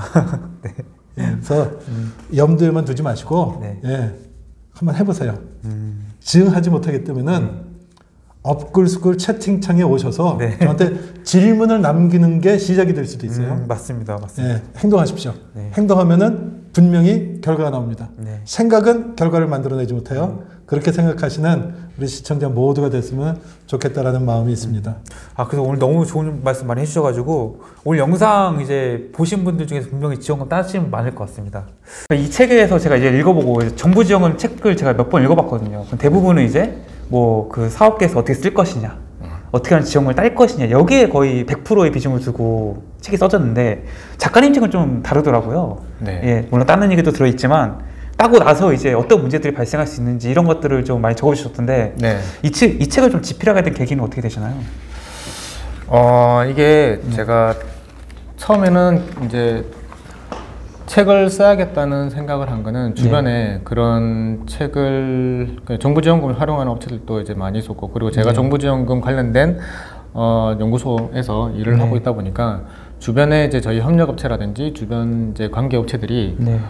어 자기들은 그렇게 하지 못하는데 어떻게 그렇게 정부 지원금을 잘 활용하냐 이런 문제를 제일 많이 받았어요. 음, 어, 그래서 이제 어, 어, 정부 지원금을 근데 그 회사 매출액도 그렇게 작지가 않아요. 뭐 이제 보통 뭐 몇백억, 네. 한 100억, 200억 되는 회사도 인데도 불구하고 그런 걸 전혀 활용을 하지 않고 있다 그러고. 음. 어, 그래서 이제 그런 회사도 있고, 아, 네. 정부 지원금을 잘 모르는구나 사람들이. 네네네. 정부에 돈이 이만큼 나오는지 모르는구나. 그때 네. 한번 또 인식을 하고. 어. 또 하나는 이제 주변에 이제 업체들이 보면 이제 아는 업체들 가 보면 네. 정부 지원금 따는 거 사용하는 거를 되게 자랑스럽게 얘기를 하는 거죠. 네. 그러니까 그 자랑스럽게 얘기하는 게 좋은 쪽으로 아 네. 이런 기술을 개발을 해서 이런 제품을 만들어 가지고 우리가 이만큼 매출 올랐어. 음, 이런 얘기를 하는 게 아니고 네. 야 우리 이번에 이제 정부 지원금 뭐 1억 땄는데 야 그걸로 뭐뭐저 회사 렌트카도 하고 네. 뭐도 하고 뭐 이제 어디 뭐 이제 뭐도 짓고 뭐 이렇게 해요. 그래서 뭐 이렇게 얘기를 하니까 네. 어 저렇게 사용하면 되나? 근데 그럼 그렇게 했을 때 이게 문제가 되지 않아요? 음. 뭐 이런 얘기를 하면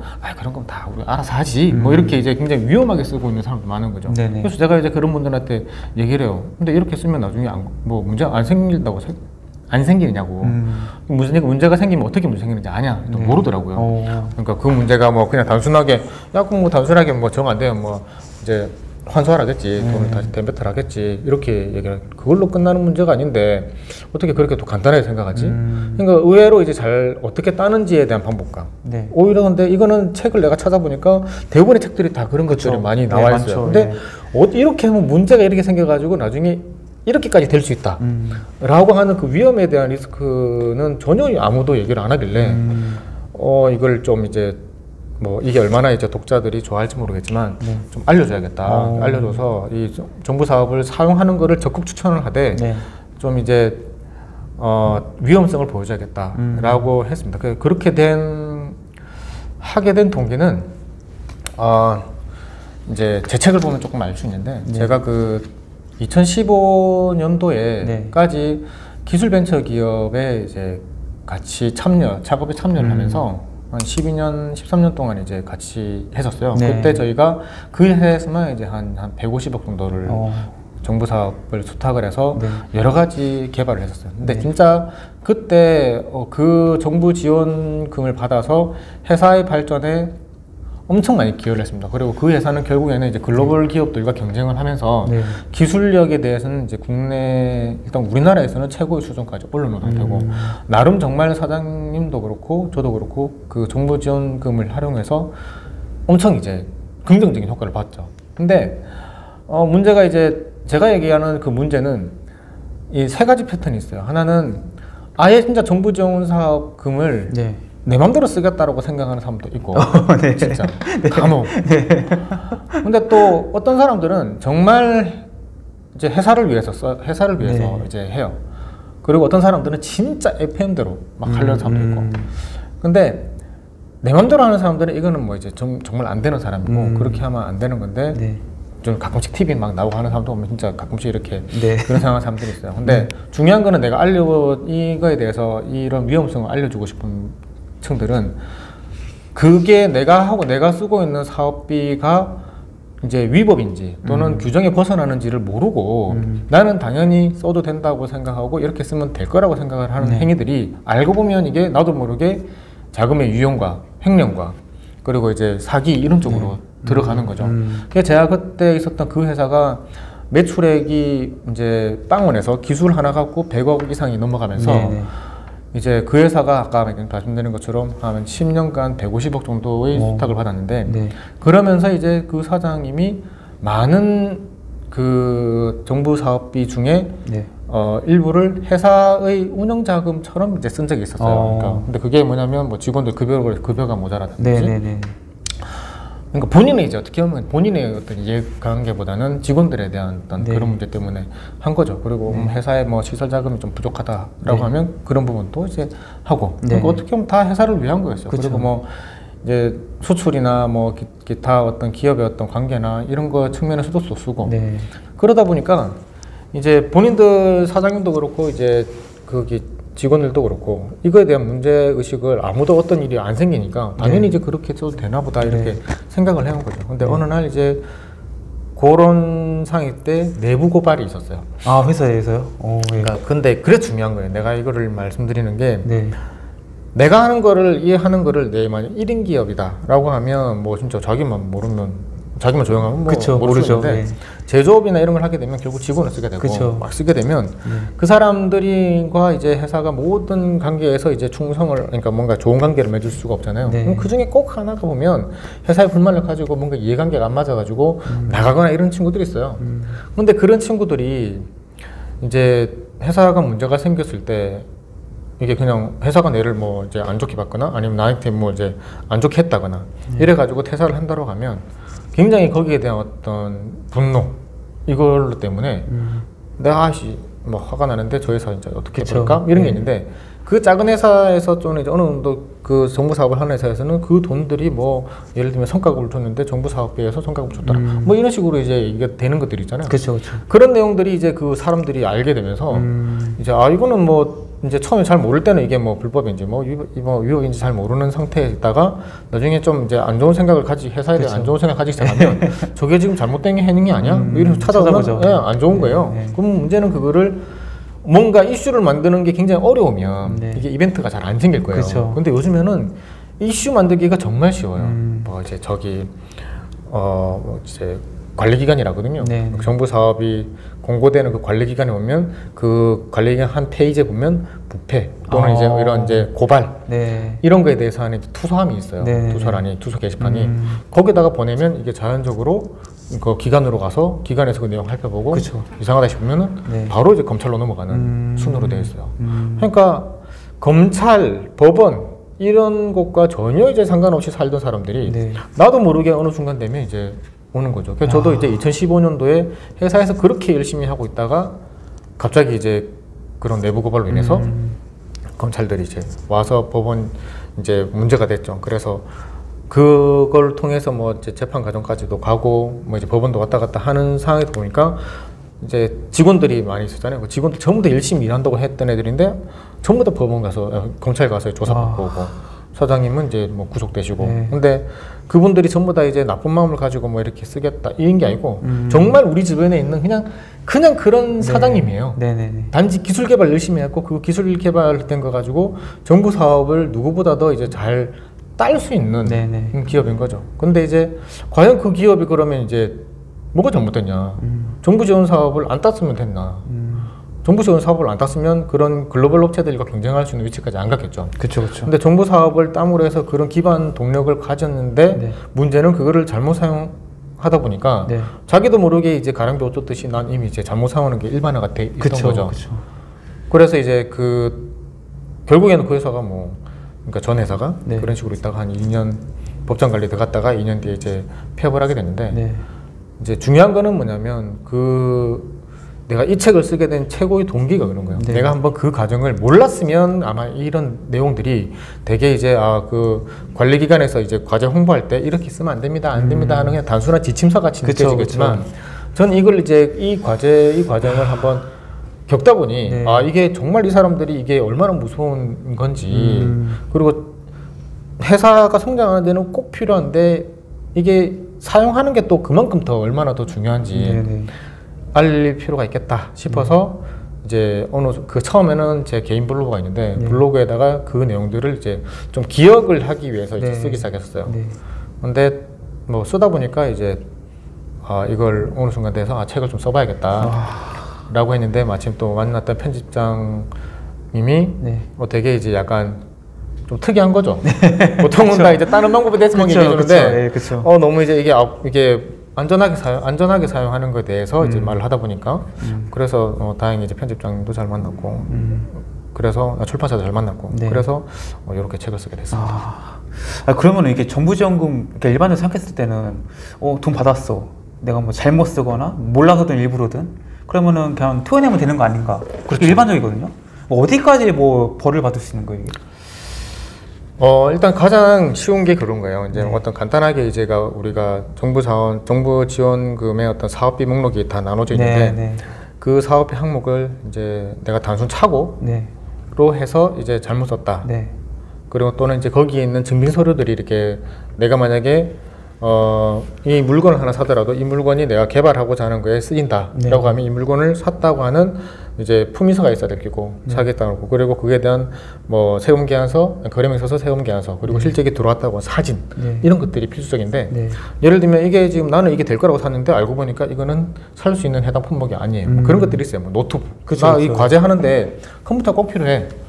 그래서 컴퓨터가 필요해서 샀는데 네. 알고 보니까 그런 컴퓨터는 이제 공용 물품이라 가지고 네. 이 과제에서 못 사게 돼 있어요. 음. 왜냐하면 그 과제만 쓰는 게 아니고 집에 가서 노트북이니까 내 그쵸. 마음대로 오락도 할 수 있고 네. 이렇기 때문에 못 사게 하거든요. 네. 근데 그걸 모르고 사면 이제 문제가 되는 거죠. 근데 네. 그런 모르고 사는 것들은 괜찮아요. 그냥 뭐 불인정 이래가지고 뭐 200만 원 썼는데 200만 원 그러면 나중에 다시 배타내면 돼요. 음. 그럼 이제 네, 깔끔해지는 거죠. 네, 근데 문제는 그런 게 아니고 네, 어 일단 의식을 하지 못하는데 네. 문제가 생기는 경우 네, 예를 들면 내가 이제 그 이런 새로운 종이컵을 만들고 네, 있어요. 네. 이런 새로운 종이컵을 만드는데 여기에 뭔가 온도를 계속 유지할 수 있는 기능을 네. 첨단 기능을 음, 넣었어요. 네, 근데 그냥 일반 종이컵도 우리가 만들어요. 네, 그럼 소재는 똑같이 종이가 들어가. 그렇죠. 네.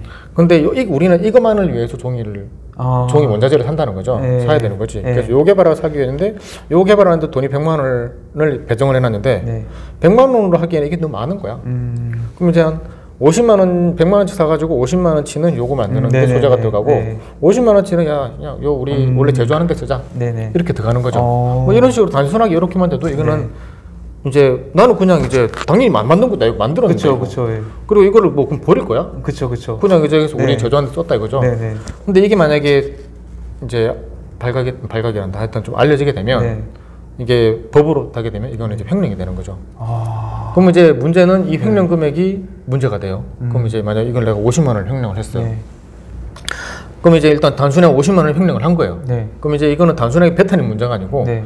이거를 이제 소재를 이제 빼돌린 거죠. 빼돌려 갖고 한 거기 음. 때문에 법적으로 문제가 일단 야. 되는 거고 또 이게 굉장히 심각해지는 게 만약 이게 여러 건이 있어요. 이런 식으로. 네. 품목이 많은 거죠? 그러면 애초부터 뭐 예를 들면 50%씩을 네. 만약 해요. 내가 모든 사업비를 잡아놓은 거에 50 반은 요걸로 쓰고 네. 반은 내 우리 소재 네. 하는데 좀 남은 거다 쓰겠다. 네. 이렇게 해 놓으면 살짝 이렇게 비틀어서 보면 네. 처음부터 이 과제는 예를 들면 1억이라고 쳐요. 과제 네. 사업비가 1억이 필요한 게 아닌 거죠. 그쵸. 네. 절반씩만 썼으니까. 그쵸, 그쵸. 그럼 5천만 원만 필요한 거예요. 그쵸. 그럼 이제 5천만 원만 필요한데 네. 1억이 필요하다고 관리 기관에 그쵸. 사기가 친 사기를 친 게 되는 거예요. 아. 그럼 사기를 친 거는 네. 사기범이 되는 거예요. 사기. 야. 그러면 이제 그 그러면 내가 실제 요거를 뭐 조금 조금 이제 나눠 쓴게 네. 뭐 예를 들면 1억 중에 한 3천만 원, 2천만 네. 원이다. 이러면 실제 금액이 2천만 원 정도를 내가 이제 이 우리 회사 이제 소재비로 쓴 건데 그렇게 되면 2천만 원이 마- 이게 문제가 돼야 되는데 그게 아니고 전체 수탁했던 1억을 사기를 친 거가 되는 네. 거죠. 그러면 그 사기죄가 1억 음, 특정 경제 오, 가중처벌법이라가지고 예, 네. 그 금액이 5억이 넘어가, 5억, 네. 그러니까 하여튼 어느 정도가 넘어가면 네. 이게 특정 경제 가중처벌이라고 원래 처벌받는 게 곱하기 2가 돼요. 그렇게. 그럼 이제 나는 진짜 뭐 한 것도 없는데 한 것도 없는데 이제 이래 되는 거죠. 그러니까 그런 식으로 이제 돼서 이게 검찰로 넘어가는 일이 생기는 거죠. 음. 근데 또 이제 문제가 네. 그런 방금 얘기했던 거는 이제 단순한 거고 네. 진짜 뭐 아기를 가지고 뭐 돈을 돌리는 경우도 많아요. 네. 돈을 돌리고 하고 뭐 이런 경우도 있는데 네. 어쨌든 그런 나쁜 지 나쁜 행위, 그러니까 내가 의식한 의식한 나쁜 행위, 네. 의식하지 않은 행위들 네. 이런 행위들이 아까 큰 그림으로 보면 전부 다 사기, 음. 횡령 이걸로 이제 처, 이제 들어가기 때문에 네. 어 잘못 그게 그렇게 판정이 된다고 하면 금액이 기하급수대로 커져요. 그쵸. 왜냐하면 우리가 정부 과제를 따면 뭐 100만 원, 200만 원이 따는 게 아니고 그쵸, 그쵸. 보통 한 1억 따고 음. 뭐 내가 몇 년 했다 그러면 네. 뭐 1억 땄다가 그다음에 또 그다음 연도에 또 한 3억 땄다가 네. 5억 땄다가 이래야 되거든요. 그럼 이제 뭐 특정 경제 가중처벌법 뭐 5억 이상 되면 이제 네. 곱하기 2가 됐다. 그럼 네. 이제 뭐 이미 그 나는 내 손에는 돈이 뭐 전혀 없는데 전혀 없는데 이게 지금 횡령 금액만 뭐한 몇십억 되는 거예요. 네. 그럼 이제 뭐 법원 가서 재판 받고 이러면 이제 뭐 구속은 당연한 거고 구속을 뭐 몇 년을 하는 거죠. 몇 년 하고 또 이제 나는 돈을 어떻게 하면 이제 자기가 대표들이겠죠. 대표들이 자기들 손에 들어가는 거는 크게 없어요. 아까 얘기 말씀드린 네. 것처럼 초기 기업들은 되게 이익률이 낮기 때문에 이게 어떻게 보면 그 이익률이 낮기 때문에 이제 자꾸 이제 정부 지원금에 그쵸. 있는 네. 사업비를 자기 그 제조하는 쪽에다가 또는 이제 어떤 소프트웨어 개발하는 네. 쪽에나 이런 쪽으로 투자를 하는 거 들어가는 거예요. 뭐 혼용에 쓰는 거죠. 네. 그러면서 그 마이너스 되는 것들을 막 이제 메꾸고 메꾸고 음. 또 인, 인건비 주고 막 이렇게 하는 거거든요. 네. 그러니까 실제 대표 손에 대표의 주머니에는 뭐 크게 들어가는 건 없어요. 음. 들어가는 건 없는데 알고 보면 나중에 되면 뭐 몇십억 횡령 한 사기 횡령으로 사기한 사람 사기범이 되는 돼 있는 거죠. 음. 그러니까 이제 집에서는 우리 아빠, 우리 엄마, 우리 아버지 뭐 이제 열심히 맨날 토요일 주말도 없이 일을 하시는 아버지 그리고 뭐 그 아버지 입장에서도 보면 국가를 생각하고 뭐 국가 경쟁력을 생각하고 그쵸. 이런 걸 생각하던 사람이 갑자기 뭐 이렇게 사기범으로 들어가고 재기도 안 돼요. 재기도 힘들고 막 이제 그리고 그분들이 들어가게 되면 구속만 해갖고 또 끝나는 게 아니고 네. 알게 모르게 이렇게 사기범을 하면 금액이 나오거든요. 몇억 사기를 쳤느냐. 네. 그럼 그게 이제 뭐 한 30억 이렇게 되는 거예요. 나한테는 없는데. 네. 그 문제는 그 30억이라고 만약 예를 들면 그 30억이라고 된 사기 비용들이 나중에는 이제 사기를 쳤으니까 네. 이제 환수를 해야 되잖아요, 네. 국가가. 네. 그러니까 환수금이 나요. 얼마를 환수시켜? 개인한테 와요, 그게? 어, 그렇죠. 그 사장한테 가는 거죠. 아. 그럼 이제 나는 회사도 없어지고 그쵸. 이제 구속도 당해가지고 네. 구속돼 있는데 환수금도 나온단 말이죠. 네. 그럼 이제 뭐 진짜 답 없죠. 그러니까 이게 네. 그 위험성, 그러니까 네. 그만큼 갈 수 있다는 걸 사람들이 잘 몰라요. 음. 기껏 해봤자 뭐지 뭐 뭐 야 100만 원 이렇게 했으니까 100만 원 나중에 뭐 달라고 그 주십시오. 그쵸. 예. 이렇게. 그렇게 생각하죠. 네 생각하는데 그게 알게 모르게 우리가 이제 이런 만약에 제 영상을 이걸 영상을 보시고 네. 어, 이런 애 맞나 해서 보시고 이제 네이버 페이지나 열어가지고 한번 이제 정부 지원금 뭐 아니면 정책 자금 뭐 사기 횡령 이런 단어로 한번 쳐보시면 네. 어 앱은 많아요. 어. 알게 모르게 대학 교수들, 네. 기업 사장님들, 네. 뭐 그다음에 어떤 국가기관 어떤 연구원들 이런 신 분들이 이제 막 이렇게 음. 해가지고 논란되는 것들이 많이 있죠. 아니 그 말씀하신 사례 중에서 뭐 이제 뭐 원재료 같은 걸 공유하는 일들은 사실은 뭐 제 추측에는 비일비재할 것 같거든요, 사실은. 많죠. 그러니까 그거를 뭐 암묵적으로 이제 네. 그 꼼꼼히 다 봐야겠다. 그게 네. 그러진 않아요, 실제 그 네. 정부에서도 그렇지는 않는 것 같더라고요. 네. 근데 문제는 그게 네. 그 기업의 대표들이나 회사에서 보면 그런 것들이 되게 일반화가 돼 있다 보니까 네. 어, 나중에 무감각해, 무감각해지죠. 아. 그리고 회사에서도 어느 정도는 이제 기업에서도 그렇게까지 너무 이게 까다롭게 다 봐버리면 네.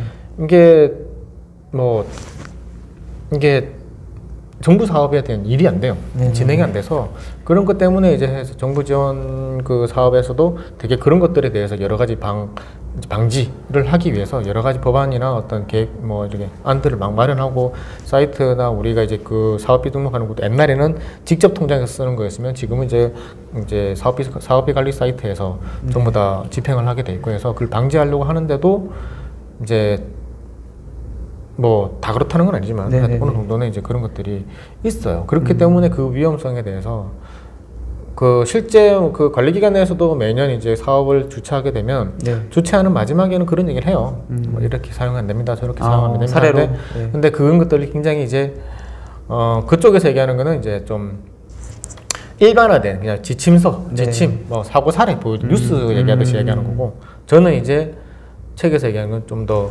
디테일하게 실제 네. 경험을 해본 경험으로 네. 이렇게 되더라. 그래서 정말 그 사람 거기서 관리기관의 담당자들이 얘기하는 것들이 그냥 웃으면서 넘어가는 얘기가 아니고 음. 진짜 조심해야 되고 오히려 여기서 얘기하는 것보다 더 훨씬 더 심각하게 음. 받아들여질 수가 있다. 아. 조심하자. 뭐 그런 내용입니다. 그러니까 이게 내부 신고가 들어가면 이제 어째, 어쨌거나 거- 조사를 안 할 수가 없으니까 이제 그때부터 문제가 불거지는 거죠. 그렇죠. 예. 그러니까 이 문제는 그 신고가 너무 쉽다는 거예요. 음, 누구나 이제 하면 네. 할수 있으니까. 그래서 쉬워서 네. 그래서 어 그 정도가 이제 있어요. 뭐 이제 이제 예를 들면 너무 이제 1원이라도 그렇게 들어가는 건 안 돼. 네네. 찾지도 못해요. 음, 근데 그런 것들을 이제 완전히 무식하고 막 이렇게 네네. 얘기하시는 분들도 있고 음, 그리고 그런 행위 프로젝트를 어 약간 좀 이제 어느 정도 허용이 되는 허용 이걸 허용된다고 얘기하기는 좀 어려운데 네. 어, 어느 정도는 이제 뭐 이제 해도 된다고 얘기는 못 하겠지만 네. 그러니까 확인이 안 되는 부분까지는 있는데 네, 네. 너무 이렇게 막 하시는 분들도 엄청 많아요. 음. 그래서 그런 것들이 얼마나 이제 위험한지 음. 그런 것들을 이제 좀 알려주고 싶었던 거죠. 그래서 이제 그 정부 지원금 일단 그 받는 것부터 한번 얘기해 볼게요. 네. 어 제가 저도 이제 그런 뭐 창업 패키지 이런 관심이 있어가지고 창업 전문 그 컨설턴트 분들한테 물어보니까 어 뭐하러 이제 정부 지원을 받으려고 하냐 이게 뭐 행정서류도 엄청 많고 일이 진짜 두 배 세 배다. 그러니까 내가 이걸 해서 뭐 사업화가 되고 수익화가 되면은 굳이 뭐 정부 지원 서류 만들고 그런 비 어떻게 보면 소모적인 행동에 시간 쓰지 말고 수익화에 집중하는 게 맞다. 음. 저 이런 얘기도 들었었거든요. 그러니까 정부 지원금을 받아서 기업을 경영한다는 게 어떤 의미예요? 아 그걸 이렇게 말씀드릴 수 같아요. 일단 네. 정부 방금 얘기하신 것처럼 정부 지원금을 이제 가장 좋은 거는 정부 지원금을 안 받는 게 제일 좋아요. 음. 진짜 내가 네. 굉장히 혁신적인 아이디어와 네네. 그리고 이제 저 시급성을 요하는 네네. 어떤 경쟁이라든지 네네. 이런 게 있다 그러면 정부 지원금을 받아서 뭐 하기에는 너무 시간 많이 걸려요. 음. 진짜 내가 이거에 대한 사업이 정말 자신 있다. 네. 그리고 내가 이것저것 다 따져봐도 사업성 그리고 기술성 그리고 경쟁성에서 우수 이제 어, 경쟁에서 이길 수 있는 살아남을 수 있는 네. 그런 모든 것들이 확보돼 있다라고 하면 네. 그게 정말 그 검증된 상황에서 내가 자신 있다라고 하면 정부 지원금을 기다릴 게 아니고 음. 이제 어떻게 보면 자기가 이제 가지고 있는 자본금을 가지고 바로 해보는 게 이제 빠릅니다. 훨씬. 네네. 근데 어 실제 그렇게 해서 성공하는 사람들이 그리 많지가 않아요. 음. 그러니까 내가 얼마나 꼼꼼하게 이 사업을 준비를 했는지 네. 그리고 이제 이거 성공 가능성을 얼마나 높이고 리스크를 최대한 줄였는지 네. 이거에 대해서 진짜 개인이 그거에 대해서 곰곰하게 신중하게 그리고 체계적으로 분석을 해가지고 어, 임하기가 쉽지가 않다는 거죠. 네. 그러면 이제 그리고 말씀하신 대로 정부 지원을 하게 되면 이게 내 돈이 아니고 국민의 세금이기 네. 때문에 시- 돈 10원도 이렇게 허투루 사용할 네. 수가 없는 거죠. 네. 그럼 그게 체계화된 어떤 기준, 관리 네. 하에서 정해진 어떤 루트와 방법을 절, 절차를 거쳐서 용도에 맞게끔 써야 네. 되는 거죠. 네. 그럼 그게 내가 돈을 100원, 200원, 1000원을 쓰더라도 거기에 대한 용도와 그렇죠. 증빙 서류들이 다 붙어야 되는 네. 거예요. 근데 그러면 만약에 내가 창업하는 이제 입장이에요. 네. 그럼 창업하기도 바쁘고 그쵸. 뭐 이제 업종 등록도 해야 되고 네. 뭐 내가 공장도 해야 되고 뭐 이제 내가 이제 바이어도 만나야 되고 네. 기술 개발도 해야 되고 뭐 이런데 네. 그런 상황에서 언제 또 이제 이걸. 이걸 쓰고 네. 있냐는 거죠. 네. 그래서 제가 이제 그 책에도 있을 텐데 추천하는 거는 정말 그런 거에 대한 자신이 있다 하면 음. 정부 지원 사업 안 하고 그런 좋은 아이디어와 기술을 가지고 있다면 이거는 시간이 문제예요. 음. 그건 바로 붙으라는 거예요. 바로 붙어서 이제 진행을 하는 게 맞다. 네네. 그리고 그게 붙어가지고 어느 정도 그 시기에 대한 선점을 내가 하고 나면 음. 그 이후에 이제 어느 정도 이게 안정권이나 네. 아니면 이제 정착이 된 이후에 네. 그때 정부 지원 사업을 하는 게 맞다는 거고 음. 창업을 할 때 단지 이제 보통의 대부분의 사람들은 창업을 할 때 단순한 어떤 흥분 또는 단순한 아이디어 네. 왠지 내만 생각했을 때 보니까 다 될 것 같아 네네. 다될 것 같아서 이제 아 나 창업할래 그러면 네. 이제 굉장히 조급해지거든요 네, 빨리. 그거 한지 안 하면 안 될 것 같고 네. 어이씨 쇠뿔도 당연히 빼라 했는데 네. 얼른 씨 해야 될 것 같고 빨리 이제 저 공장 저리 채러 갖고 내가 왠지 저 위에 사장 자리 앉아갖고 이렇게 탁 멋있게 사인하는 네. 모습도 그려주고 빨리 그런 게 하고 싶은데 언제 내가 또 정부 사업 신청해 하고 갈 거냐 이런 생각했어요. 근데 그런 사람들은 정부 사 정부 지원 사업을 아니다 하더라도 실패 확률이 엄청 높아요. 근데 내가 정부 지원 사업을 신청을 해보라는 거는 네. 개인이 내가 이게 사업성과 경쟁성과 기술력이나 이런 것들이 다 평가를 조목조목 하기에는 스스로 약간 편중돼 있는 거죠. 왠지 내가 다잘될 것 같고. 음. 근데 정부 지원 사업이라고 하는 거는 내가 가지고 있는 아이디어와 기술력과 사업성을 진짜 공공의 장, 네. 슈퍼스타 K와 같은 네. 그런 곳 장에다가 올려보는 거예요. 음. 내 혼자 노래 아무리 잘한다고 얘기하고 있는데 네. 실제 그 이제 이제 경쟁 붙어보자 해가지고 슈퍼스타 가보면 날고 기는 사람도 엄청 많아요. 이거 내가 안 되겠구나. 네. 이런 사람도 많거든요. 이게 네. 똑같은 거예요. 내가 정부 지원 사업을 내가 가지고 있는 아이디어를 정부 지원 사업에 이제 넣어본다고 하는 거는 그 이제 전쟁터 같은 사회 음. 시장에 내 아이디어와 기술력과 시장, 시장성 예측되는 시장성을 경쟁시켜 보는 거죠. 띄웠을 때 거기에서 내가 만약에 선정이 된다라고 하면 일차적으로 이가 이 대표님, 네. 예비 창업자가 가지고 계신 그 아이디어와 네. 사업은 성공 가능성이 있다는 거예요. 음. 그럼 그 이후에 그 내가 성공 가능성이 있다는 것까지 나오려고 하면 그 사업 계획서가 그 내가 가지고 있는 플랜을 맞춰 가지고 다잘 짜져 있다는 거고 그럼 기본적으로 그 사업 계획서만 따라서 내가 이 사업을 추진을 해서 목표된 이제 개발 목표를 달성을 하면 일차적으로는 이제 망구 내 생각으로 그냥 시장에 들어가는 게 아니고 모든 이제 공인된 이제 시장 그리고 수요자 그리고 기관 이런 데서 나의 어떤 아이디어와 이런 기술력이 인정을 받는다는 것이기 때문에 스타트업 기업들한테는 어떻게 하면 망구 그러니까 뭐 제 생각이 뭐 저희가 가지고 있는 겁니다. 라는 거 하는 것보다는 네.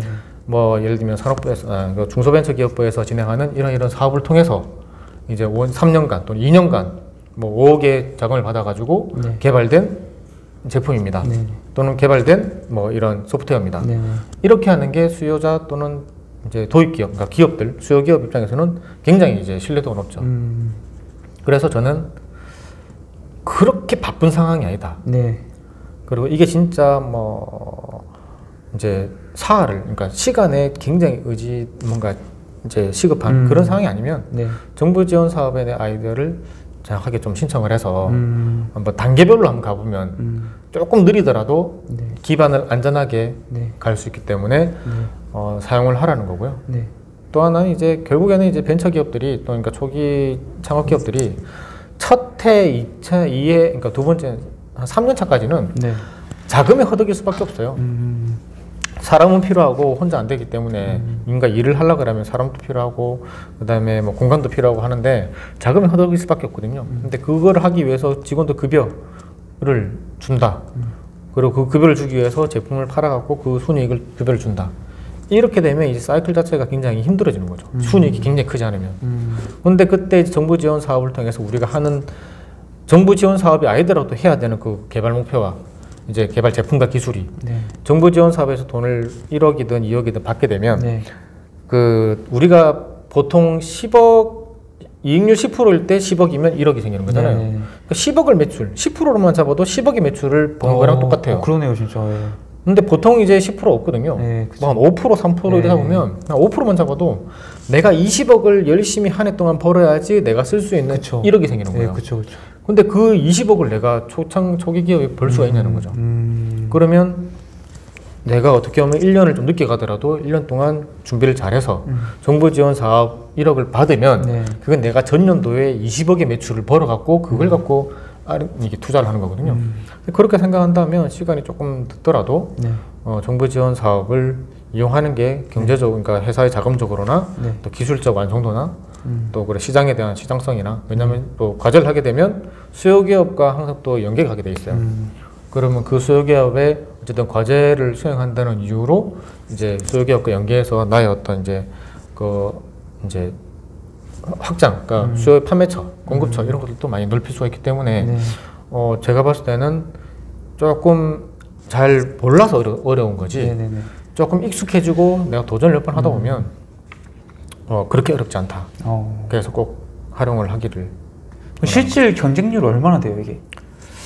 어 과제마다 틀려요. 과제마다 틀린데 일반 자유 경쟁이 있고 네. 그다음 공뭐 이제 이제 그렇지 않은 게 지정 공모가 있는데 네. 자유 공모 같은 경우는 이제 뭐 아무나 하는 거예요. 아무나 네. 아무나 물론 어떤 정해진 틀은 네, 있는데 네. 그런 조건에 들어오는 이제 기업들이 이제 어떠한 아이템을 가지고 다 네. 지원할 수 있는 사업인데 네. 그런 거 같은 경우는 엄청 빡시죠. 뭐, 음. 한- 뭐 어떨 때 같은 경우 보통 한 10대 1 정도는 기본이고 오. 어떨 때 가면 30대 1 이렇게 네. 되는데 네. 힘들고 이제 내가 어떤 구체적인 계획이 있고 하면 네. 자유 공모 그렇게 자유 아무나 들어갈 수 있는 사업들도 있지만 네. 딱 정해진 게 있어요. 뭐 음. 태양열 관련된 어떤 이제 음. 사업 네. 그런 그 관련된 업종분들만 들어와서 하는 거. 뭐 그다음에 이제 구매 조건 해서 내가 구매 수요 기업이 우리한테 야 이거 너 개발해 오면 내가 써줄게라고 네. 하는 계약서나 하객서를 써주는 기업만 들어와서 네. 신청할 수 있는 사업. 음. 그러면 뭐 초기 이제 이제 창업 성장 가자래 가지고 뭐 애초에 3년 미만 기업들 그리고 그 정부가 한 번도 안 해본 기업들 네. 어, 이런 기업만 들어와서 해라 이런 식으로 이제 그 문턱을 경쟁에 대한 문턱을 낮춘 사업들이 많이 있거든요. 네. 네. 그럼 그런 사업 같은 경우는 뭐 5 대 1 음. 뭐 이렇게 들어오는 것도 있고 보통 한 5 대 1 정도는 보고 들어오는데 네. 이제 점점 이제 좀 까다로운 것들이 많아요. 뭐 투자가 꼭 들어온 거를 투자, 그러니까 이걸 개발하고 나면 투자 기간, 투자 기관에서 매칭을 하겠다. 네네. 그럼 매칭을 받아와. 네. 매칭 받기가 얼마나 어렵겠습니까? 네, 그렇죠. 매칭을 받아온 사람만 신청할 수 있는 과제. 음. 이래 보면 그건 뭐 매칭 받으면 거의 된다고 보는 거죠. 뭐 1.5대 1 이래요. 음. 그러면 이제 한 세 개, 한 20개 들어가면 한 15, 10몇 개가 이렇게 선정이 되는 거죠. 음. 그러니까 시작이 선, 신청하는 시작 그 관문이 넓으면 넓을수록 경쟁은 엄청 치열해지고 그렇죠. 그 관문 신청하는 그 관문이 좁으면 좁을수록 네. 이제 경쟁은 좀 이제 음. 돼서 조금 체계적인 내 전략에 따라서 체계적인 어떤 신청 방법이 필요합니다. 그럼 작가님이 직접 이제 정부 지원금을 받아본 사례를 몇 개 소개해 주시면 좋을 것 같아요. 네, 그게 어 일단 정부 지원 사업은 이제 기업의 그 저기 수준, 그러니까 네. 기업의 어떤 이제 R&D 수준도 그렇지만 연구소 수준도 그렇지만 기업의 어떤 성 그 설립, 네. 뭐 얼마나 성장, 그러니까 설립된 지 오래됐느냐, 그리고 매출은 얼마냐 네. 이런 거에 따라서 좀 내가 신청할 수 있는 게 틀린데 네. 예를 들면 이제 너무 많은 좋은 사업들이 있는데 그 중에 이제 초기 기업가 그리고 중기 기업가 그리고 뭐 중견 기업 이렇게 이제 각각 하나씩 말씀드리면 맨 처음에 한 3년 이내에 보면 이제 뭐 창업 기업들이 할 수 있는 것도 몇 가지 있거든요. 몇 가지 있는데 뭐 초기 창업 패키지라든지 네. 여러 가지 뭐 창업 센터에서 하는 것도 있고 네. 또 하나는 이제 보통 이제 우리가 많이 하는 게 모든 중소기업 기업들의 성장 딱 설립하면 다 중소기업이잖아요. 네. 중기업이면 소기업인데 네, 네.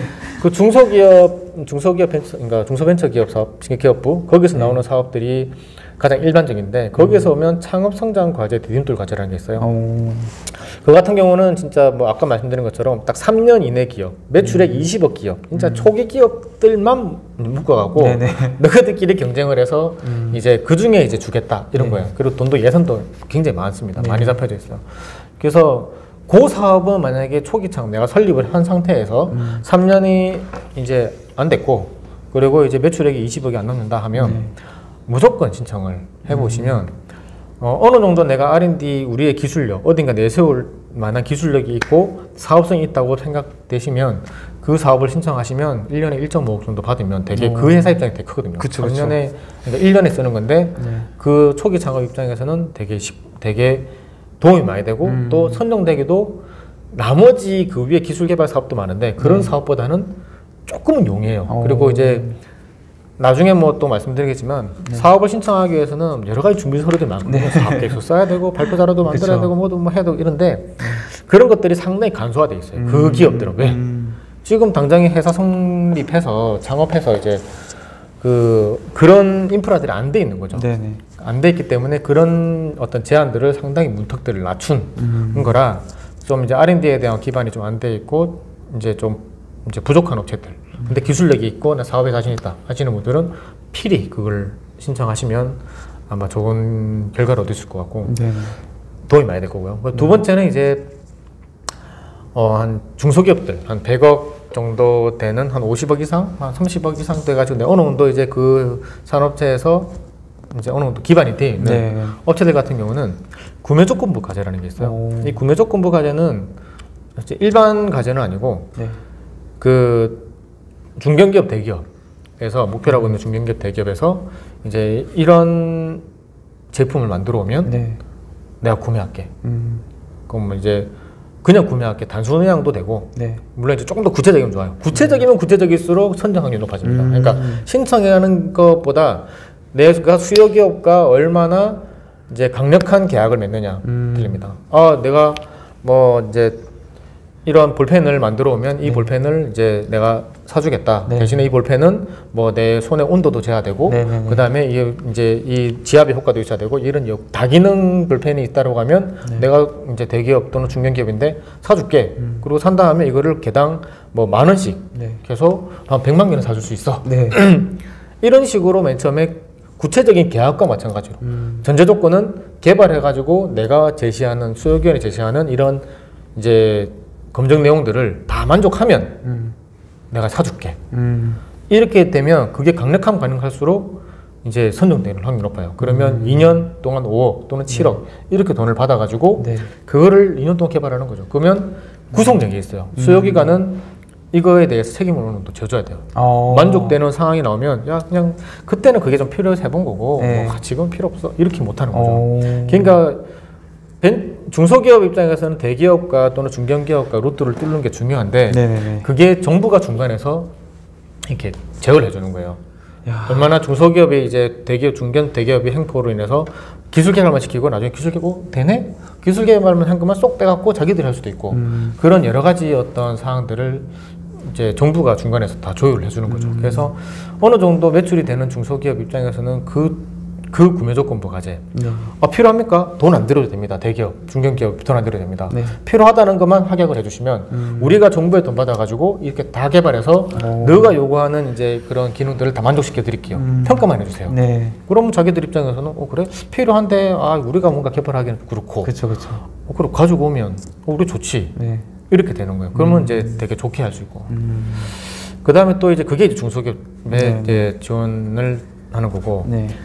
중견기업 같은 경우는 이제 중견기업부터는 진짜 그 회사의 R&D 구조가 되게 잘 된 데가 많아요. 음. 그러니까 기업 연구소도 잘 되어 있고 인프라도 되게 많습니다. 똑똑한 사신 독특하신 분도 많고. 네. 근데 중견기업을 위해서는 이제 여러 가지 사업들이 있는데 제가 제일 추천하는 건 이제 월드 클래스라고 하는 오, 사업이 있어요. 네네네. 월드 클래스라고 하는 사업은 지금 2013년도에 월드 클래스 300이라고 해서 이제 우리나라 대한민국 정부가 우리나라 국내에 있는 중견기업들, 그러니까 허리가 되게 중요하잖아요. 국가에서는 네네네. 대기업보다. 그러니까 대기업도 되게 중요한데 원래가 대- 이게 국가가 성장하려면 중간 허리층이 탄탄해야지 이 허리층에서 이제 여러 가지 파생이 네. 되는데 그 허리층의 글로벌 중견기업들을 많이 만들기 위해서 월드 클래스 300이라고 하는 사업을 통해서 그 네. 회사 집중적으로 투자합니다. 그러니까 음. 중견기업체 되면 내가 구매 조건부 해갖고 뭐 3억 받고 뭐 5억 받고 이런 게 물론 중요하지만 그 기업 입장에서는 오히려 안 중요해요.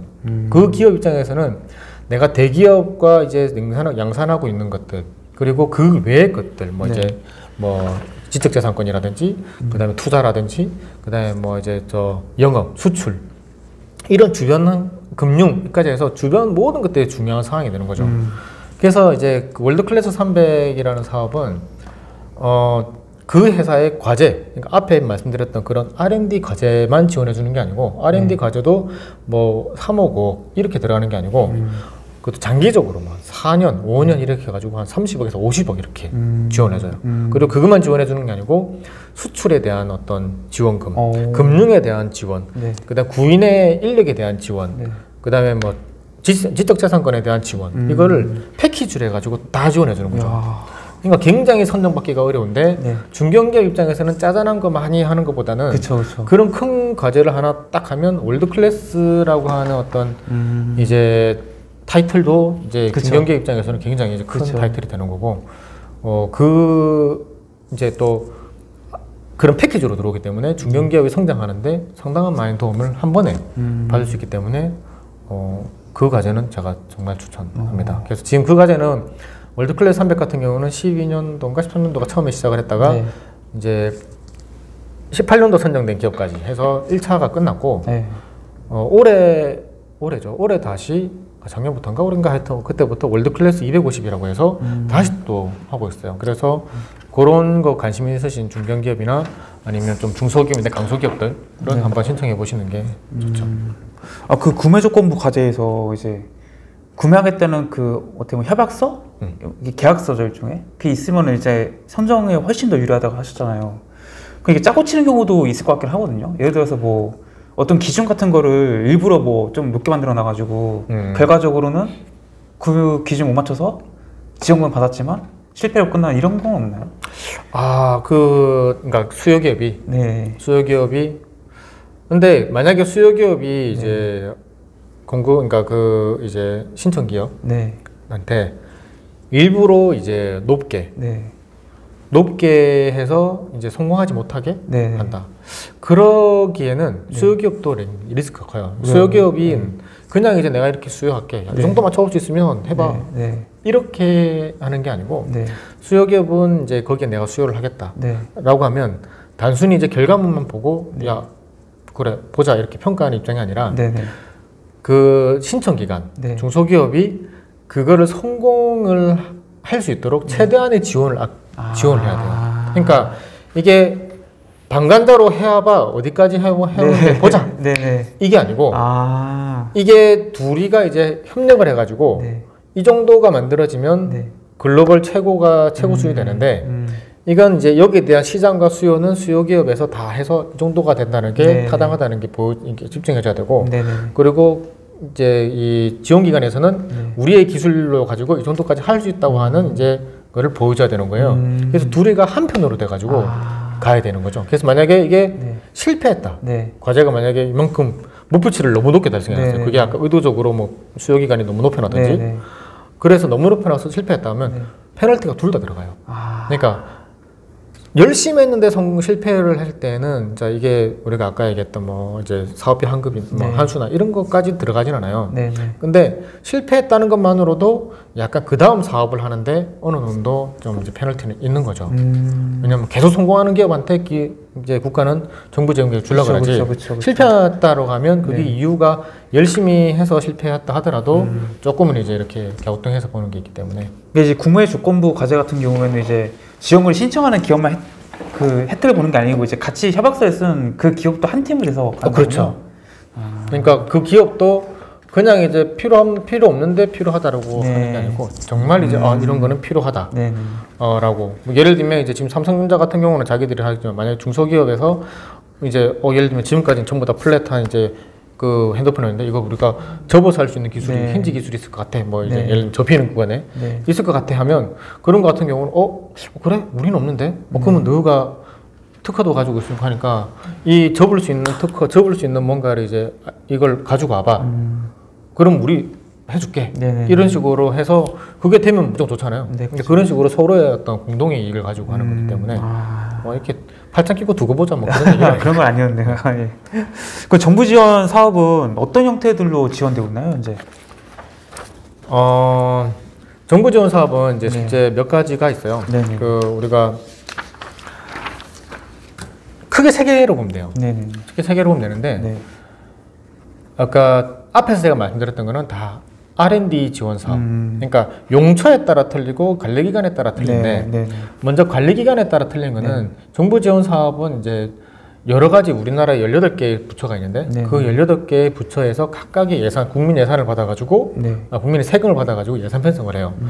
거기에서 필요한 이제 공공 어떤 자산들, 그러니까 공공물들에 대한 어떤 이제 투자도 하고 네. 또는 이제 이런 개발, 개- 지금 기업 기업의 어떤 개발 비용으로도 이렇게 예산을 편성하거든요. 음. 그러면 이제 각 부서들이 그런 예산들 가지고 있어요. 뭐 국토부도 그렇고, 그 다음에 뭐 산업부, 그 다음에 중소기업, 네. 중소벤처기업부, 그다음에 뭐 과기부 이런 기부들 각각에 맞게끔 이제 그 안에서 예산을 편성해야죠 R&D 자금이 나가요. 음. 그럼 그 R&D를 이제 그 각각 부처에서 와서 받아서 이제 중앙부처라고 하죠. 그가 중앙부처 18개, 18개 대한 중앙부처 과제인 거고 또 하나는 이제 그 중앙부처 과제들은 너무 기업들과 조금 멀리 있어요. 그러니까 거기에 맞닿아 있는 업체들은 어느 정도 중소기업, 안정된 중소기업과 네. 중견기업과 이런 업체들이 맞닿아 있다 보니까 네. 실제 우리 요 내부, 우리 지역에 있는 어, 업체들은 그런 중소 중견기업도 많이 있지만 음. 어떻게 보면 이제 시작하는 벤처기업도 네. 있고 그다음에 소공인도 있고 음. 뭐 소상 소상공인이죠 소상공인도 있고 이런 기업들이 되게 많아요. 음. 근데 그런 기업들까지 그런 체계화된 굉장히 그쪽은 네. 이제 체계화됐기 때문에 그게 쉽지가 않아요 신청하기가. 음. 그래서 그런 것들을 좀 이제 좀 더 가깝게 가기 위해서 이제 전국에 이제 뭐 테크노파크라든지 네. 아니면 이런 여기도 지식센터지만 지식재난센터라든지 여러 가지 어떤 지자체 센터들이 있어요. 음. 그 지자체 센터에서는 자기들이 나서 갖고 이제 아까 중- 중앙정부에서 자금을 확보해 와서 네. 그런 이제 약간 사각지대에 음. 계신 있는 이제 기업들 에게 조금 더 낮은 이제 관문으로 이제 좀 평가를 해가지고 지원을 하는 하게 되는 거죠. 그래서 음.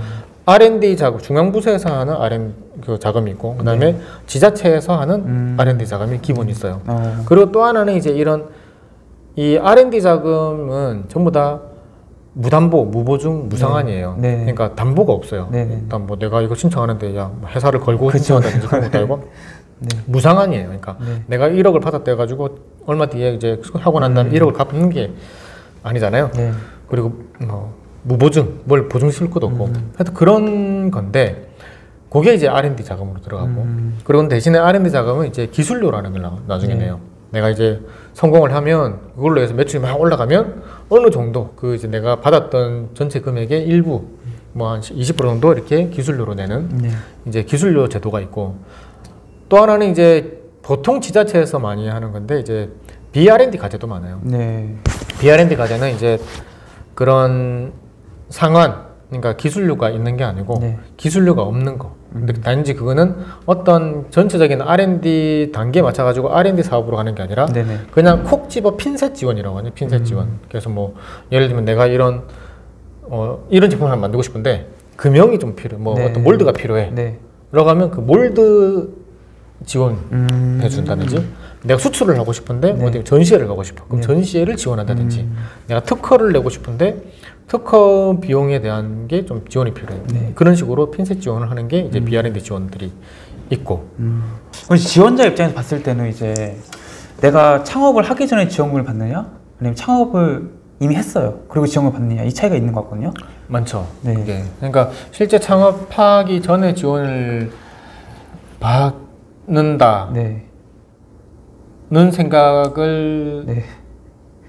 많이 하셔야 돼요 하셔야 되는데 음, 네. 실제 창업하기 전에 이 사업 계획서를 내가 써가지고 그쵸. 이제 붙어보겠다 뭔가 네. 하는 얘기들은 실제 그 창업하시는 분들한테는 쉽진 않아요. 왜냐면 음, 네. 아까도 얘기했지만 나는 이제 저는 이제 그걸 조금 추천하는데 네. 한번 내가 창업을 하겠다 생각이 들면 네. 그게 굉장히 시급하다고 다 생각하기 때문에 음. 어 보통은 창업하고 난 다음에 아. 어느 정도 부족해지면 이제 그때 생각을 아. 이미 저질러 놨구나 그렇죠. 저질러 놓고까지는 다 그냥 일반적으로 직진을 해요. 직진을 음, 했다가 네. 저질러 놓고 나중에 자금이 좀 이제 지금요 저지를 때는 자금이 또 있고 이라 네. 보통 또 있고 이러니까 네. 이리저리 빌려서라도 하고 집에 네. 이제 뭐 퇴직금 갖고도 하고 뭐 이렇게 하니까 네. 근데 나중에 하다 보면 이제 자금이 좀 모자라고 하다 보니까 음. 주변에 얘기 들어오면 정부 지원 사업을 이용해라 뭐 이렇게 해서 돼 있어요. 음. 근데 보통은 다 이제 안정적으로 가려 그러면 정부 지원 사업 네. 금액을 사용을 해야 되는 거고 음. 정부 지원 사업을 그러면 창업 전에는 어떤 게 있느냐? 네. 실제 창업 전에는 많지는 않아요. 창업 전에는 생각해 보시면 창업 전에 이제 우리가 가지고 있는 건 아무것도 없어요. 아이디어만 있죠 아이디어만 있죠. 그 아이디어가 이제 얼마나 좋냐 나쁘냐인데 그렇죠 그 좋냐 나쁘냐를 이제 어떻게 그 이제 이게 좋으니까 네. 돈을 나한테 주세요라고 네 그렇죠 나한테 투자를 해주세요라고 네. 하는 얘기를 어떻게 많이 할 거냐는 거죠. 음. 그러면 실제 진짜 내가 아무것도 없고 장소도 없고 아무것도 없는데 인프라가 아무것도 없어요. 네. 그런데 내가 진짜 오직 아이디어만으로 가서 선정을 해서 받겠다. 네. 그 사업이 뭐 예비 창업 패키지라는 음, 게 있어요. 예비 창업 패키지라는 것도 있고 청년 창업 사관학교라는 네. 것도 있는데 앞에 얘기 들어보면 청년 청년 창업 사관학교라는 네. 거 보고 있지만 이 내용 자체를 보면 여기는 뭔가 지원해 주는 사업이 아니고 물론 지원 사업도 있어요 거기 안에. 음. 네. 근데 그거는 왠지 청년들 이 그러니까 창업을 하고자 하는 사람들이 들어가서 창업주의 어떤 자세가 안 돼 있기 때문에 그런 교육을 하는 게 보통 네, 네, 그러니까 네. 창업 전에는 보통 교육이지 교육. 음, 마인드나 뭐 마인드. 거, 뭐 예. 창업을 하게 되면 네. 이제 돈이 필요할 거다. 네, 돈 네, 그럼 네. 이제 뭐 재무제표도 봐야 네, 되고 네. 그다음에 영업은 이렇게 해야 되고 음. 뭐 그다음에 뭐 회사 운영은 이렇게 해야 되고 네. 교육의 이제 그런 윤리적인 것도 필요한 거고 네. 그다음에 재무적인 것들에 대한 기술적인 것 그다음에 기술 개발에 대한 어떻게 할 건지 음. 이런 거에 대해서 어떤 창업주의 마인드를 주기 위한 어떤 교육이 대부분이에요. 그래서 그런 교육을 뭐 1년이 됐든 6개월이 됐든 이런 졸업식으로 해서 이제 그걸 졸업을 하면 나중에 창업한 이후에 어드밴티지 주겠다. 네. 또는 창업하기 전에 다른 사업을 하게 되면 어드밴티지 주겠다. 그런 사업이고 네. 그 중에 이제 진짜 내가 청업 청년 사관학교든 그런 사업을 통해서 내가 오늘 교육을 받았어요. 지자체 교육을 받든 받아가지고 어, 창업에 대한 교육 공부를 했다라고 하면 어, 예비 창업 패키지라는 사업이 이제 있습니다. 이건 네. 창업센터에서 하는 건데 네. 그게 가장 일반적이에요. 그러니까 보통 그게 가장 일반적이고 가장 모든 창업주 그 여기서 얘기한 창업은 소상인은 좀 제외가 돼요. 그러니까 음. 소상인 또 안 되는 건 아닌데 네. 일반적으로 이제 우리가 뭐 통닭집을 차리겠다 네. 이런 것들은 이제 해당이 안 되는 거죠. 어. 보통 이제 그런 소상인에 대한 창업은 음. 그 융자가 되는 정책 자금 음. 융자가 되는 거예요. 음. 융자로 들어가는 거고 네. 지금 여기 창업센터에서 들어가는 이제 예비 창업 패키지라든지 네. 뭐 그다음에 초기 창업 패키지라든지 네. 이런 거 같은 경우는 전부 다 이제 그런 소상이 아니고 뭔가 기술 개발을 네. 통해서 하는 거예요. 근데 대신에 기술 개발에 대한 유형은 뭐 제조업에 대한 기술 개발도 될 수도 있고 네. 소프트웨어에 대한 기술 개발도 되고 그다음에 어떤 그 문화예술 쪽에 대한 기술 개발도 되는 거예요. 근데 그 기술 어쨌든 기술이라고 내세울 수 있는 것들이 네. 기반이 돼 가지고 이제 그 사업을 신청하시는 거죠. 그러다 보니까 이제 창업 초에 창업하기 전에는 예비 창업 패키지 그거는 오직 아이디어만으로 승부하는 거예요. 네. 근데 아까도 얘기했지만 아이디어만으로 내가 승부를 하는데 심사위원들한테 뭔가 설득을 하기 쉽지가 않아요. 그쵸 그쵸. 뭐 아이디어밖에 없- 내 머릿속에 있는데 네. 그걸 아무리 머릿속에 있는 거를 이제 프레젠테이션에서 알려준다 사업계 알려준다 하더라도 이게 되게 공허한 거죠. 그쵸. 그래도 실제 예비 창업 패키지 하는 사람들 보면 네. 성공하는 사람들 보면 그냥 하진 않아요.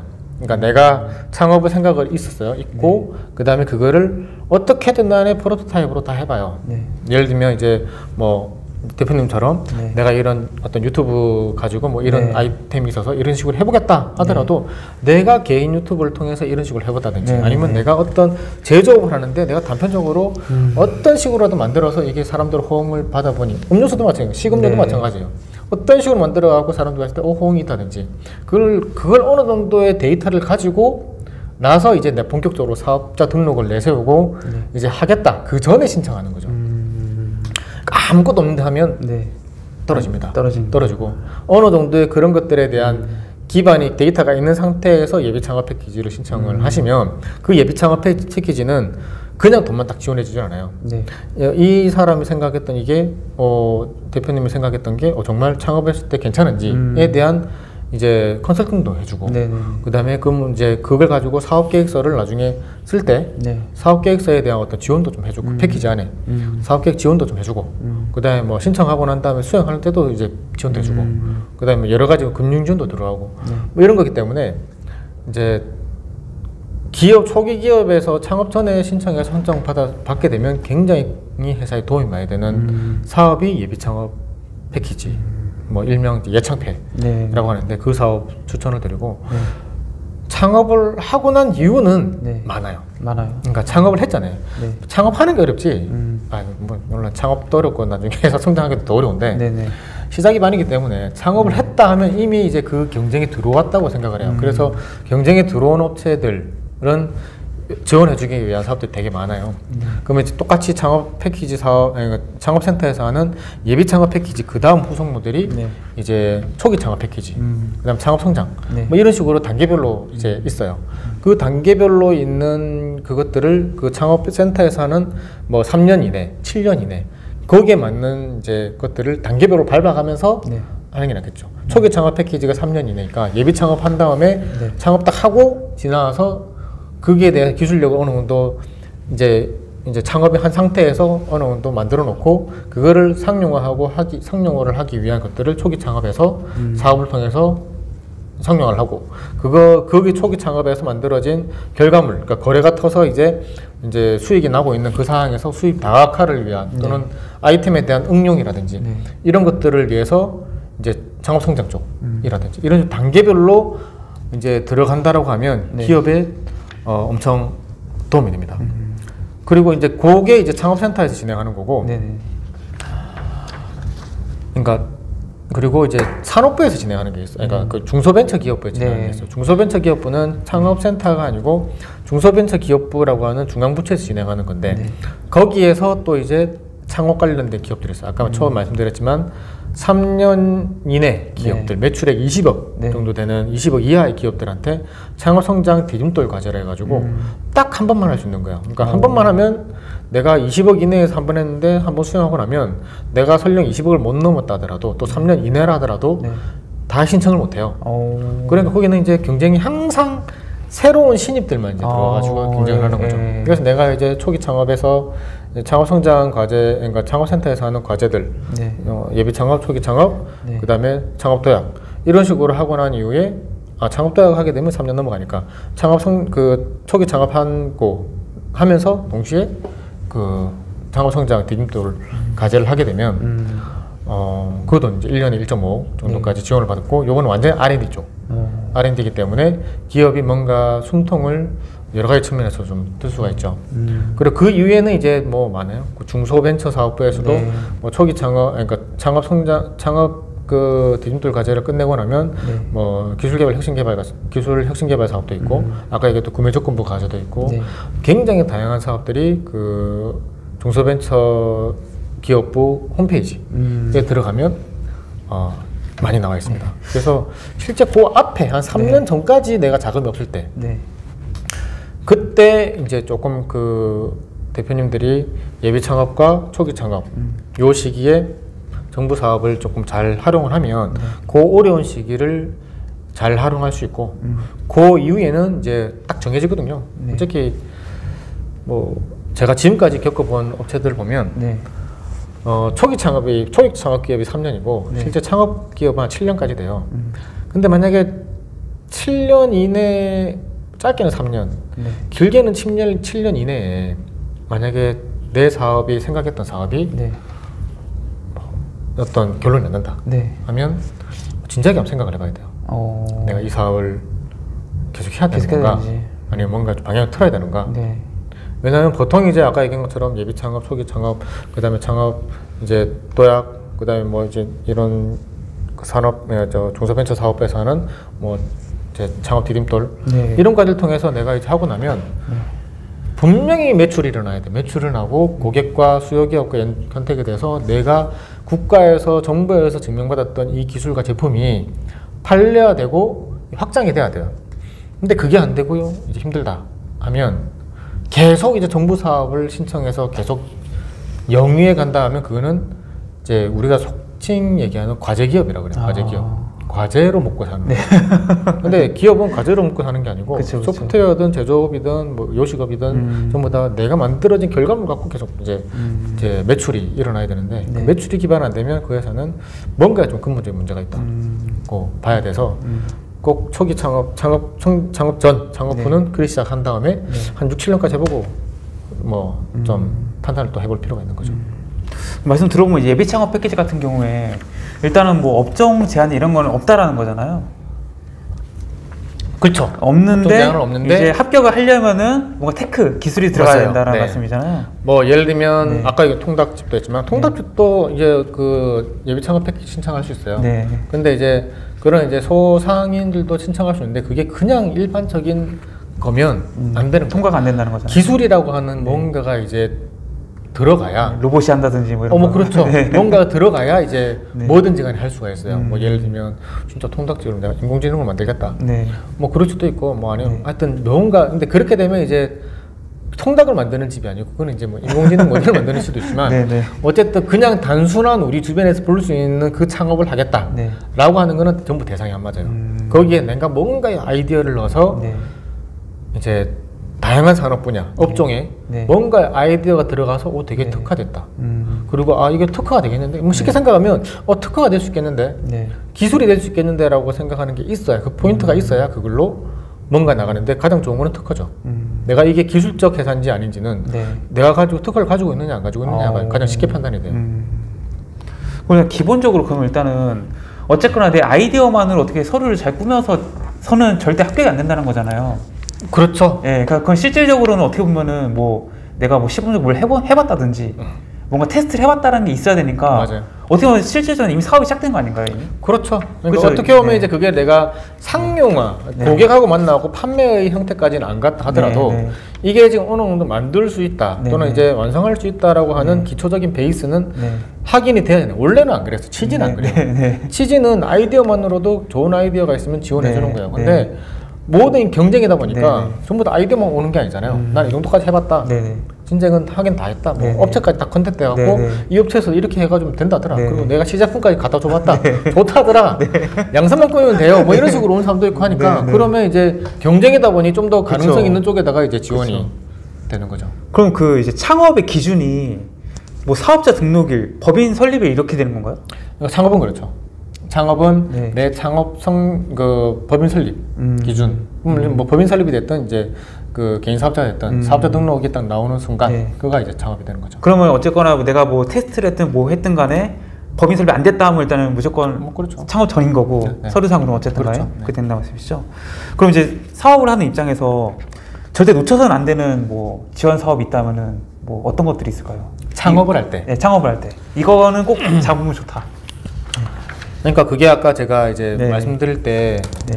나왔는데 단계가 있어요 단계가 네네네. 그러니까 우리가 단계 이게 지금 사람들이 너무 많은 사업들이 있다 보니까 이 그쵸. 사업에서 내가 어떻게 이거를 진행을 해야 되나 네네. 그러니까 뒤로 가면 네. 내가 7년 이상 또는 3년 이상 돼 가지고 회사 매출이 발생을 하고 네. 이제 아이템이 한두 개 나오고 네. 정기적으로 매출이 뭔가 발생을 한다. 네. 그렇게 되면 그때부터는 사업이 어, 정말 많을, 많아요. 음. 다양한 사업, 음. 다양하게 지원하는 사람들이 많기 때문에 네. 굉장히 선택하기가 어떻게 보면 네. 음. 많은 것 중에 하나를 선택하면 돼요. 근데 그, 그 전, 그러니까 제일 중요한 예비 창업, 그러니까 초, 창업 전하고 후, 이때는 뭔가 내가 이제 어떤 식으로 가야 될지도 모르고, 네. 그리고 어떤 단계를 거쳐야 하는지도 모르기 때문에 뭔가 이제 쉽지 않은 거죠. 그러니까 딱 생각을 했을 때 제가 이제 보통 이제 제가 뭐 이렇게 어떤 강연을 가거나 하면 많이 얘기하는 게 창업을 했다 하면 아까 말씀드린 것처럼 예비 창업 패키지. 네. 일단 예비 창업 패키지 전에는 아까 있던 뭐 사관학교 음. 창업 사관학교에 가서 거기서 트레이닝을 받고 네. 예비 창업 패키지 네. 그다음에 그다음에 초기 창업 패키지 음. 그다음 창업 도약 패키지 네네. 그다음에 그거 끝나고 나면 7년 후에 창업 성, 창업 성공 패키지 네. 이래 있거든요. 네. 요거 단계를 그냥 밟고 가면 돼요. 단지 이제 이 단계를 밟고 가는데 계속 끝까지 갈 필요는 없고 네네. 초기 창업까지 갔다가 나 이제 더 이상 패키지 사업이 아니라 네. R&D 사업으로 가겠다 하면 음. 아까 중소벤처 사업부에 있는 이제 창업 디딤돌 사업 네.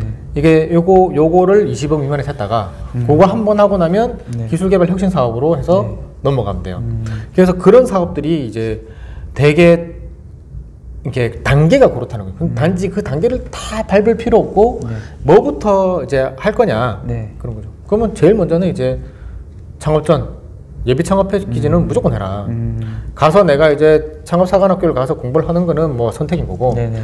내가 돈이 많으면 그냥 가는 붙는 건데 네. 그게 아니다 그러면 예비 창업 패키지를 신청을 해서 내가 진짜 사업 아이템 아이디어가 아이템이 괜찮은 건지 증명을 안 받는 거고 그게 됐다 하면 됐다 하고 창업이 되면 어 창업 그 다음에는 이제 그 초기 창업 패키지 또는 창업 디딤 그 창업 디딤돌 사업 둘 네. 중에 하나는 무조건 음. 무조건 하는 게 네.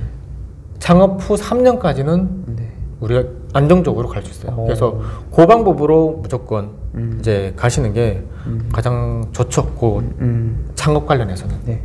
어, 그러면은 그 예비 창업 패키지에서 내가 어떤 마, 야, 이건 될 것 같다는 아이디어가 있어가지고 아 그래 일단은 뭐 말씀하신 대로 예비 창업 패키지 써보자 지원해보자 했어요.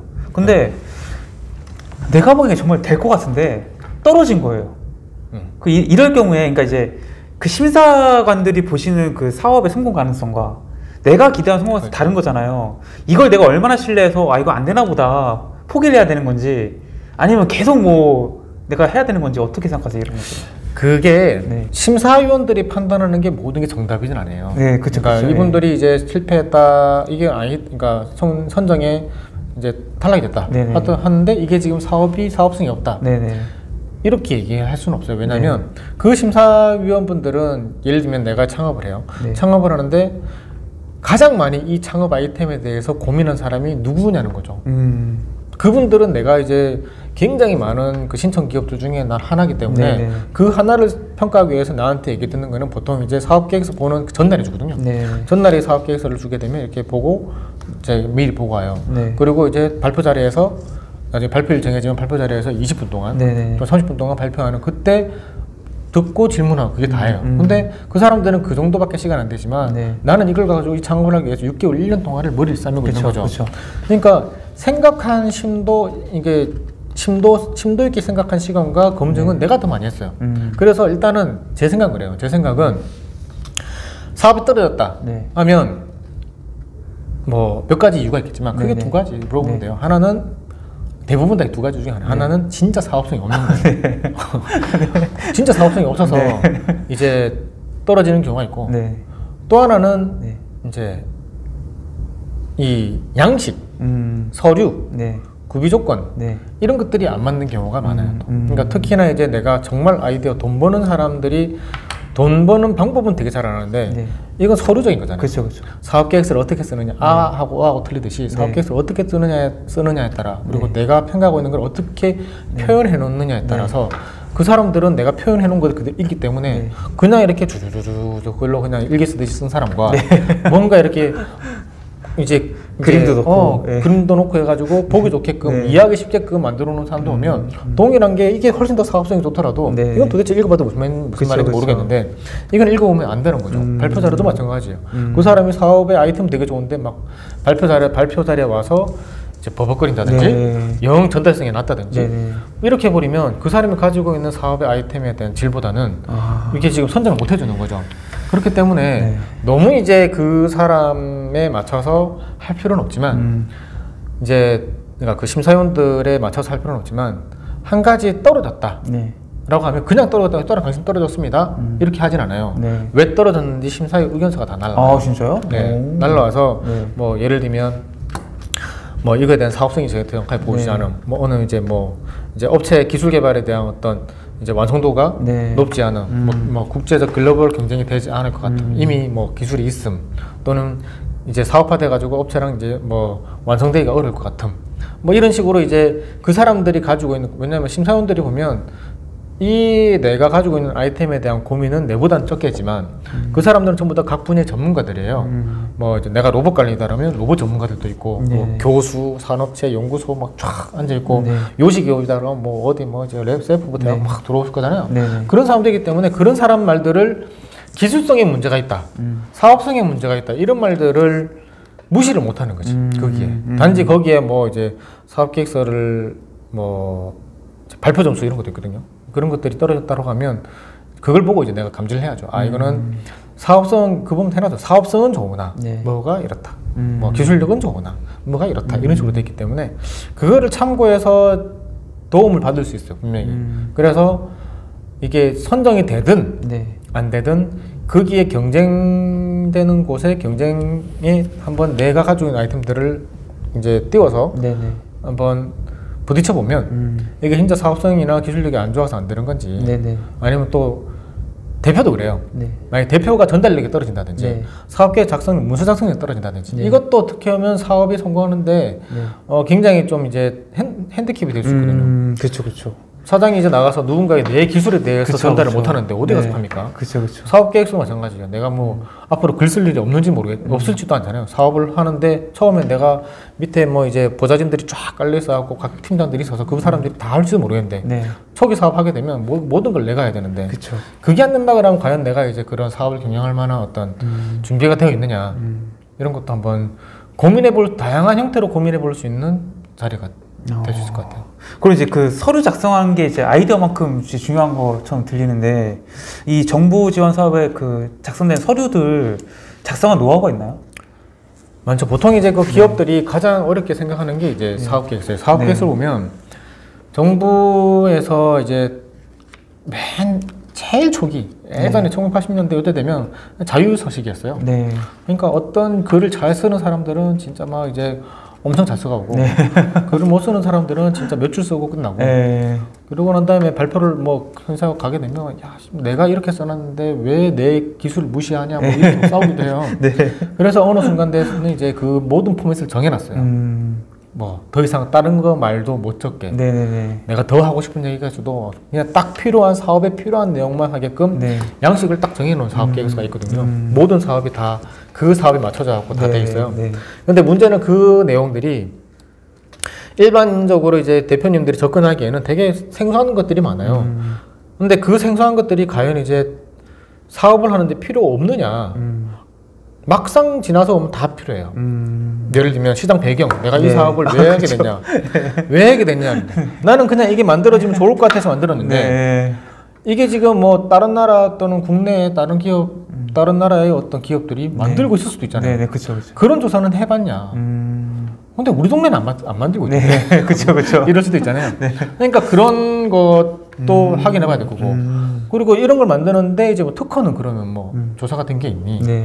네. 그런 질문들이거든요. 특허에 대한 어떤 이제 침해 현황은 어떠냐. 네. 그 다음에 이런 걸 개발하는데 그럼 어떻게 개발할 거냐. 음. 난잘 개발할 자신 있다. 네. 믿어만 주십시오. 이건 안 되는 거죠. 그쵸, 어떤 그쵸. 단계로 어떤 식으로 개발할 거냐. 그쵸. 음. 그거를 플랜을 짜가지고 계획서를 맞춰갖고 해야 되는데 그게 얼마나 현실적이냐. 네네. 하는 게 필요한 거예요. 네. 그러다 보니까 그 모든 내용들이 거기에 사업 계획 들어가 있어요. 음. 그러니까 어떻게 보면 그 사업 계획서를 내가 막 혼자 생각을 하다가 사업 계획 딱 쓰다 보면 전혀 생각도 안 한 것들 자료가 안 들고 있는 내용들이 막 이제 질문을 해요. 음. 그러면 이제 쓰면서 생각을 하는 거지. 나 이거 꼭 해야 돼? 이런 걸 내가 알아야 돼? 뭐 이래요. 네, 네. 그렇지만 일단 사업 계획 쓸 때 그 사업 계획서에 나와 있는 항목들은 네, 네. 여러 전문가들이 수많은 벤처 기업과 중소 중견 기업들이 사업을 진행할 때 네. 어, 이렇게 겪어오면서 필요한 사항들이 누적된 데이터예요. 음. 굉장히 꼭 필요하다고 보면 되는 거죠. 쓸데기 없는 필요 없는 것들 개인인 그런 생각이지만 실제 네. 나중에 지나오면 다 필요한 내용이에요. 그래서 음. 한번 사업 계획 쓸 때 그거를 좀 충실히 음. 한번 검토해 보면 일단 첫째는 사업 계획 쓰는 게 힘들지만 무조건 자기 사업의 어떤 정당성이나 성공 가능성이나 이런 걸 판가름 하는데 굉장히 좋은 항목들로 가득 차 있기 때문에 음. 충실히 써보는 게 일단 좋다는 거. 음. 그러면 이제 그 충실히 쓰는데 어떻게 쓰면 이제 어, 잘 쓸 거냐? 네. 첫째는 이제 두리뭉실한 내용을 쓰면 안 돼요. 음. 아, 전 의지 열심히 하겠습니다. 잘하겠습니다. 난꼭 성공할 수 있습니다. 믿어주십시오. 이런 것들은 이제 의- 개인의 의지로 표현할 수는 있지만 음. 그게 전혀 이제 이 사업의 성공 가능성, 그러니까 신뢰도를 높이는 데는 어, 전혀 도움이 되지는 않지는 않겠지만 의지도 중요하기 대표 의지도 중요하기 때문에 네, 네. 이제 그거보다는 수치화되는 게 중요해요. 수치화. 어, 네. 그러니까 구체적인 개발 목표가 있어야 돼요. 음. 뭐 예를 들면 예를 들면 이런 거예요. 뭐 이제 뭐 아까 이런 거 이런 종이컵이 있다고 하면 네. 이 종이컵의 종이컵이 이제 이런 강도 손으로 눌렀을 때 뭐 어느 정도의 힘 네, 네. 적당히 손 잡았을 때 무- 네. 이제 뭉개지지 않는 네. 이런 종이컵을 만들겠습니다. 네. 이게 아니고 뭐 이거를 뭐 이제 10메가파스칼이라고 네. 하는 힘으로 눌렀을 때도 네. 버틸 수 있는 뭐 힘. 어. 뭐 이런 식으로 이제 뭔가 수치로 해서 그 네. 수치를 달성을 해야 되는. 거예요. 그러면 음. 실제 나중에 평가를 할 때 이거를 10메가파스칼 눌렀을 때 네. 이거 눌렀을 때 얘가 뭐 부서지는지 안 부서지는지 그쵸. 확인하면 네. 끝나는 거죠. 그게 이제 정량적 목표라고 하는 건데 음. 그런 정량적 목표를 세울 수 있는 수치가 명확해가 있어야 돼요. 어. 내가 이거 한 개를 만드는데 네. 10분이 걸리는데 네. 나 이거를 9분으로 땡기겠다. 야. 뭐 이런 식으로 음. 수치가 있어야지 무조건 나 이게 사업이 잘 되게끔 하겠습니다. 열심히 하겠습니다. 이렇게 하면 이제 안 된다는 거. 음. 그리고 이게 되게 그 수치가 네. 현실적이어야 돼요. 음. 그러니까 뭐 네. 완전히 허무맹랑한 얘기들을 하면 되게 혁신적이에요. 음. 그러니까 뭐 예를 들면 아까 뭐 우리 인공지능 얘기가 나왔지만 네. 인공지능 로봇가 해서 인공지능 하겠다. 아 제가 이거를 만약에 어 인공지능 서빙 그 이제 로봇을 만든다고 하면 네. 이 로봇가 내- 사족 보행으로 나한테 와가지고 내가 의사를 묻고 이렇게 쥐가 이제 걸어가서 덤블링 해가지고 가서 이걸 만들어서 제공 뭐 네. 서빙을 할 수 있다. 네. 이런 거를 제가 1억을 주신다 그러면 만들겠습니다. 네. 말이 안 되잖아요. 음. 누가 봐도 말이 안 되는 거를 이제 만약에 그렇게 누- 누군가가 할 수 있다. 네. 라고 하면 어, 정말 엄청난 거지. 그죠. 정말 엄청난 건데 말이 안 되는 거는 음. 거죠. 그리고 만에 하나 그게 경계를 살짝 잘 타가지고 네. 실제 될 법한 어떤 이제 좀 과장된 것들이 있어요. 음. 그런데 그런 이제 어떤 혁신에 대한 이제 뭐 자연스럽게 두 번째가 연결되는데 네. 두 번째가 혁신적이어야 된다는 건데 내가 개발하고자 하는 아이템이 얼마나 혁신적이냐에 따라서 그 사업 계획서 내용이 혁신적이라 보이게끔 만들어야지만 사업이 선정이 돼요. 음. 그럼 혁신적이라고 하는 게 되게 어, 범위가 넓어요. 내가 이제 지금 이제 뭐 이제 뭔가 감지하는 거를 손으로 감지하는 거를 센서로 감 이제 어, 접촉 센서로 감지를 하겠다. 그러면 그것도 이제 혁신적인 거잖아요. 음. 근데 그게 아니고 이제 뭐 사람 손이 이제 눈으로 감지하는 게 아니고 접촉 센서도 아니고 그냥 내 말고 로봇 가서 뭐 하겠다. 뭐 아니면 뭐 뭔가가 새로운 이제 생각지도 않은 뭔가 가서 하겠다. 네. 이런 식으로 허무맹랑한 혁신적인 거. 음. 물론 이제 SF 영화 미래에서 네. 그런 걸 갖고 이제 얘기를 한다 는 거는 틀린 거죠. 음. 현실 기반으로 해서 적당히 혁신적인 음. 그리고 글로벌 기준, 국내 또는 글로벌 기준에서 경쟁사들이 있는 거에서 한 반보 정도 앞서가 있는 음. 그 정도의 어떤 혁신을 원하는 거지 네. 완전히 시대를 뛰어넘는 혁신적인 거 음. 이런 것들은 이제 상당히 이제 어, 어려울 수 있다. 음. 그래서 혁신은 돼야 되지만 현실적인 혁신이 돼야 된다는 음. 게 이제 그거를 사업 계획서에 잘 녹여내야 돼요. 그리고 세 번째는 이제 네. 사업 계획서가 어, 보통 이제 이런 R&D를 하시는 분들 보면 네. 대부분이 다 연구원들이에요. 음. 대표가 연구원이 이제 국가출연연구소에 있든지 아니면 어떤 기업에서 있든지 어. 내가 창업을 한다라고 하면 기술, 그러니까 테크놀로지가 들어가야 되는 게 이제 사업을 할 수 있으니까 네네. 기술이 들어간 사업들은 전부 다 뭐 그런 연구원 출신들이 많아요. 음.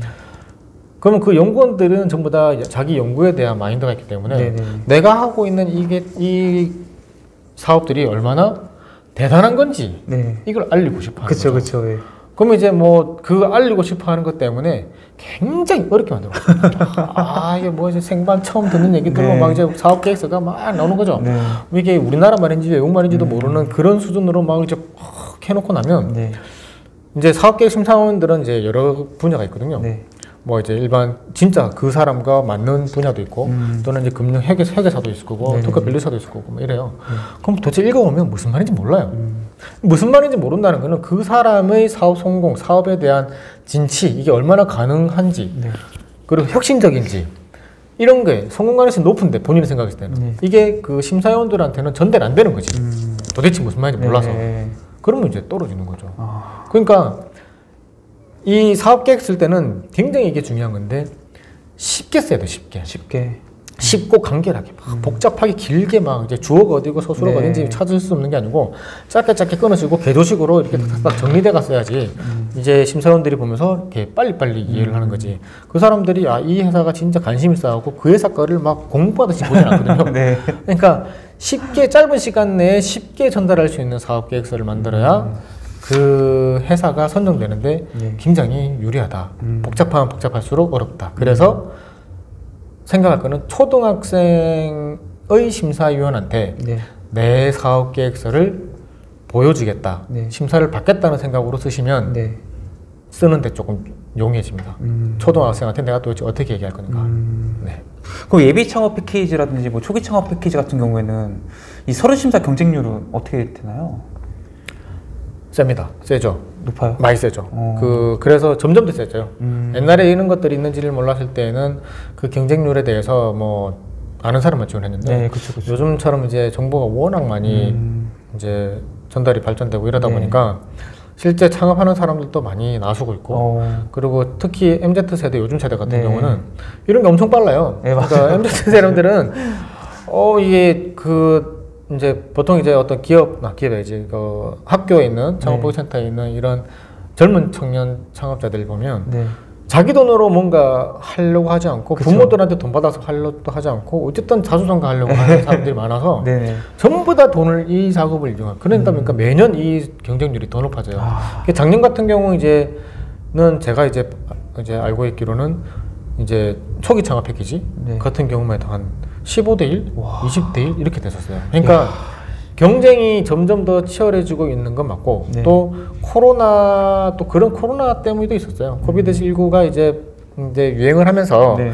그런 초기 창업 패키지나 이런 부분들 지원들 그러니까 네. 작년 2000년, 2001년, 2000, 아 2020년, 네. 21년, 22년 이 3년도는 그 정부 지원 사업에 대한 민간 부담금이라는 게 있어요. 음. 만약에 1억을 이제 지원받으면. 지원받으면 네. 이제 우리 기업 입장에서 네. 그거에 대해서 현금을 그러니까 전체 민간 부담금을 한 20% 정도 음. 매칭하게 돼 있어요. 2천만 원더 넣게. 근데 2천만 원 중에 보통 또 5대 5, 뭐 3대 4대 6 나눠 가지고 음. 최소 한 1천만 원 음. 또는 800만 원 이렇게 지원하게 네. 돼 있어요. 네. 이건 중소기업, 중견기업만 틀린데 네네. 그럼 그 정도의 매칭 비용이 필요해요. 음. 근데 이제 3년간 지난 3년 동안은 그거를 정부에서 코로나로 힘들다 네. 이래 가지고 오. 그 전체에서 막 그러니까 전체에서 네. 이제 이제 20%가 아니고 네. 10%.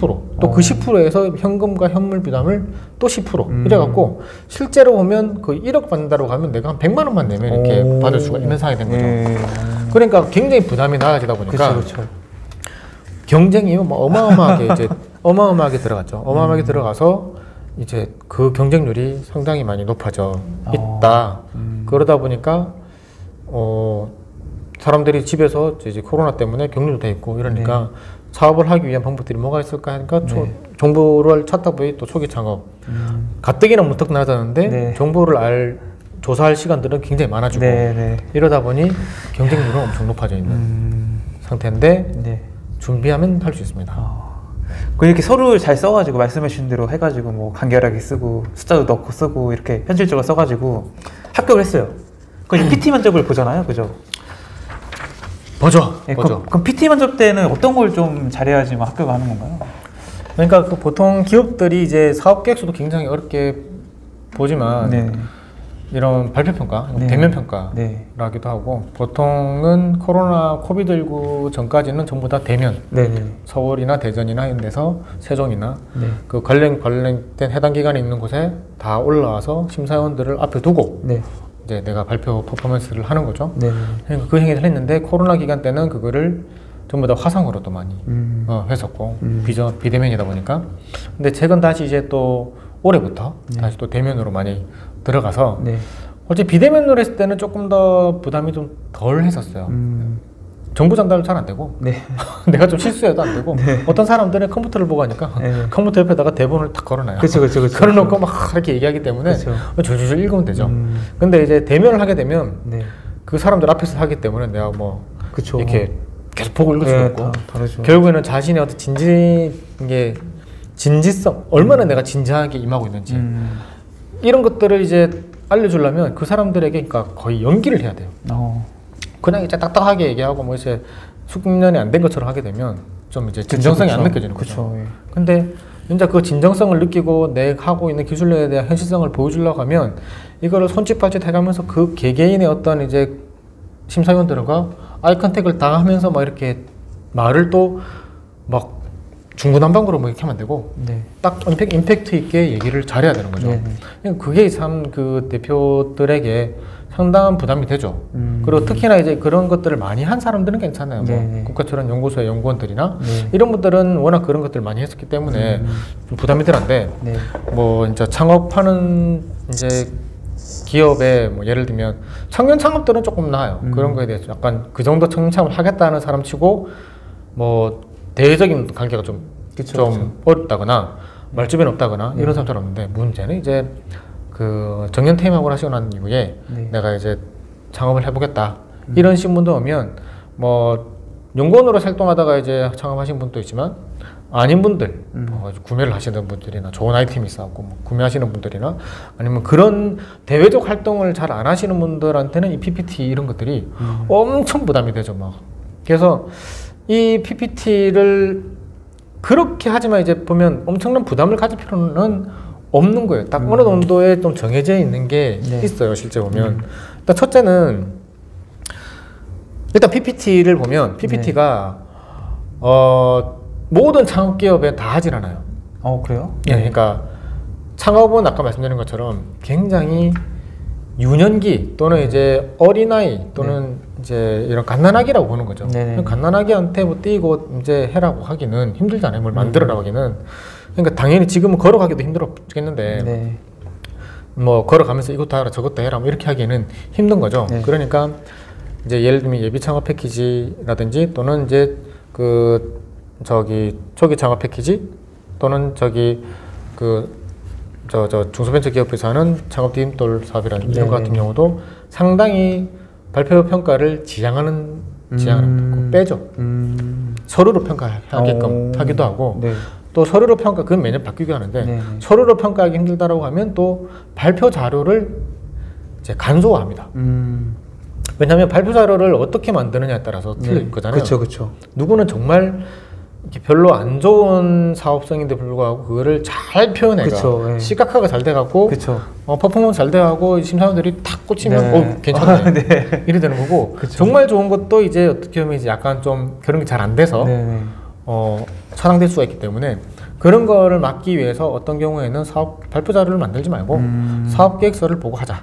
음. 뭐 대면을 그러니까 발표를 하자 이런 경우도 있고 또는 이제 정해져 있는 약식된 PPT 자료 포맷을 줘요. 여기에서 요 형태대로만 내용을 넣어가지고 가지고 온다. 오. 동일하게 보겠다 이거죠. 오.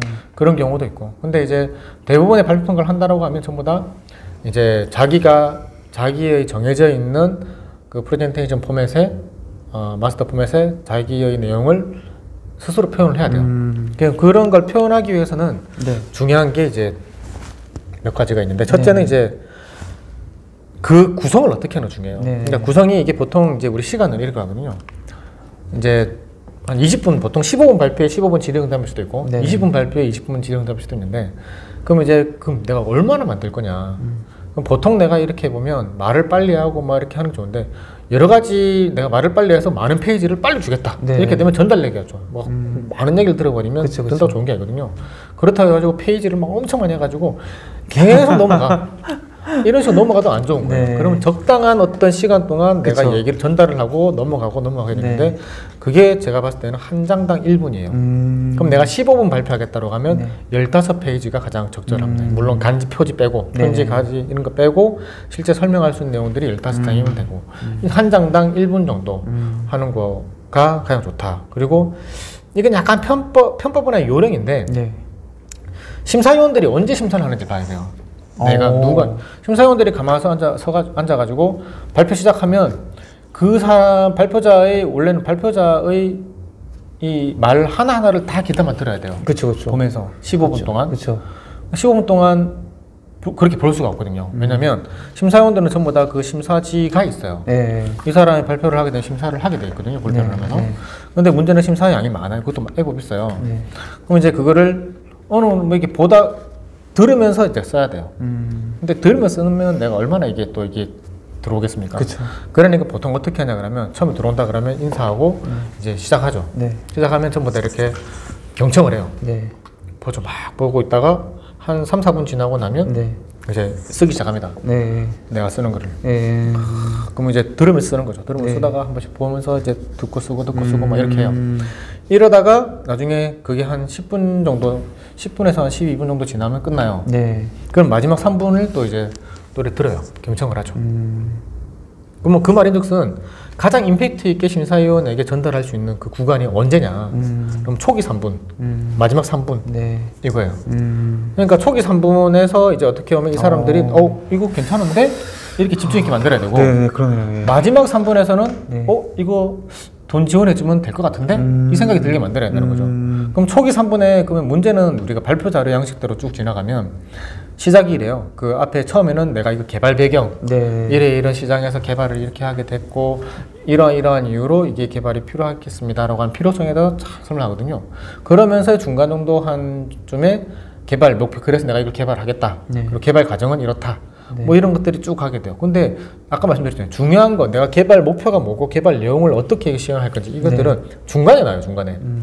그러면 이제 되게 이제 약간 어떤 사람들은 내가 발표를 다 했는데 네. 어떻게 개발할 건지 다 발표했는데 네. 심사위원들이 나중에 끝나고 나서 질문을 해요. 네. 그래서 이걸 이게 만약에 게- 이걸 만들려고 하면 이걸 어떻게 개발하실 거예요? 네. 이 얘기를 그때 해요. 네. 그럼 아까 발표 다 했는데 발표 이제 다 했는데 이제 안 되는 거지. 왜? 그분들은 이제 쓰고 쓰고. 있었으니까 예. 그렇죠. 그래서 이제 저는 이제 어떻게 하냐 그러면 네, 네. 뭐든지 간에 그 사업의 초기 처음에 인사를 하고 이제 인사를 하고 딱 들어가기 전에 네. 맨첫 페이지에 이제 요약본을 만들어요. 오. 네. 이게 왜 여기서 내가 개발하고자 하는 목표, 네. 내용, 개발 내용, 그리고 개발 성과, 그리고 전략적 목표, 그 다음에 이제 개발 효, 그러니까 사업성 네. 이런까지 한 장에 어느 정도 볼수 있는 거를 임팩트 있게 딱 얘기해요. 1분 동안. 음. 1분 동안 그거를 딱 얘기하면 이 사람들이 뭐 예를 들면 수요 기업이 거기에 뭐 LG가 붙었다, 삼성이 네, 네. 붙었다, 네. 뭐 아니면 수요 이게 지금 글로벌 어딘가에 나간다. 음. 혹하는 어떤 이제 그 사람이 내 거에 집중을 하게끔 할 수 있는 혹하는 내용들을 서두에 다 던져주는 거죠. 네, 네. 그러면 내 거를 이걸 이거는 이런 이유로 내가 하게 됐는데 하게 되면 이런 목표를 만들어서 이런 제품이 나오면 이게 뭐 LG에 갈 거예요. 음. LG랑 구매 계약서가 되어 있고 사업은 연 매출 뭐 100억이 될 수 있습니다. 음. 뭐 이런 식으로 끝까지 다 되어 있어요라고 이제 초반에 얘기해 버리면 그 사람들이 보고 어 이게 끝까지 갈 수 있는 거야 하면서 이제 듣게 되는 거죠. 음, 그쵸, 그쵸. 집중을 초반에 딱 하게 해놓고 이제 그 다음 중간에 약간 좀 이제 기술 개발 내용 이런 거할 네. 때 이제 뭐 이제 쓰고 그 마지막에 되면 이게 아까 얘기했던 제일 중요한 모든 사업에 제일 중요한 거는 사업성이에요. 네, 네. 사업성이 가장 중요한 기업들 과제에서는 사업성이 제일 중요한데 음. 그 사업성을 그때 다시 또 얘기해 주는 거죠. 이게 어떻게 삼성과 LG 음. 또는 글로벌로 진출할 수 있는지에 대해서 현실적인 어떤 계약서라든지 구매 계약서라든지 네. 이런 것들을 사진을 보여주면서 어, 예. 임팩트 있게 얘기를 하면 내한테 1억을 지원해 주신다고 하면 결국 난 이런 기업과 이런 계획을 만들어 가지고 결국 성공해서 나는 100억 연간 100억 또는 뭐 30억 네. 100억 이런 식으로 하- 해서 이제 국가에 기여할 수 있습니다. 네. 이런 얘기를 할 수 있는 거죠. 그래서 그 순서로 있어야 됩니다. 초기에 사업 개발 요약을 얘기하는 게 좋다. 음. 그다음 두 번째는 이제 뭐냐면 네. 발표 시간은 중요해요. 발표 시간이 15분이면 네. 이게 보통 이제 우리가 잘 모르지만 발표를 쭉 하다 보면 이제 중간에 한, 한 3분 전 이렇게 1분 전 이렇게 종을 땡땡 치거든요. 어 진짜요? 네. 오. 그러면 이제 막 자기는 이제 자기가 발표하는 거에 심취해가지고 막 열심히 얘기하고 있는데 반도 안 갔는데 뭐 한 3분 남았으면 3분 네. 종딱 치면 네. 갑자기 머리가 하얘져요. 어. 머리 하얘져갖고 막 정작 중요한 거 뒤에 다니는데 네. 전달이 안 되는 거죠. 음. 막 범- 얼버무리면서 넘어가고 음. 대충 대충 넘어가면 내가 실제 이게 이런 정작 중요한 사업성이나 계약 목표나 이런 것들 얘기 못 하고 넘어가는 경우가 생기는 네. 거죠. 그러니까 그 사업 제일 중요한 거는 15분 동안 내가 시간이 배정받았다고 하면 15분의 시간 안에 딱 맞춰야 됩니다. 음. 근데 그럼 그건 연습을 해야겠죠. 대표가 대표님이 그 발표자가 네. 사업 계획 발표자를 미리 PPT를 만들어 놓고 그에 대해서 몇 번을 연습을 해야 돼. 요 연습을 해서 부드럽게 15분 동안 해야 되는 거죠. 네. 로봇처럼은 로봇처럼 이 페이지 보고 이 페이지는 뭡니다.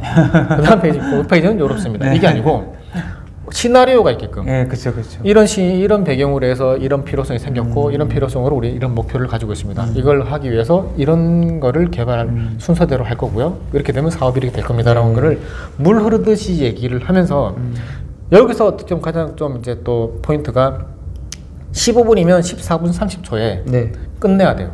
왜요, 왜? 14분 30초에 끝을 내고 네. 이건 내가 몇 번 해보니까 그런데 네.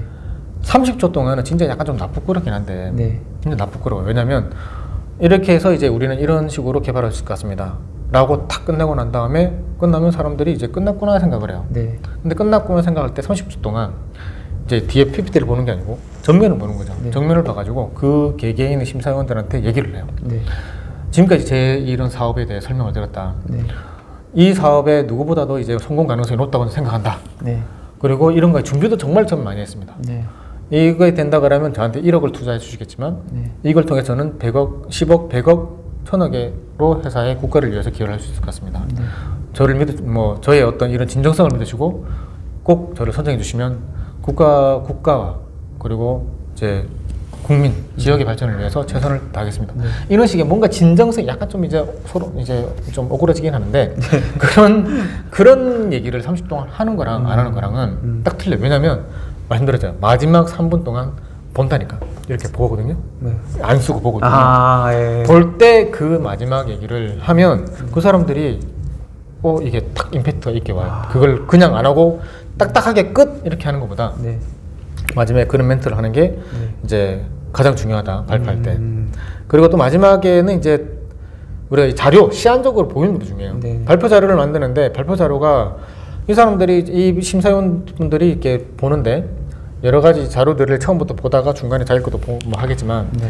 자료를 보는데 자료가 딴 생각을 하게끔 하면 안 돼요. 음. 어저 자료 되게 신기한데 저게 저 꽃잎이 저리 흩날리는 걸 어떻게 보지? 특수 효과 이런 거. 어, 예.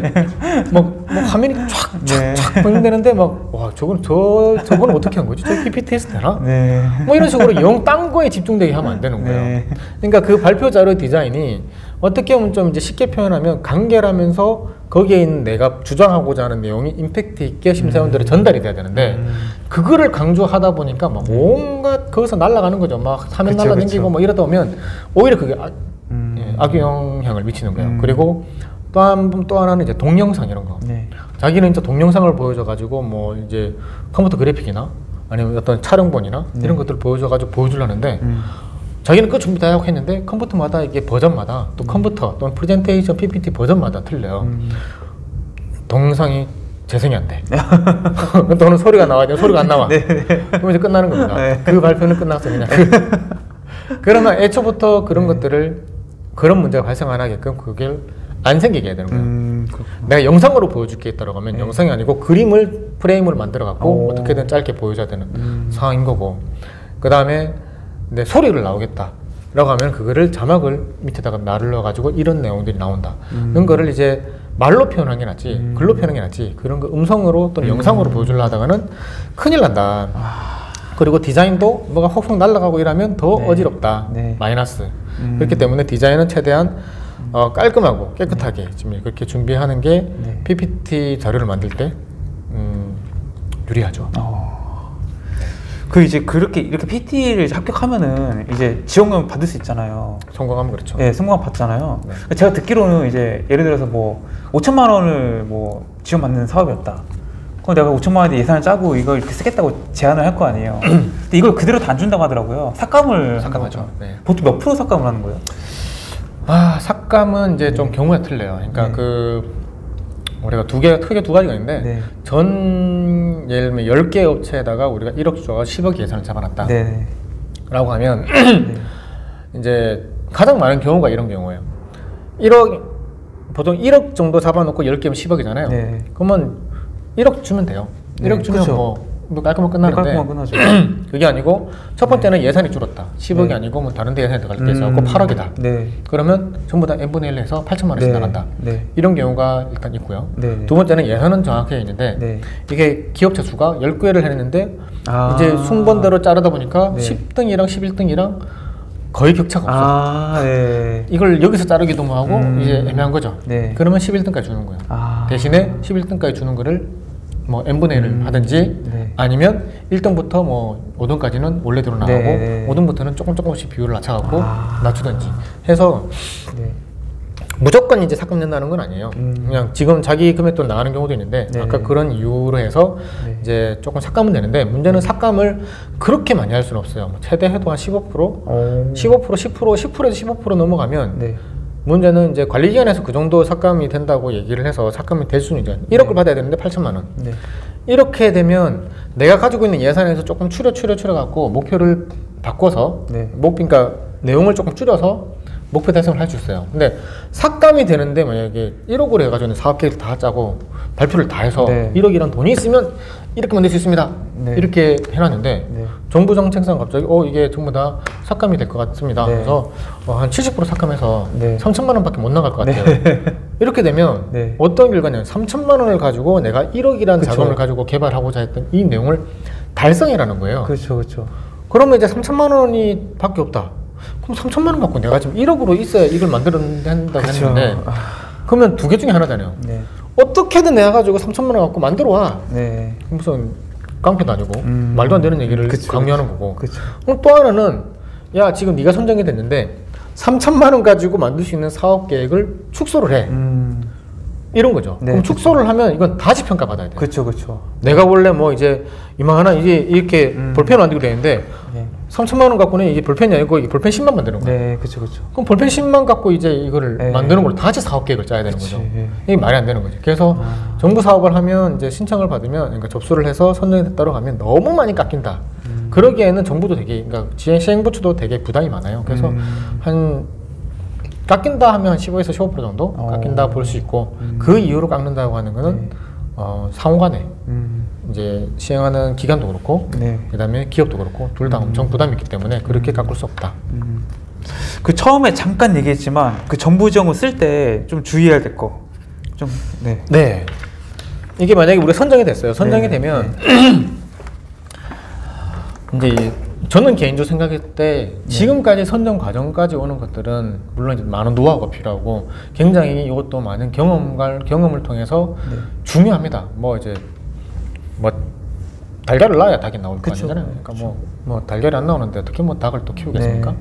그러니까 결국에는 이제 뭐 따야 뭘 할 수 있는 거고 네. 따야 정부 지원금을 따야 내가 이거를 뭐 가지고 개발도 할 수 있고 여러 할 수 있는 건데 네.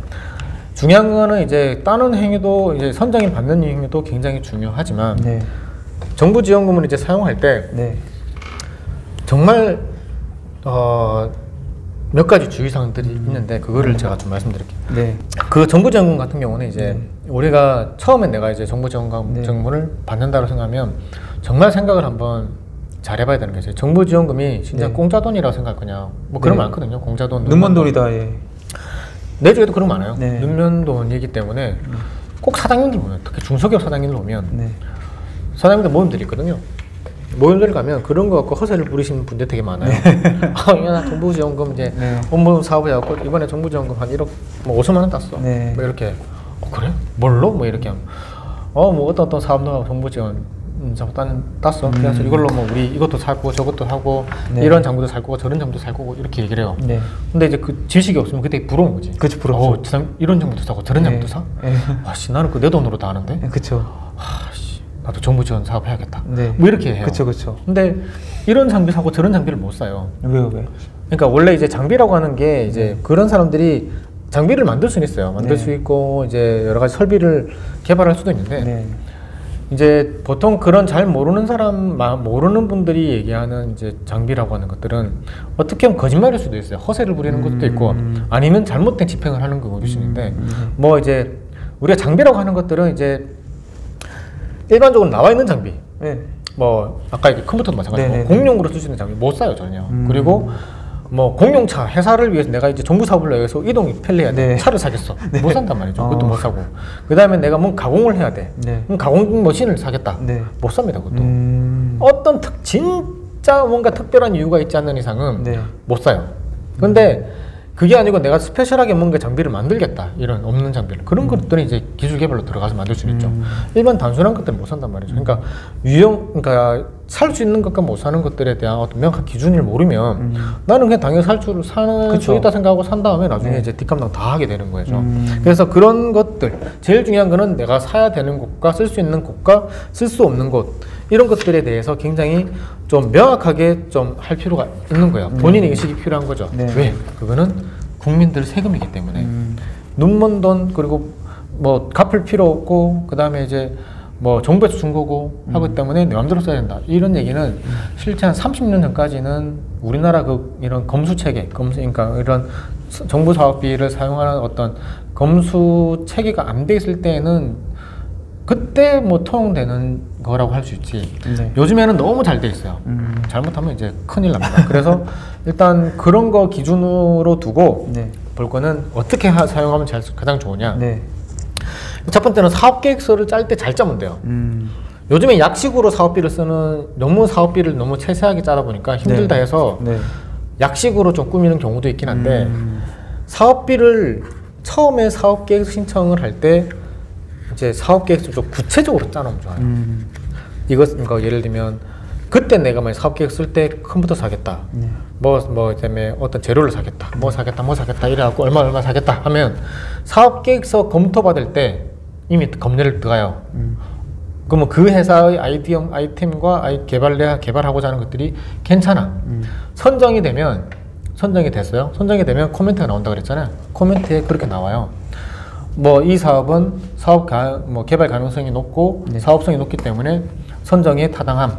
다만 사업비에 보면 뭐 노트북, 컴퓨터가 이런 이런 식으로 배정이 되어 있는데 이거는 구매 품목이 아니기 때문에 어. 변경 바람. 네. 뭐 이런 식으로 다 조정이 들어와요. 어. 거기서. 그럼 그때 되면 이제 그게 일 1차도 걸러지는 거죠. 네네. 그런 식으로 사업 계획 확정이 되면 네. 그 사업 계획성은 사업비 심사, 그 시험 심사하는 데에서 이미 한 번 다 거친 거예요. 네. 그러면 가장 간단한 거는 거기에 사업 계획서에 쓴 내역대로 쓰면 돼요, 그냥. 음. 그거 말고 그 금액 그대로 그 수량 그대로 사면 네. 사업 사업비는 무조건 깨- 깔끔해집니다. 어. 그렇게 하면 제일 깔끔한데 네. 문제는 그렇게 사용 안 하려고 하다 보니까 음. 또는 변수가 중간에 많으니까 네. 다 틀리는 거죠. 음. 그래서 사업 계획 쓸 때 조금 더 내가 1년 동안 개발하는 그 내용들을 꼼꼼하게 생각해서 좀 체계적으로 플랜을 네. 세워놓고 작성하게 되면 그거대로 쓰게 되면 가장 편하다. 음. 그게 일단 첫 번째 이제 쓰는 기준이고요. 만약에 그런 기준에 따라서 내가 이게 바뀌어요. 네. 사업이라고 하는 게, 어이씨, 이렇게 하려 했는데 A라고 플랜으로 가려 했더만, 어, 이게, 이게 생각대로 잘 안 돼서 B 플랜으로 가야겠다. 그럼 B 플랜으로 가게 되면, 처음에는 이제 이 소, 이게 필요했는데, 이제 이건 필요가 없고, 이게 필요한데, 네. 이렇게 되면, 뭐 어차피 같은, 뭐 어차피 뭐 내가 개발한 목표는 똑같으니까, 지금 이거 사지 말고 이거 사야겠다. 음. 이렇게 되잖아요. 그렇게 되면 보통 다 그냥 이제 목표만 있- 있으니까 그렇게 자발적으로 다 바뀌게 돼요. 근데 어느 순간 되면 그게 나도 모르게 유형이 되는 거예요. 진짜 희한하게. 그러면 이제 이거를 방지하는 방법은 뭐냐? 네. 관리 기관이라고 있어요. 네. 그러니까 내가 이걸 이제 뭐 중소 내가 이제 그 중기부 사업을 중소벤처기업부 사업을 하겠다라고 하면 진흥원이라는 데서 이제 관리를 하고 이제 거의 또 저 산업부 과제를 하게 되면 또 이제 키아트라고 하는 산업부에서 또 관리도 하게 되고 게이트도 있고 그런데 그런 담당 관리기관들이 있는데 그 관리기관에서 이제 우리의 어떤 개발 목표와 사업비 이런 것들에 대해서 문의하고 이러면 이제 과제를 끌고 가는 데 도와주는 기관이에요. 그럼 그 기간에 담당 간사라고 하시는 분들이 딱 있어요. 담당 연구원들이. 네.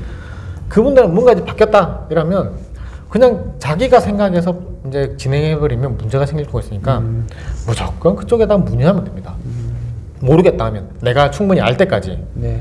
어 이렇게 내가 원래 A 플랜으로 가려 하다가 B 플랜으로 갈 건데 사업 내용이 이제 좀 바뀌면서 요거 요렇게 바뀔 것 같은데 어떻게 하면 됩니까? 물어보면 끝나는 거예요. 그럼 물어보면 거기서 아 뭐 그 정도는 알아서 자발적으로 이제 변경하시면 됩니다라고 하면 이제 자발적으로 하면 되고요. 어 그거는 이제 사업비 변경 신청을 하셔야 되고 뭐 사업 변경 신청을 하시면 돼요. 어떻게 해요?라고 하면 아 이런 저런 식으로 하시면 됩니다.라고 가이드를 준단 말이죠. 그럼 그 가이드에 따라서 하면 돼요. 그러면 이제 되게 쉬운 거죠. 근데 문제는 그 사람 보통 사업을 운영 이 추진하시는 분들이 그걸 안 해요. 그냥 이미 판단 다 해가지고 다 진행을 해버리면 나중에 돼갖고 다 불인정을 받든지 어 아니면 더 크게 나가든지 뭐 이제 뭐 횡령이나 뭐 이제 유용이나 이런 쪽으로 갈 수도 있습니다. 그래서 무조건 모르겠으면 물어봐라. 관리 기관에. 그럼 이게 네. 그리고 마지막은 이제 증빙 서류. 음. 증빙 서류가 있는데 사업 계획 사업비를 쓸 때 그냥 내가 사고 싶다고 끝나는 게 아니거든요. 네. 그냥 내 돈으로 법인 비용으로 사게 되면 어 사장님 나 이거 사겠습니다. 네. 또는 자기 사장님 사장님이면 어 이거 사야겠다 이래갖고 회계정산만 필요 회계정산이 필요한 영수증만 챙기면 돼요. 네. 근데 이제 일반 과제를 하게 되면 네.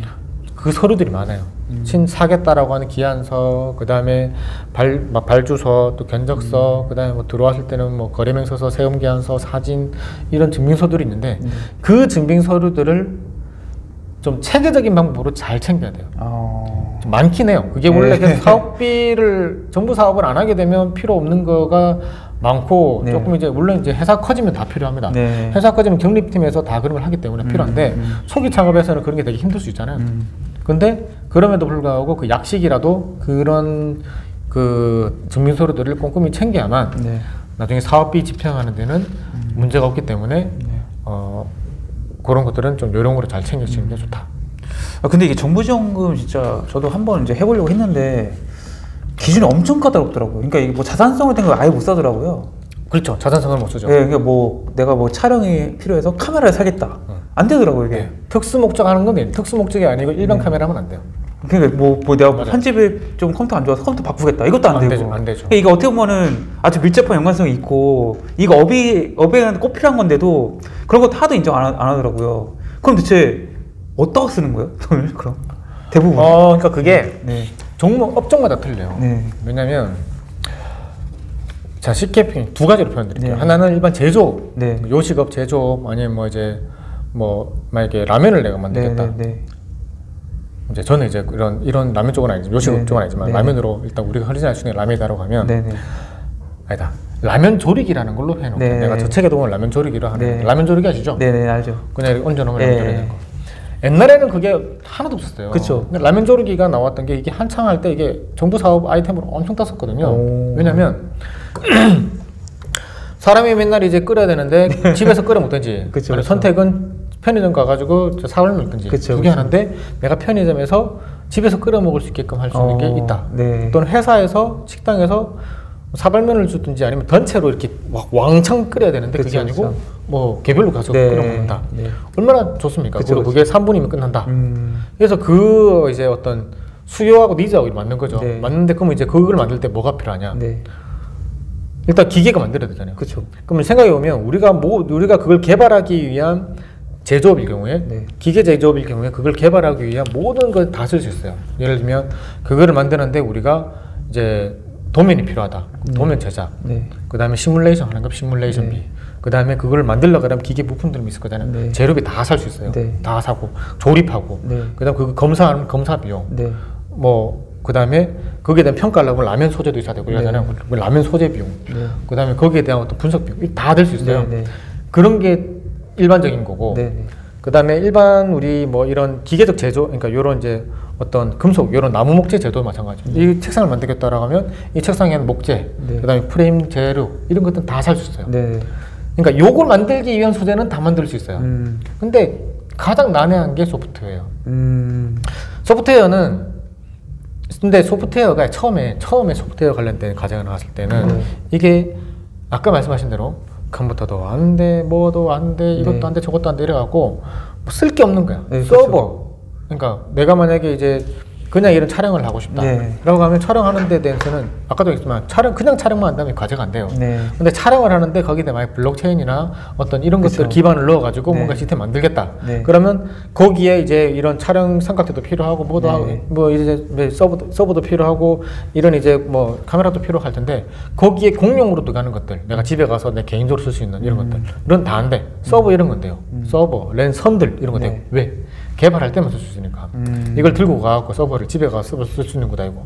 그러니까 그런 것들은 지정된 자리에 쓸 수 있는 것들은 돼요. 네. 노트북도 예를 들면 그냥 노트북은 안 되잖아요. 음. 내가 들고 다니는 휴대용 노트북 이런 것들은 안 돼요. 단지 이제 굉장히 큰 이제 고사양의 고성능 데스크탑 이제 어디 이제 프레임 안에 들어가 있는 노, 컴퓨터 이런 것들은 돼요. 음. 그리고 지금은 바뀌어 가지고 소프트웨어도 워낙 그런 내용들이 많아 가지고 소프트웨어 직종에 한해서는 어, 일부 과제들은 노트북도 됩니다. 음. 고사양 노트북. 음. 그러니까 그 기본적인 아까 맨 처음에 얘기했던 거 공용으로 쓸 수 있는 거 범용으로 쓸 수 있는 것들은 뭐 소프트웨어 사업도 그렇지만 제조업 사업 다 마찬가지로 안 돼요. 음. 안 되는데 그거를 특수한 목적으로 내가 사용하겠다. 네. 또는 이 아까 얘기했던 소프트웨어 입장에서는 이제 제조업에서는 기계와 지그 클램프 이런 것들이 이제 개발하는 필수 용품이면 제 소프트웨어 업체에서는 컴퓨터와 컴퓨터와 프로그램이 네. 그런 게 되기 때문에 그쵸. 그쪽에서는 그렇게 또 변하고 있어요. 음. 실제 지금 최근에 나오는 소프트웨어 같은 경우는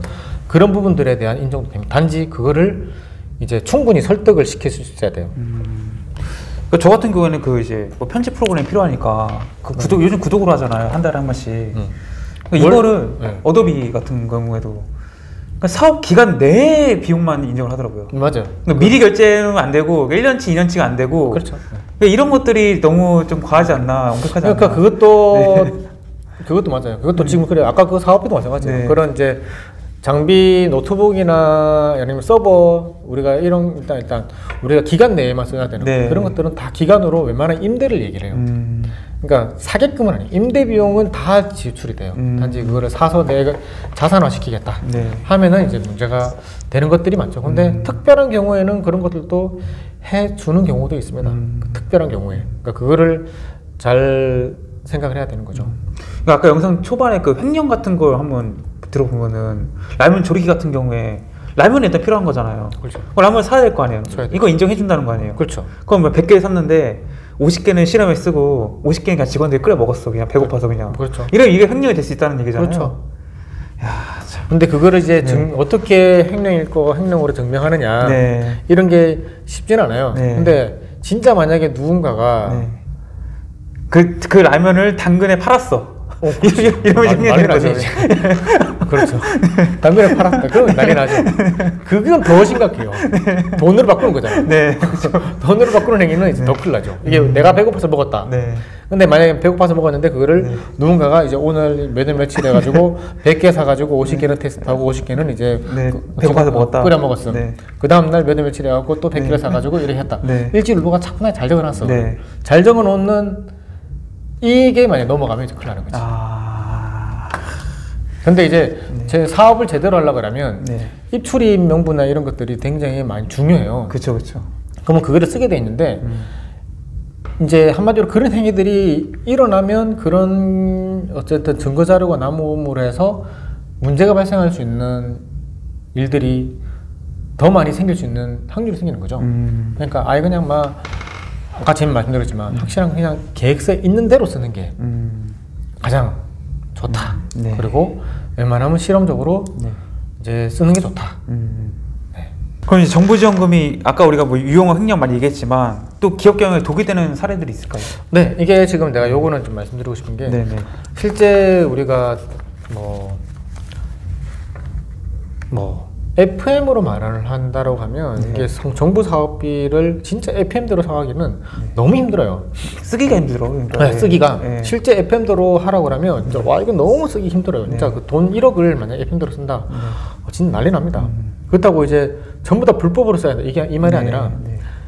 그 FM을 굉장히 간소화해서 뭔가 이제 FM 범위 내에서 해야 된다는 거죠. 네, 네. FM이 선이라는 걸로 딱 돼 있어. 요거 아니면 다 불법 이게 아니거든요. 네, 네. 이 정도에서 이 정도까지 어떤 이제 유- 허용되는 범위들이 있으니 네. 그 허용되는 범위 내에서 내가 쓰면 돼요. 네. 근데 그 쓰면 되는 것들, 그러니까 예를 들면 내가 꼭 이걸 만드는데 이걸 만드는데 네. 이 종이를 사도 되느냐 안 되느냐 네. 이런 것들은 실제 내가 뭐 쓸 일이 없을 수도 있지만 어쨌든 네. 살수 있다는 거지. 네. 음. 근데 그 정도까지는 이제 사람 업체에서는 그러니까 관리기관에서는 이게 뭐 나중에 노트로 쓸 수도 있고 네, 뭐. 뭐라도 쓸 수 있다 네. 이런 차원에서 다 허용을 해줘요. 거기도 막 너무 이제 깐깐하게 뭐 일거수일투족으로 다 이렇게 탁탁 무자를 자르진 않거든. 네, 네. 그러니까 그 정도 선에서 이제 그 범위를 내가 좀 알고 네. 알고 쓰는 게 일단 가장 좋은데 음. 문제는 이제 너무 딱딱하게 만약 정해진 대로 쓰면 아까 그 오히려 독이 되고 또 음. 힘들어. 그렇죠. 오히려 돈을 못 써갖고 어, 난리가 나 힘들어요 너무 그래서 이것도 안 되고 저것도 안 돼요 네. 사업은 사업대로 사업비는 네. 사업대로 못 쓰고 네. 저거는 저거대로 또 이제 원래 내가 본업은 그러니까 본업이 제조업이나 어떤 네. 이제 회사에 회사대로 안 되는 거죠. 그렇죠. 그러니까 그 경계에서 불법이 안 되는 선을 정확하게 알고 음. 그 안에 허용되는 범위 내에서 내가 이것도 빨리 처리해야 돼. 네. 빨리 처리하면서 내가 이 정부 지원에 도움을 받아가지고 사업을 이렇게 네. 되는 거죠. 그래서 그거를 굉장히 이제 그 포인트가 중요하다. 그래서 그러면 그 독이 되는 경우만 좀 이제 살펴보자. 네. 하면 아까 얘기한 것처럼 첫 번째는 그 경계의 범위, 음. 유용할 수 있는 그러니까 유용, 그좀 허용할 수 있는 그 범위 범위를 명확하게 알고 네. 빨리빨리 일을 처리하면 독이 안 될 거고 네. 두 번째는 이게 진짜 독인 건데 예, 이 기업에서 일반적으로 이제 정부 사업이 아니라 다른 걸로는 뭐 작은 소기업들 네. 이런 하는 행위들 하, 가끔 간혹 하는 행위들 뭐 예를 들면 이제 우리가 나중에 저기 뉴스 뉴스에서 만약에 세금 이게 정부 사업 해가지고 범죄 뭐 이런 정부 사업 이제 사건 사료 사고 네. 이런 거 한번 쳐보시면 나오는 내용들이 거의 비슷해요. 뭐 예를 들면 그 세금 계산서 허위 세금 계산서 만들어 아, 하는 거. 예. 뭐냐면 내가 이걸 만- 만들었는데 내가 이걸 안 샀는데 네. 아는 사람한테 얘기해가지고 야 나한테 세금 계산서 하나 발행해줘 음. 한 2천만 원 발행해주면 네. 내가 수수료로 한 500만 원 줄게 네. 그러면 이제 뭐 이런 식으로 그런 거죠 네. 그러면 1,500만 원 주고 나한테 돌려주고 그쵸, 그쵸. 막 이런 식으로 네. 이제 가는 거예요 네. 완전 범죄입니다 범죄 음. 근데 그거를 어 그러니까 굉장히 큰 심각한 범죄인 거죠 네. 근데 그거를 그렇게 심각하지 않게 보는 사람들이 많아요 음. 엄청 음. 왜냐하면 정부 사업 아니더라도 나중에 세금 세금 이제 이제 뭐 탈세 절 탈세라고 보기도 하여튼 나중에 세금 할 때 보면 네. 이걸로 이제 야 내가 이번에 매입이 오잖아니까 매입 좀 끊어줘 이런 것들이 이제 기업체 다른 기업들끼리는 어느 정도 좀 만연하게 일어나다 보니까 그걸 되게 쉽게 생각해요. 음. 이게 그런 내용들은 네. 절대 하면 안 된다는 거. 음. 그리고 또 이제 뭐 예를 들면 인건비 또 네. 되게 희한한 게 많아요. 인건비도 뭐 내 인건 현금 인건비를 이제 내 직원한테 잡아놓고 많이 잡아놓는 거죠. 네, 그렇죠. 뭐 한 달에 한 300만 원 하다 놓고 네. 야씨 100만 원씩 돌려놔. 네. 이렇게 하는 경우도 많고 네. 연구 수당도 100만 원씩 준다고 해놓고는 야 다시 다 돌려줘. 음. 이런 경우도 많고, 그러니까 네. 돈을 갖다가 내한테 누군가 들어온다든지, 네. 돈을 만들기 위해서 돌 이렇게 허위 계산서 네. 만든다든지, 네. 또는 금액을 더 높이는 거죠. 또 음. 정당하게 사. 내가 이제 장비를 사는데 장비가 뭐 한 5천만 원 돼요. 네. 오, 5천만 원 되는 거를 업체랑 얘기해가지고 야 이거 5천만 원 있으니까 한 7천만 원 만들자. 음. 이라고 2천만 원 돌려줘. 어. 이런 식. 네. 이익으로 이제 뭔가 이제 그런 행위들은 음. 굉장히 좀 이제 어, 위험하고 이게 실제 나는 뭐 정부 사업이 아니더라도 좀 손식 뭐 이제 좀 편하게 한다고 그랬지만 일반적으로 어떤 이해관계에서 좀 아무렇지 않게 하던 행위들이 네. 이게 범이 정부 지원금으로 돌아왔을 때는 굉장히 심각한 일이 될 수가 있다는 거고 그 다음에 이제 또 아까 뭐 얘기한 거랑 비슷한 건데 정부 지원 사업만을 위해서 그러니까 현실적인 사업이 돼야 되는데 비현실적인 사업이 아, 돈을 달라고 하는 사업. 어, 예. 네. 돈을 달라고 하기 위해서 하게, 하게 되면 네. 이게 지금 참 문제가 돼요. 내가 돈을 돈을 따기 위해서 뭐 여기다가 뭐 AI도 놓고 네. 뭐 로봇도 놓고 뭐 했어. 근데 아무리 해도 이거 해준다 이게 필요가 없어. 네. 근데 이런 게 들어가야 요즘에 빅데이터. 들어가고 뭐 이런 게 들어가야 뭐가 딴다. 네.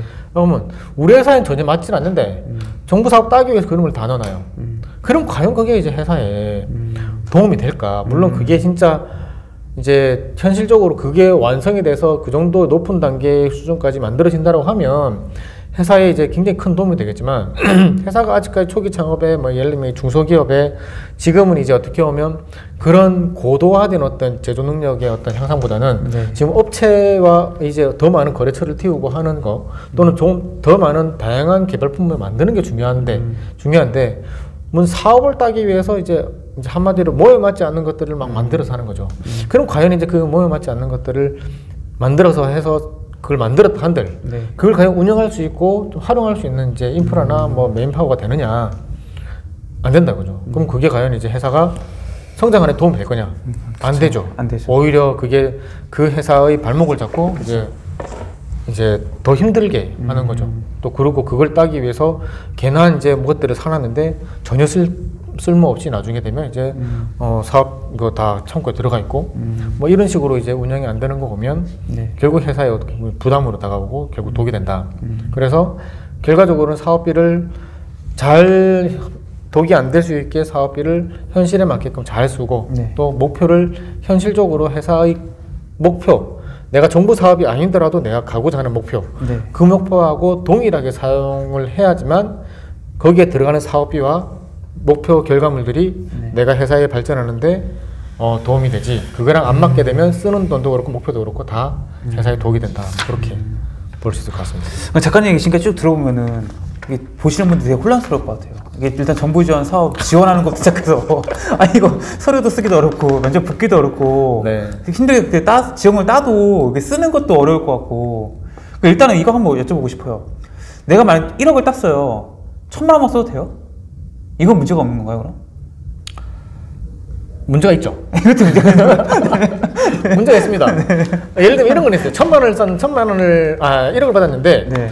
9천만 원을 썼다든지 네. 8천만 원 썼다든지 네. 이 정도만 해서 결과가 완성됐다 하면 그거는 다 돼요. 음, 상관없어요. 네네네. 나머지 2천만 원 반납하면 돼요. 네네네. 반납하면 되는데 네. 문제는 이제 어 1억을 받았는데 천만 원을 썼다. 네.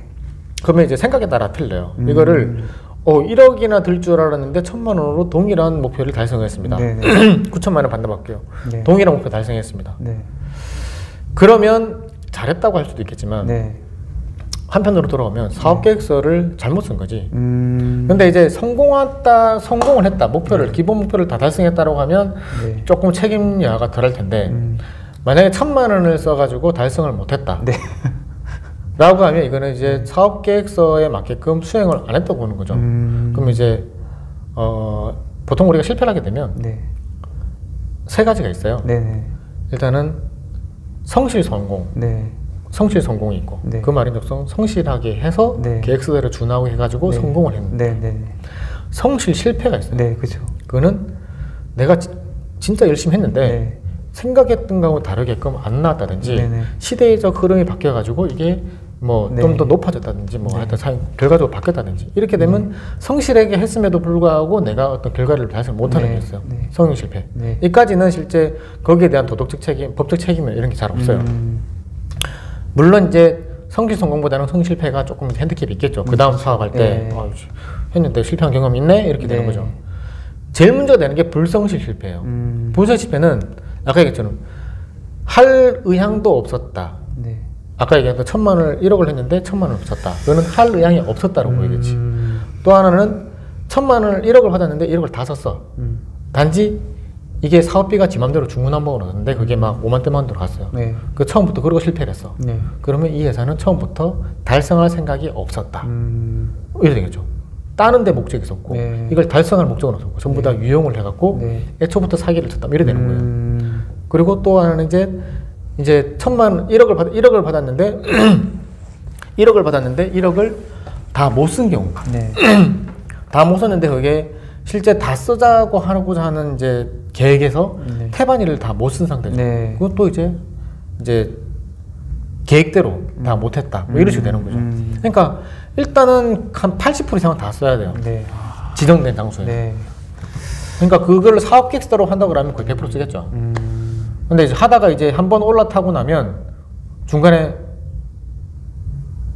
중간 못 멈추죠. 음. 멈추기 어렵죠. 근데 진짜 뭐 멈출 수 멈추려고 하면 멈출 수는 있죠. 뭐 스스로 이제 뭐 이제 힘들겠다라고 드랍치는 경우도 네. 간혹가다 있고 또는 이제 그쪽에서 심사를 해보고 이 회사는 좀 이제 제대로 안 하는 것 같다 해서 중간에 자르는 경우도 이제 신호등처럼 이제 한 몇- 연차별 과제 같은 경우는 1년, 1년하고 2년차 때문에 자르는 경우도 있고 그런 평가를 받는 경우도 있는데 자발적으로 이제 뭐 중간에 포기하는 경우도 있어요.